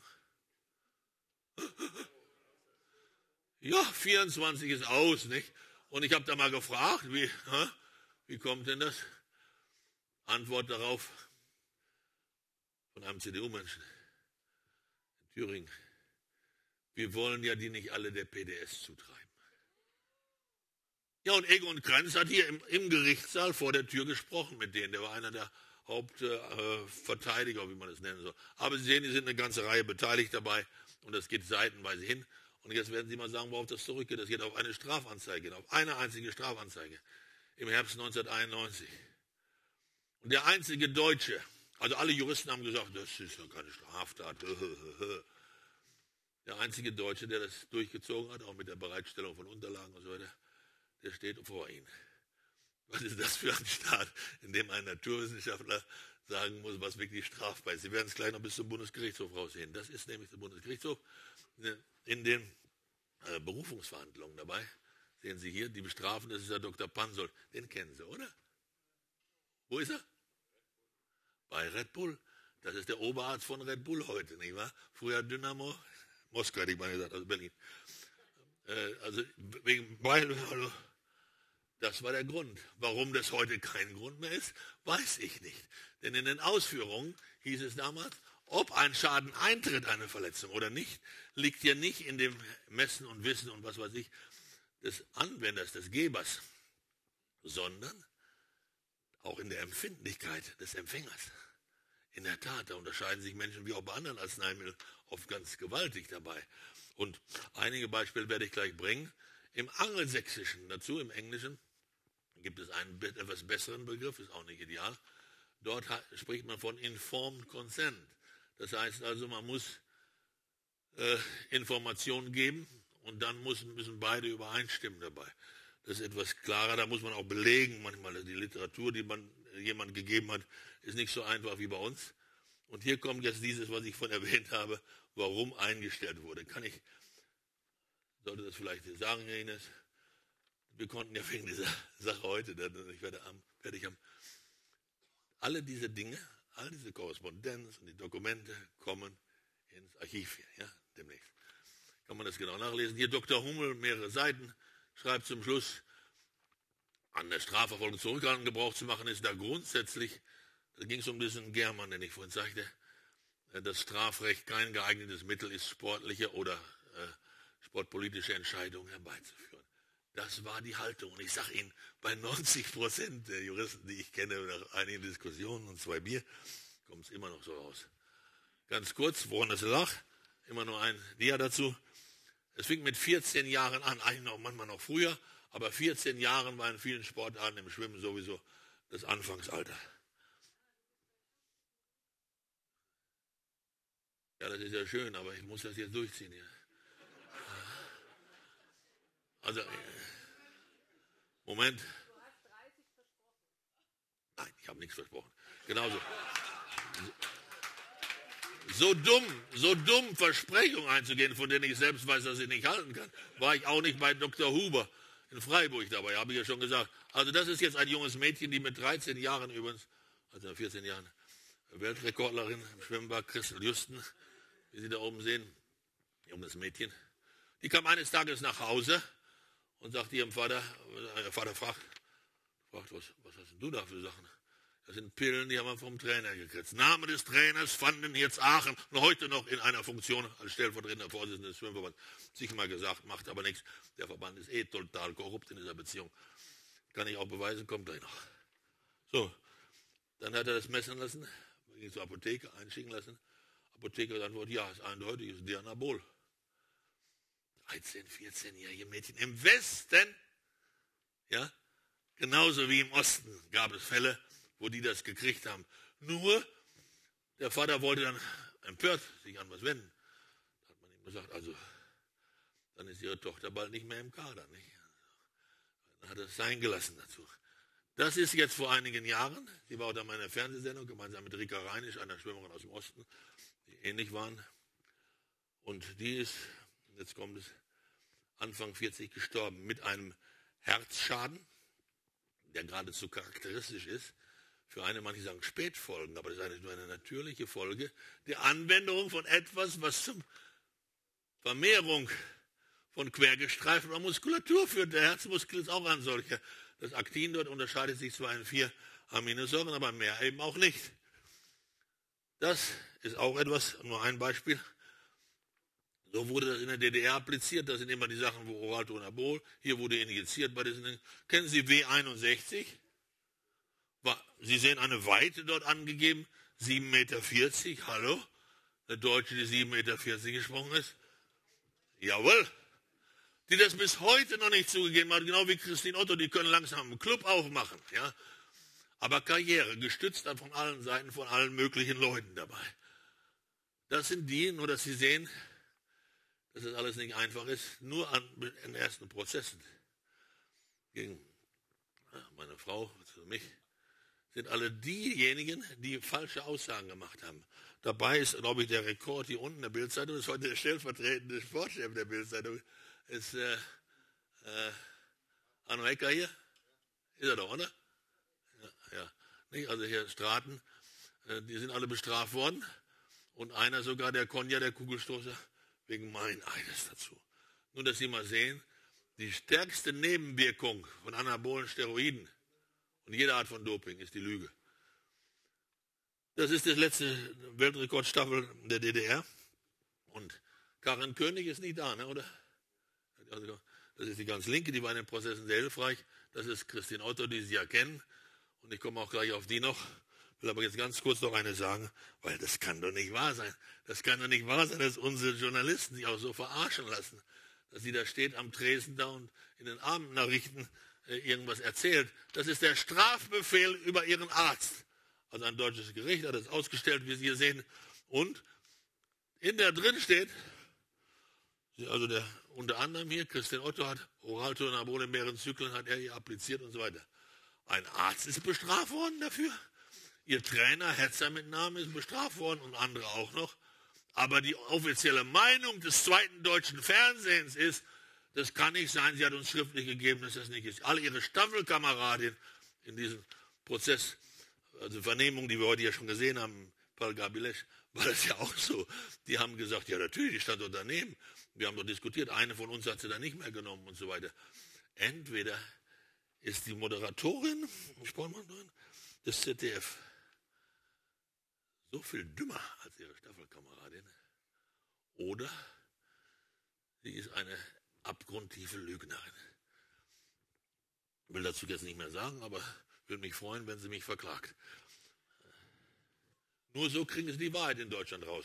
Ja, nur so. Also zusammenfassend jetzt mit Lance Armstrong hier. Lance Armstrong siebenmal Tour gewonnen, ne, aberkannt heute. Super Doper, geständig. Muss Millionen zurückzahlen. Haben wir das gesehen? Sechsmal, sechsmal Gold, anerkannt in unserem Land. Super Doperin, nicht geständig. Und das ist ZDF-Sportmoderatorin. Das ist der Unterschied zwischen uns und den USA dabei. Also, ja, ja größere Ironie kann es nicht mehr geben, nicht? Vor allen Dingen, weil wir wir, die gemeinen Germanen, ja, haben ja diese Erbkrankheit, die Scheinheiligkeit. Wir halten uns irgendwie für besser als andere. Ne? Franzosen haben alle lange Hosen und es gibt alles, es gibt ja Kinderlieder auch in Deutschland darüber, was die anderen nicht so gut haben. Aber hier sehen Sie, was wirklich los ist. Das ist jetzt eine Tabelle 16 aus der Dissertation B, also Habilitationsarbeit des Dr. Riedel. Und da sehen Sie das, was, also bei Meerschweinchen dürften Sie das heute nicht machen dass sie Mittel geben nicht wahr? und nachgucken, was macht das für Schäden. Das wird dann registriert. Ja? Das ist, äh, aber hier steht das so drin. Und Sie sehen hier, und eins ist besonders wichtig gleich, deshalb muss ich das betonen, deshalb habe ich auch drin, die allerhäufigste 65% Tonuserhöhung der Skelettmuskulatur. Das ist bei bestimmten Bewegungen, das wusste man auch, zog das dann rein, verhärtete sich, schmerzhaft, sehr schmerzhaft kann das sein. Und dann musste man Pause machen und so weiter ein Nachteil solcher stark muskelbildenden Präparate. Das ist jetzt die Liste, wie ich es zusammengestellt habe, die gesamten, heute in der Fachliteratur gesicherten, mehrere hundert natürlich von Arbeiten dazu, äh, schädlichen Nebenwirkungen. Das ist eine, ja, das ist eine typische, die steht in Lehrbüchern heute unter Anabolic Steroid Akne. Ja. Das ist also, ich kann das immer nur mit einem Beispiel sagen oder überhaupt nur weniges. Ich gehe jetzt auch mal hier, jetzt schnell drüber weg. Das ist, das ist Krebsforschung in in der Rössle-Klinik in Berlin-Buch, gehe auch darüber weg. Das ist ein tapferer junger Mann, Roland Schmidt. Elena, Elena da? Wo? Ah, da, wer den kennt, der hat ihn vertreten. Äh, der war mutig schon damals. Der hat von seiner Freundin eine Aufnahme machen lassen, denn er hatte das, was man eine Gynäkomastie nennt. Ich gehe mal zurück hier. Äh, eins muss mal sein. Hier also, okay. Für zehn weitere Gewichte bei seiner Behandlung beziehungsweise Operation vorgesehen. Ich habe die, ich habe alle die Diagnosen für diese pathologischen Fälle.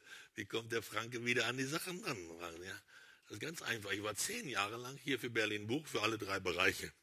Berlin Buch war ich der für die äh, deutschen Forschungszentren zuständige, entscheidende Leiter dabei. Nicht?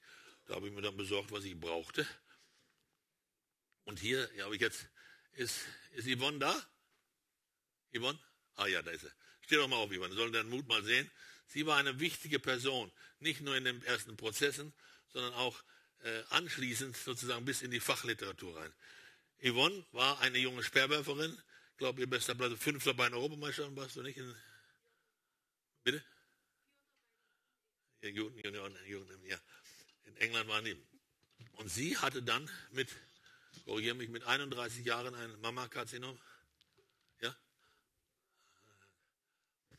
Das aber schon metastasiert hatte, also fortgeschritten. Ich habe dann damals geschnallt, weil ich damals merkte, da ist was. Ich habe dann also Kollegen von mir, speziell Roland Molde, damals in Halle war, der dann später in, und heute der Chef in der Pathologie in Marburg ist, habe gesagt, mach nicht das, was alle Deutschen machen, ist eh unzureichend. Östrogenrezeptor und Progesteronrezeptor bestimmen zur Charakterisierung dieses speziellen Subtyps von Mammakarzinom. Bestimme auch den Androgenrezeptor, hat er gemacht. Und sie hat zum Beispiel 80 Prozent der Zellen. Also gut wie keine Östrogenrezeptoren sind andere. Man weiß oder dass über die Bevölkerung 30 Prozent aller Mammakarzinome das haben. Sie hat also einen extrem androgenrezeptorreichen Tumor in der Anlage gehabt, kleine Zellgruppen. Wenn da natürlich jetzt Androgene draufkommen, ja, kann man sich vorstellen, was da los ist. So gibt es eine ganze Reihe. Ich gucke mal gerade hier aufs nächste. Ist Kerstin Niklas heute äh, Spiegelberg da? Doch vorhin da? Wo? Ach, da ist er. Also, das ist jetzt ein Fall, der gerade noch strittig war. Gerade war er positiv entschieden worden. Sie soll Beihilfe kriegen. Ja. ja, die haben, das Land Berlin ist in Berufung gegangen. So weit ist er schon. Das ist nicht leicht. Auch das war ein früher Fall, glaube 32 Jahre und so weiter. Das heißt, wir haben hier eine Krankheitsform, ich kann dazu und habe schon ganze Vorträge gehalten, die androgen anabole Steroide so gefördert, ausgelöst wird, also beschleunigt wird, dass man sie als extra Krankheitsbild bezeichnen muss, wie vorhin die Rattenleber. Und zu den Herrn Keul, Sportmediziner, der bei mir im Vordiplom durchfahren würde, Anabolic Steroid Associated Hepatocellular Adenoma ist eine extra Tumorkategorie heute in amerikanischen Lehrbüchern. Genau das, was 77 in dieser Fernsehsendung da ihm vorgehalten wurde dabei. Ja. Das ist vom, vom DNH. So. Thomas Münzer. Nur Ludwig da? Oh, nicht mehr? Doch, da hinten ist er, da sitzt er. Der Spiegel hat damals groß darüber berichtet. Der kam nach Hause von einem Arnold Schwarzenegger Contest oder was weiß ich. Äh, ging ihm nicht, also er hat ja geschlafen, wurde nachts wach, hatte aber Schmerzen, wurde dann zur Klinik rechts der Isar, wurde schlimmer und schlimmer und er verstarb dann. Das wäre vielleicht in der DDR nicht passiert. Dort hätte man eher daran gedacht. Was er hatte, war anabole Steroide, äh, was ich gerade vorhin zitierte, induzierte Hepatome, die sehr groß sein können. Ich glaube, ich habe ein Ding rausgenommen, ja. Und so verbreitet das vor wenigen Jahren die äh, Gerichtsmedizin der Universität München, Maximilian-Universität, hat eine extra Dissertation dazu anfertigen lassen, mit dem Leopold Kistler. Und die können Sie im Internet sich rausziehen. Da ist das ausgewertet, praktisch alle zehn, ich muss das jetzt schnell machen, äh, Lebern von Bodybuildern. Die haben also die Bodybuilder genommen, wer reinkam, sei es ein Verkehrsunfall, haben sie dann untersucht. Und das, um jetzt zu sagen, die Ironie des Schicksals ist, hier Birgit Meinecke neben Christian Otto, die auch über den Prozessen war, Ärztin, hier auch in, bei den Prozessen in Berlin, dann in Buch, war, sie hat mit 19 Jahren ihre Karriere aufgehört, dreifache Weltmeisterin, aber es gibt Bilder von ihr, die zeigten, dass sie damals mit 19 Jahren schon auch einen solchen Lebertumor hatte. Der ist dann nur, sie hat die Kontrazeptive, also die Antibabypille weitergenommen, sie hat nur die Androgene weggelassen, weil sie ja nicht mehr Sport tobte. Und dann ging der Tumor zurück, zurück und zurück und war dann weg.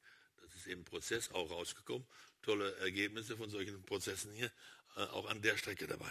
Sie sehen, mein Begriff, mein Begriff von Opfer ist ein anderer. Das ist jetzt auch ein Berliner, Ralf Reichenbach, den einige gut kennen, früherer Kugelstoßer.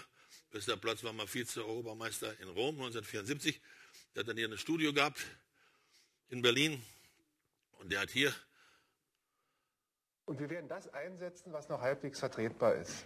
Und wo sind denn die vielen, vielen Doping geschädigten, verletzten Toten? Die gibt es da nur. Gibt es doch nur hier. Stücken. Drei Wochen später oder vier Wochen später war er selbst der Nächste. So wie er da aussah, war er tot, hier in Berlin. Ich habe die Staatsanwaltschaft in Berlin angerufen. Ich wusste ja hier einiges. Es gab ja eine Studie.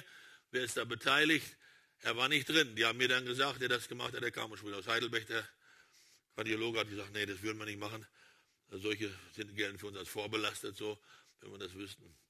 Der Oberstaatsanwalt hat sich hier geweigert, geweigert, auch nur eine entsprechende Untersuchung durchzuführen dabei. Also keine kardiologische. Ich das jetzt hier, also auch da haben Sie inzwischen die Untersuchungen dazu Und jetzt kommt das, wo ich dachte, der Gerd Jakobs könnte kommen.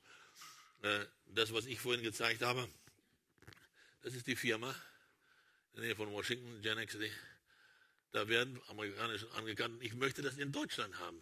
Diese genetische Veranlagung in Kanada besonders häufig dabei, vor Dingen in der Gegend von Neufundland und Labrador, die, den Test kann man dort machen, ob man eins dieser Genmutationen trägt.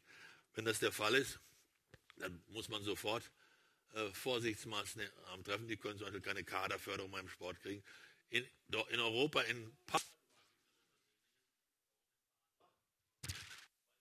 Veneto, südlich von Venedig, eine große endemische Anreicherung von solchen Schäden ist dabei. Das sind die entsprechenden Ohr. Mit Ausnahme der letzten beiden sind alle von mir. Das hat natürlich nichts mit Doping zu tun primär. Das ist jetzt die Arbeit hier aus Berlin, wo dieser Senior Author äh, äh, heißt. Und das ist jetzt die Mutation, um die es hier geht. Und ich kann das nicht weiter ausführen.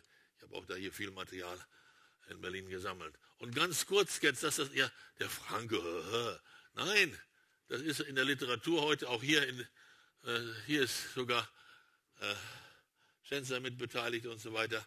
Wenn man da bestimmte Messungen machen will, dann äh, empfiehlt sich ja solch eine Kooperation. Oder hier in Tübingen auch. Und das kriege ich dann manchmal nach Hause. Sie sehen das. Das heißt also hier Klinikum am Plattenwald in Bad Friedrichshall, also da gegen Heilbronn. Da sehen Sie hier, das ist gefunden worden, Bodybuilder. Dann fragen die mich, wie das denn zusammenhängen könnte, was man tun könnte und so weiter. Mich als Molekularbiologen. Und das ist jetzt, er sagte dann zu mir dem, im Gesundheitsministerium in Berlin auf der Toilette, sind draußen in naja, Kindermann, das war der Assistent von Keul, nicht? Fußballverbandsarzt und so weiter, Olympiaarzt. Haben Sie jetzt aber doch was geschrieben, nicht? Über anabole Steroide und Herzschäden. Sagte, ja, man darf doch noch vom Saulus zum Paulus werden. Sag ich, ja, das darf man wirklich dabei nicht. Nur, das habe ich nicht gesagt, bin ja höflich, ich gesagt, nur vorher nicht die Klappe so aufreißen. Nicht? Ich gehe jetzt gleich weiter hier. Und das ist jetzt ein, nur ein Beispiel, habe ich noch. Seit 1963 wusste man das. Das steht da schon in den Publikationen drin dabei.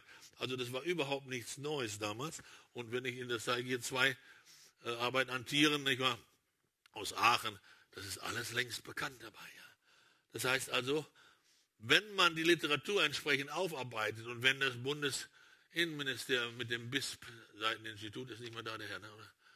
Nutzt es nicht mehr so, wenn ich da. Ja, kann ich mir vorstellen. Äh, also die, die, fördern auf dem Gebiet, ohne dass ich das weiß. Also international gilt ich da als der Anlaufpunkt.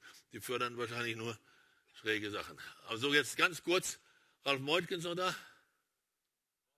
Oh, holen Sie mal rein, schnell. Habe ich auf ihn gemacht. Das sehen Sie ständig in den Zeitungen. Sie denken nur nicht an das hier. Sie haben kurze Todesmeldungen, dies und das und so weiter.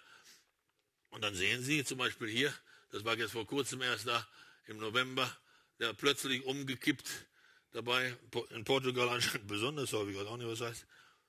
Das ist jetzt eine Spiegelgeschichte, wieder ein Mountainbiker, der übrigens vorher bei Telekom mal gefahren hat, auch alle plötzliche Herztodesfälle. Und Sie haben hier, das ist die Liste von Ralf Meutkens, der, der fühlt sich anscheinend irgendwie da verpflichtet, all das zu erfassen. Und da sind die ganz kurz, dass Sie mal sehen, was das heißt. Diese, der 16-jährige italienische Amateur mit 16 Jahren tot umgekippt, ein Sportler. Oder hier der französische Radprofi Salanzon, 23 Jahre nach in Dresden war das, in seinem Hotelzimmer während des Schlafs, ein Bett, äh, Bein aus dem Bett hängen und tot. Sportliche Typen bis dort hinaus, ganze Serien davon, die haben sie wieder ein, sowas. Das heißt also, der plötzliche Herzstillstand, die Kardiomyopathie dazu ist ein weit verbreitetes, manche nennen das Spätfolgen, aber es ist nicht so spät eigentlich. Es braucht nur entsprechende Zeit. Ja, das machen wir jetzt mal weiter. Auch das, ja, Entschuldigung, ist wichtig, weil wir in Berlin sind. In Berlin hat es hier Fälle gegeben, die werden nicht damit in Verbindung gebracht. Habe ich nicht, aber was ist das Problem? Nein, das kann das Problem nicht sein. Ich habe keine Zeit. Wenn ich will, kann ich rausgehen. Ich rede jetzt weiter. Ich tue es zum letzten Mal in meinem Leben. Ja, das wollte ich auch dazu sagen. Ja. Denn, denn ich bin es auch leid, nicht wahr? Man muss das auch mal sagen. Das mache ich seit Jahren. Die schlimmsten Fälle und so weiter. Mit den Personen dazu. Und was findet man davon wieder? Nichts. Und wenn es da heißt, wer schreibt denn mal ein Gutachten gegen den Herrn Nieschlag? Das ist der Münsteraner Gegengutachter, der immer, äh, ja, der Franke. Das kann ich nicht mehr. Ich habe solche Stapel liegen, da wo ich Gutachten schreiben soll. Für Opfer. Also, äh, Arnold Schwarzenegger und jemand, der Roid Rage, die amerikanische, englische Abkürzung für Steroid Rage ist. Ich nehme an, wir das kennen, das ist der Terminus. Und wir haben auch solche Fälle. Ein Mannheimer Urteil, ein Biologiestudent, äh, nee, ein Chemie- und Sportstudent, das hier aus einer sexuellen Nötigung, hat auch mehrfach geschlagen. Der war auch Türsteher in einem Nachtclub.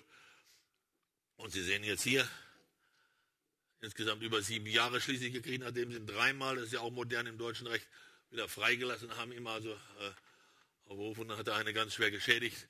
Und das ist jetzt in dem Urteil unten drin zu finden in der Begründung.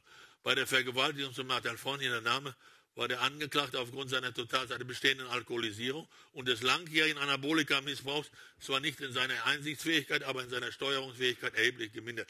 Sowas gibt es in den USA auch, solche Argumente in einigen Staaten zumindest. Das heißt also, wir haben hier rechtsmäßig anerkannt, die ja zu kriminellen Taten schwerster Art, nämlich Tötung, beitragende äh, Anabolika-Abusus. Und jetzt kommen noch den Dingen, die wirklich gesagt werden müssen. 1977 mit Keul, Germann und alle, die saßen da, die Doper. Nur Liesel Westermann und Brigitte Berndung wurden nicht eingeladen. Und das ist das Protokoll nach der Mittagspause wir sehen jetzt hier, gehen wir gleich weiter. Schäuble im Originaltext. Nicht wahr? Das ist das, was vorhin auch schon durchkam. Weil es offenbar Disziplinen gibt, in denen heute ohne den Einsatz dieser Mittel der leistungssportliche Wettbewerb in der Weltkonkurrenz nicht mehr mitgehalten werden kann. Ja, was denn sonst noch? Das ist ja Schäuble. Der nette Schäuble. Ja? Nein, so ist das weithin. Und jetzt kommt das Perverseste von allen Gipfeln. Der hat gegen mich auch mal geklagt. Richter klagt gegen Franke. Hat aber verloren. Und zwar richtig. Äh, das war ein Interview mit dem Spiegel, das er in letzter Minute änderte oder stornierte, weil er eben die, äh, er wollte irgendwas Präsident werden oder sowas, Kandidatpräsident in OK.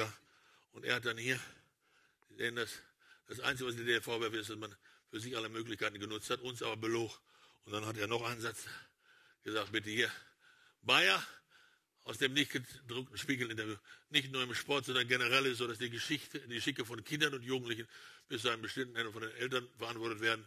Das muss auch für Doping gelten. Und hier unten geht es dann um Franziska von Abend und Sieger wird, wer die skrupellosesten Eltern hat. Ja, so meint das. Ein deutscher Richter. Wollen Sie noch mehr haben? Wenn, wenn ein Richter sowas sagt, das ist dann wirklich die, die Höhe, wie man so. Das ist jetzt, das müssen Sie noch den Birgit Dressel. War auch kurze Trauer, hoppla, kurze Trauer. Unten Stromba. Stromba ist das Mittel, das der Dr. Huber von Freiburg seinen Sportlern gegeben hat. Aber auch hier, das ist behauptet worden dann, äh, das sei äh, hier von Klümper gegeben worden. Stromba stand zu Lohl. Und der, das, das, ihr Trainer damals hat das ausgesagt, Klümper und so weiter und so weiter. Und das ist jetzt Birgit Dresse, die liegt heute irgendwo verwittert unter der Erde. Sie wäre sonst Mutter, hätte zwei Kinder, jetzt wird sie gerade, eine hat gerade Abitur gemacht und so weiter. Das ist das Menschenwesen, das dahinter steht. Die sind alle ratzfatz, ja, durch anabole Steroide und andere. Übrigens bei EPO gibt es auch so eine Liste. Also da ist sie ganz schnell, schauen wir sie nochmal an. Da wurde sie Vierte bei den Europameisterschaften 1986 in Stuttgart. Hochschwung und hier nochmal, ja, Birgit, auch du. Und da sehen Sie wieder Rezepte von der Freiburger Klümperei, Stromba. Und hier haben Sie jetzt einen Artikel, und das meine ich mit Pontius Pilatus. Aussehen, hier Keul steht hinten, Dickhut steht vorne. Der ist ja da vorne, ist ja jetzt vor kurzem emeritiert worden, als gerade noch entdeckt wurde, dass er eine Arbeiten plagiert hat. Also da gibt es das auch. Und der sagt hier, ja, Stanozolol, also Stromba, ist schlecht. Anderes nicht so schlecht, aber das ist schlecht. Jawohl. Und jetzt hier Zeuge Lechner, das ist das, was nicht erscheinen sollte. Ja? Wir machen jetzt Huber Behandlung, es ist ein Originalprotokoll seiner Zeugenaussage mit Anabolika Stromba in Tablettenform, in derselben Keulgruppe. Die Freundin sagt, das ist so schädlich. Geben das dann. Er wurde dann Bronzemedaillengewinner bei den Olympischen Spielen in Seoul. Die Deutschen, kennen Sie noch Ben Johnson? Schwarze Stotterer. Wie hieß er nochmal? Der Heller. Fährt extra nach Ottawa, Zeugenaussagen zu machen und so weiter. Über den Ben Johnson haben sie sich ja mokiert und lustig gemacht. Aber kein Germane aus der ganzen, ich habe ja gefragt, den Lechner, keiner hat je zugegeben, dass er dasselbe Zeug genommen hat. Auch nicht nach 25 oder 28 Jahren. Die meisten bis heute nicht.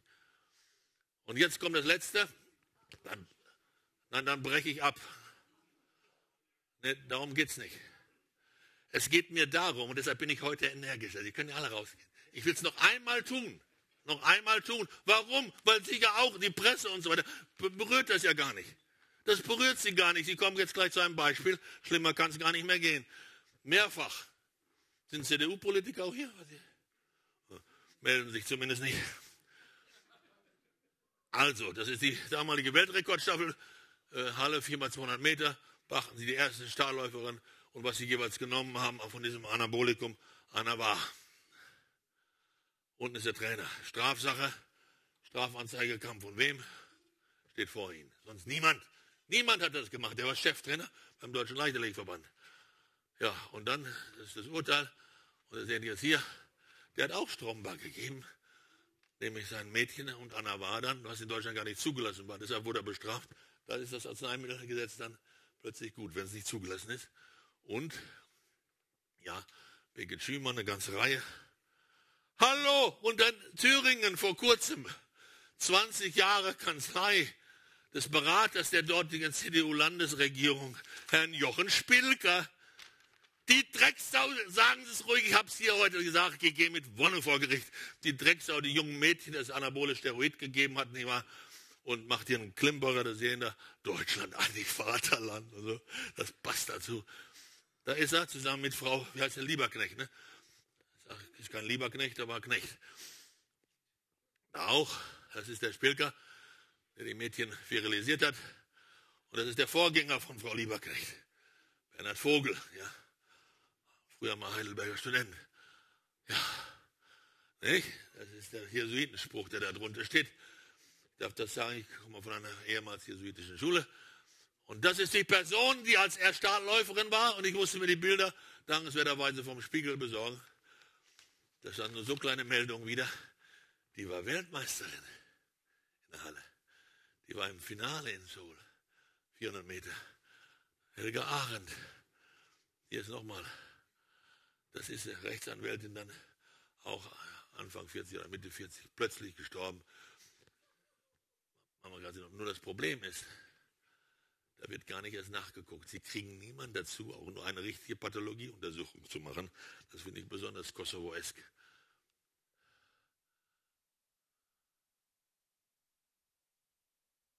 Jetzt kommen die schönen Sachen.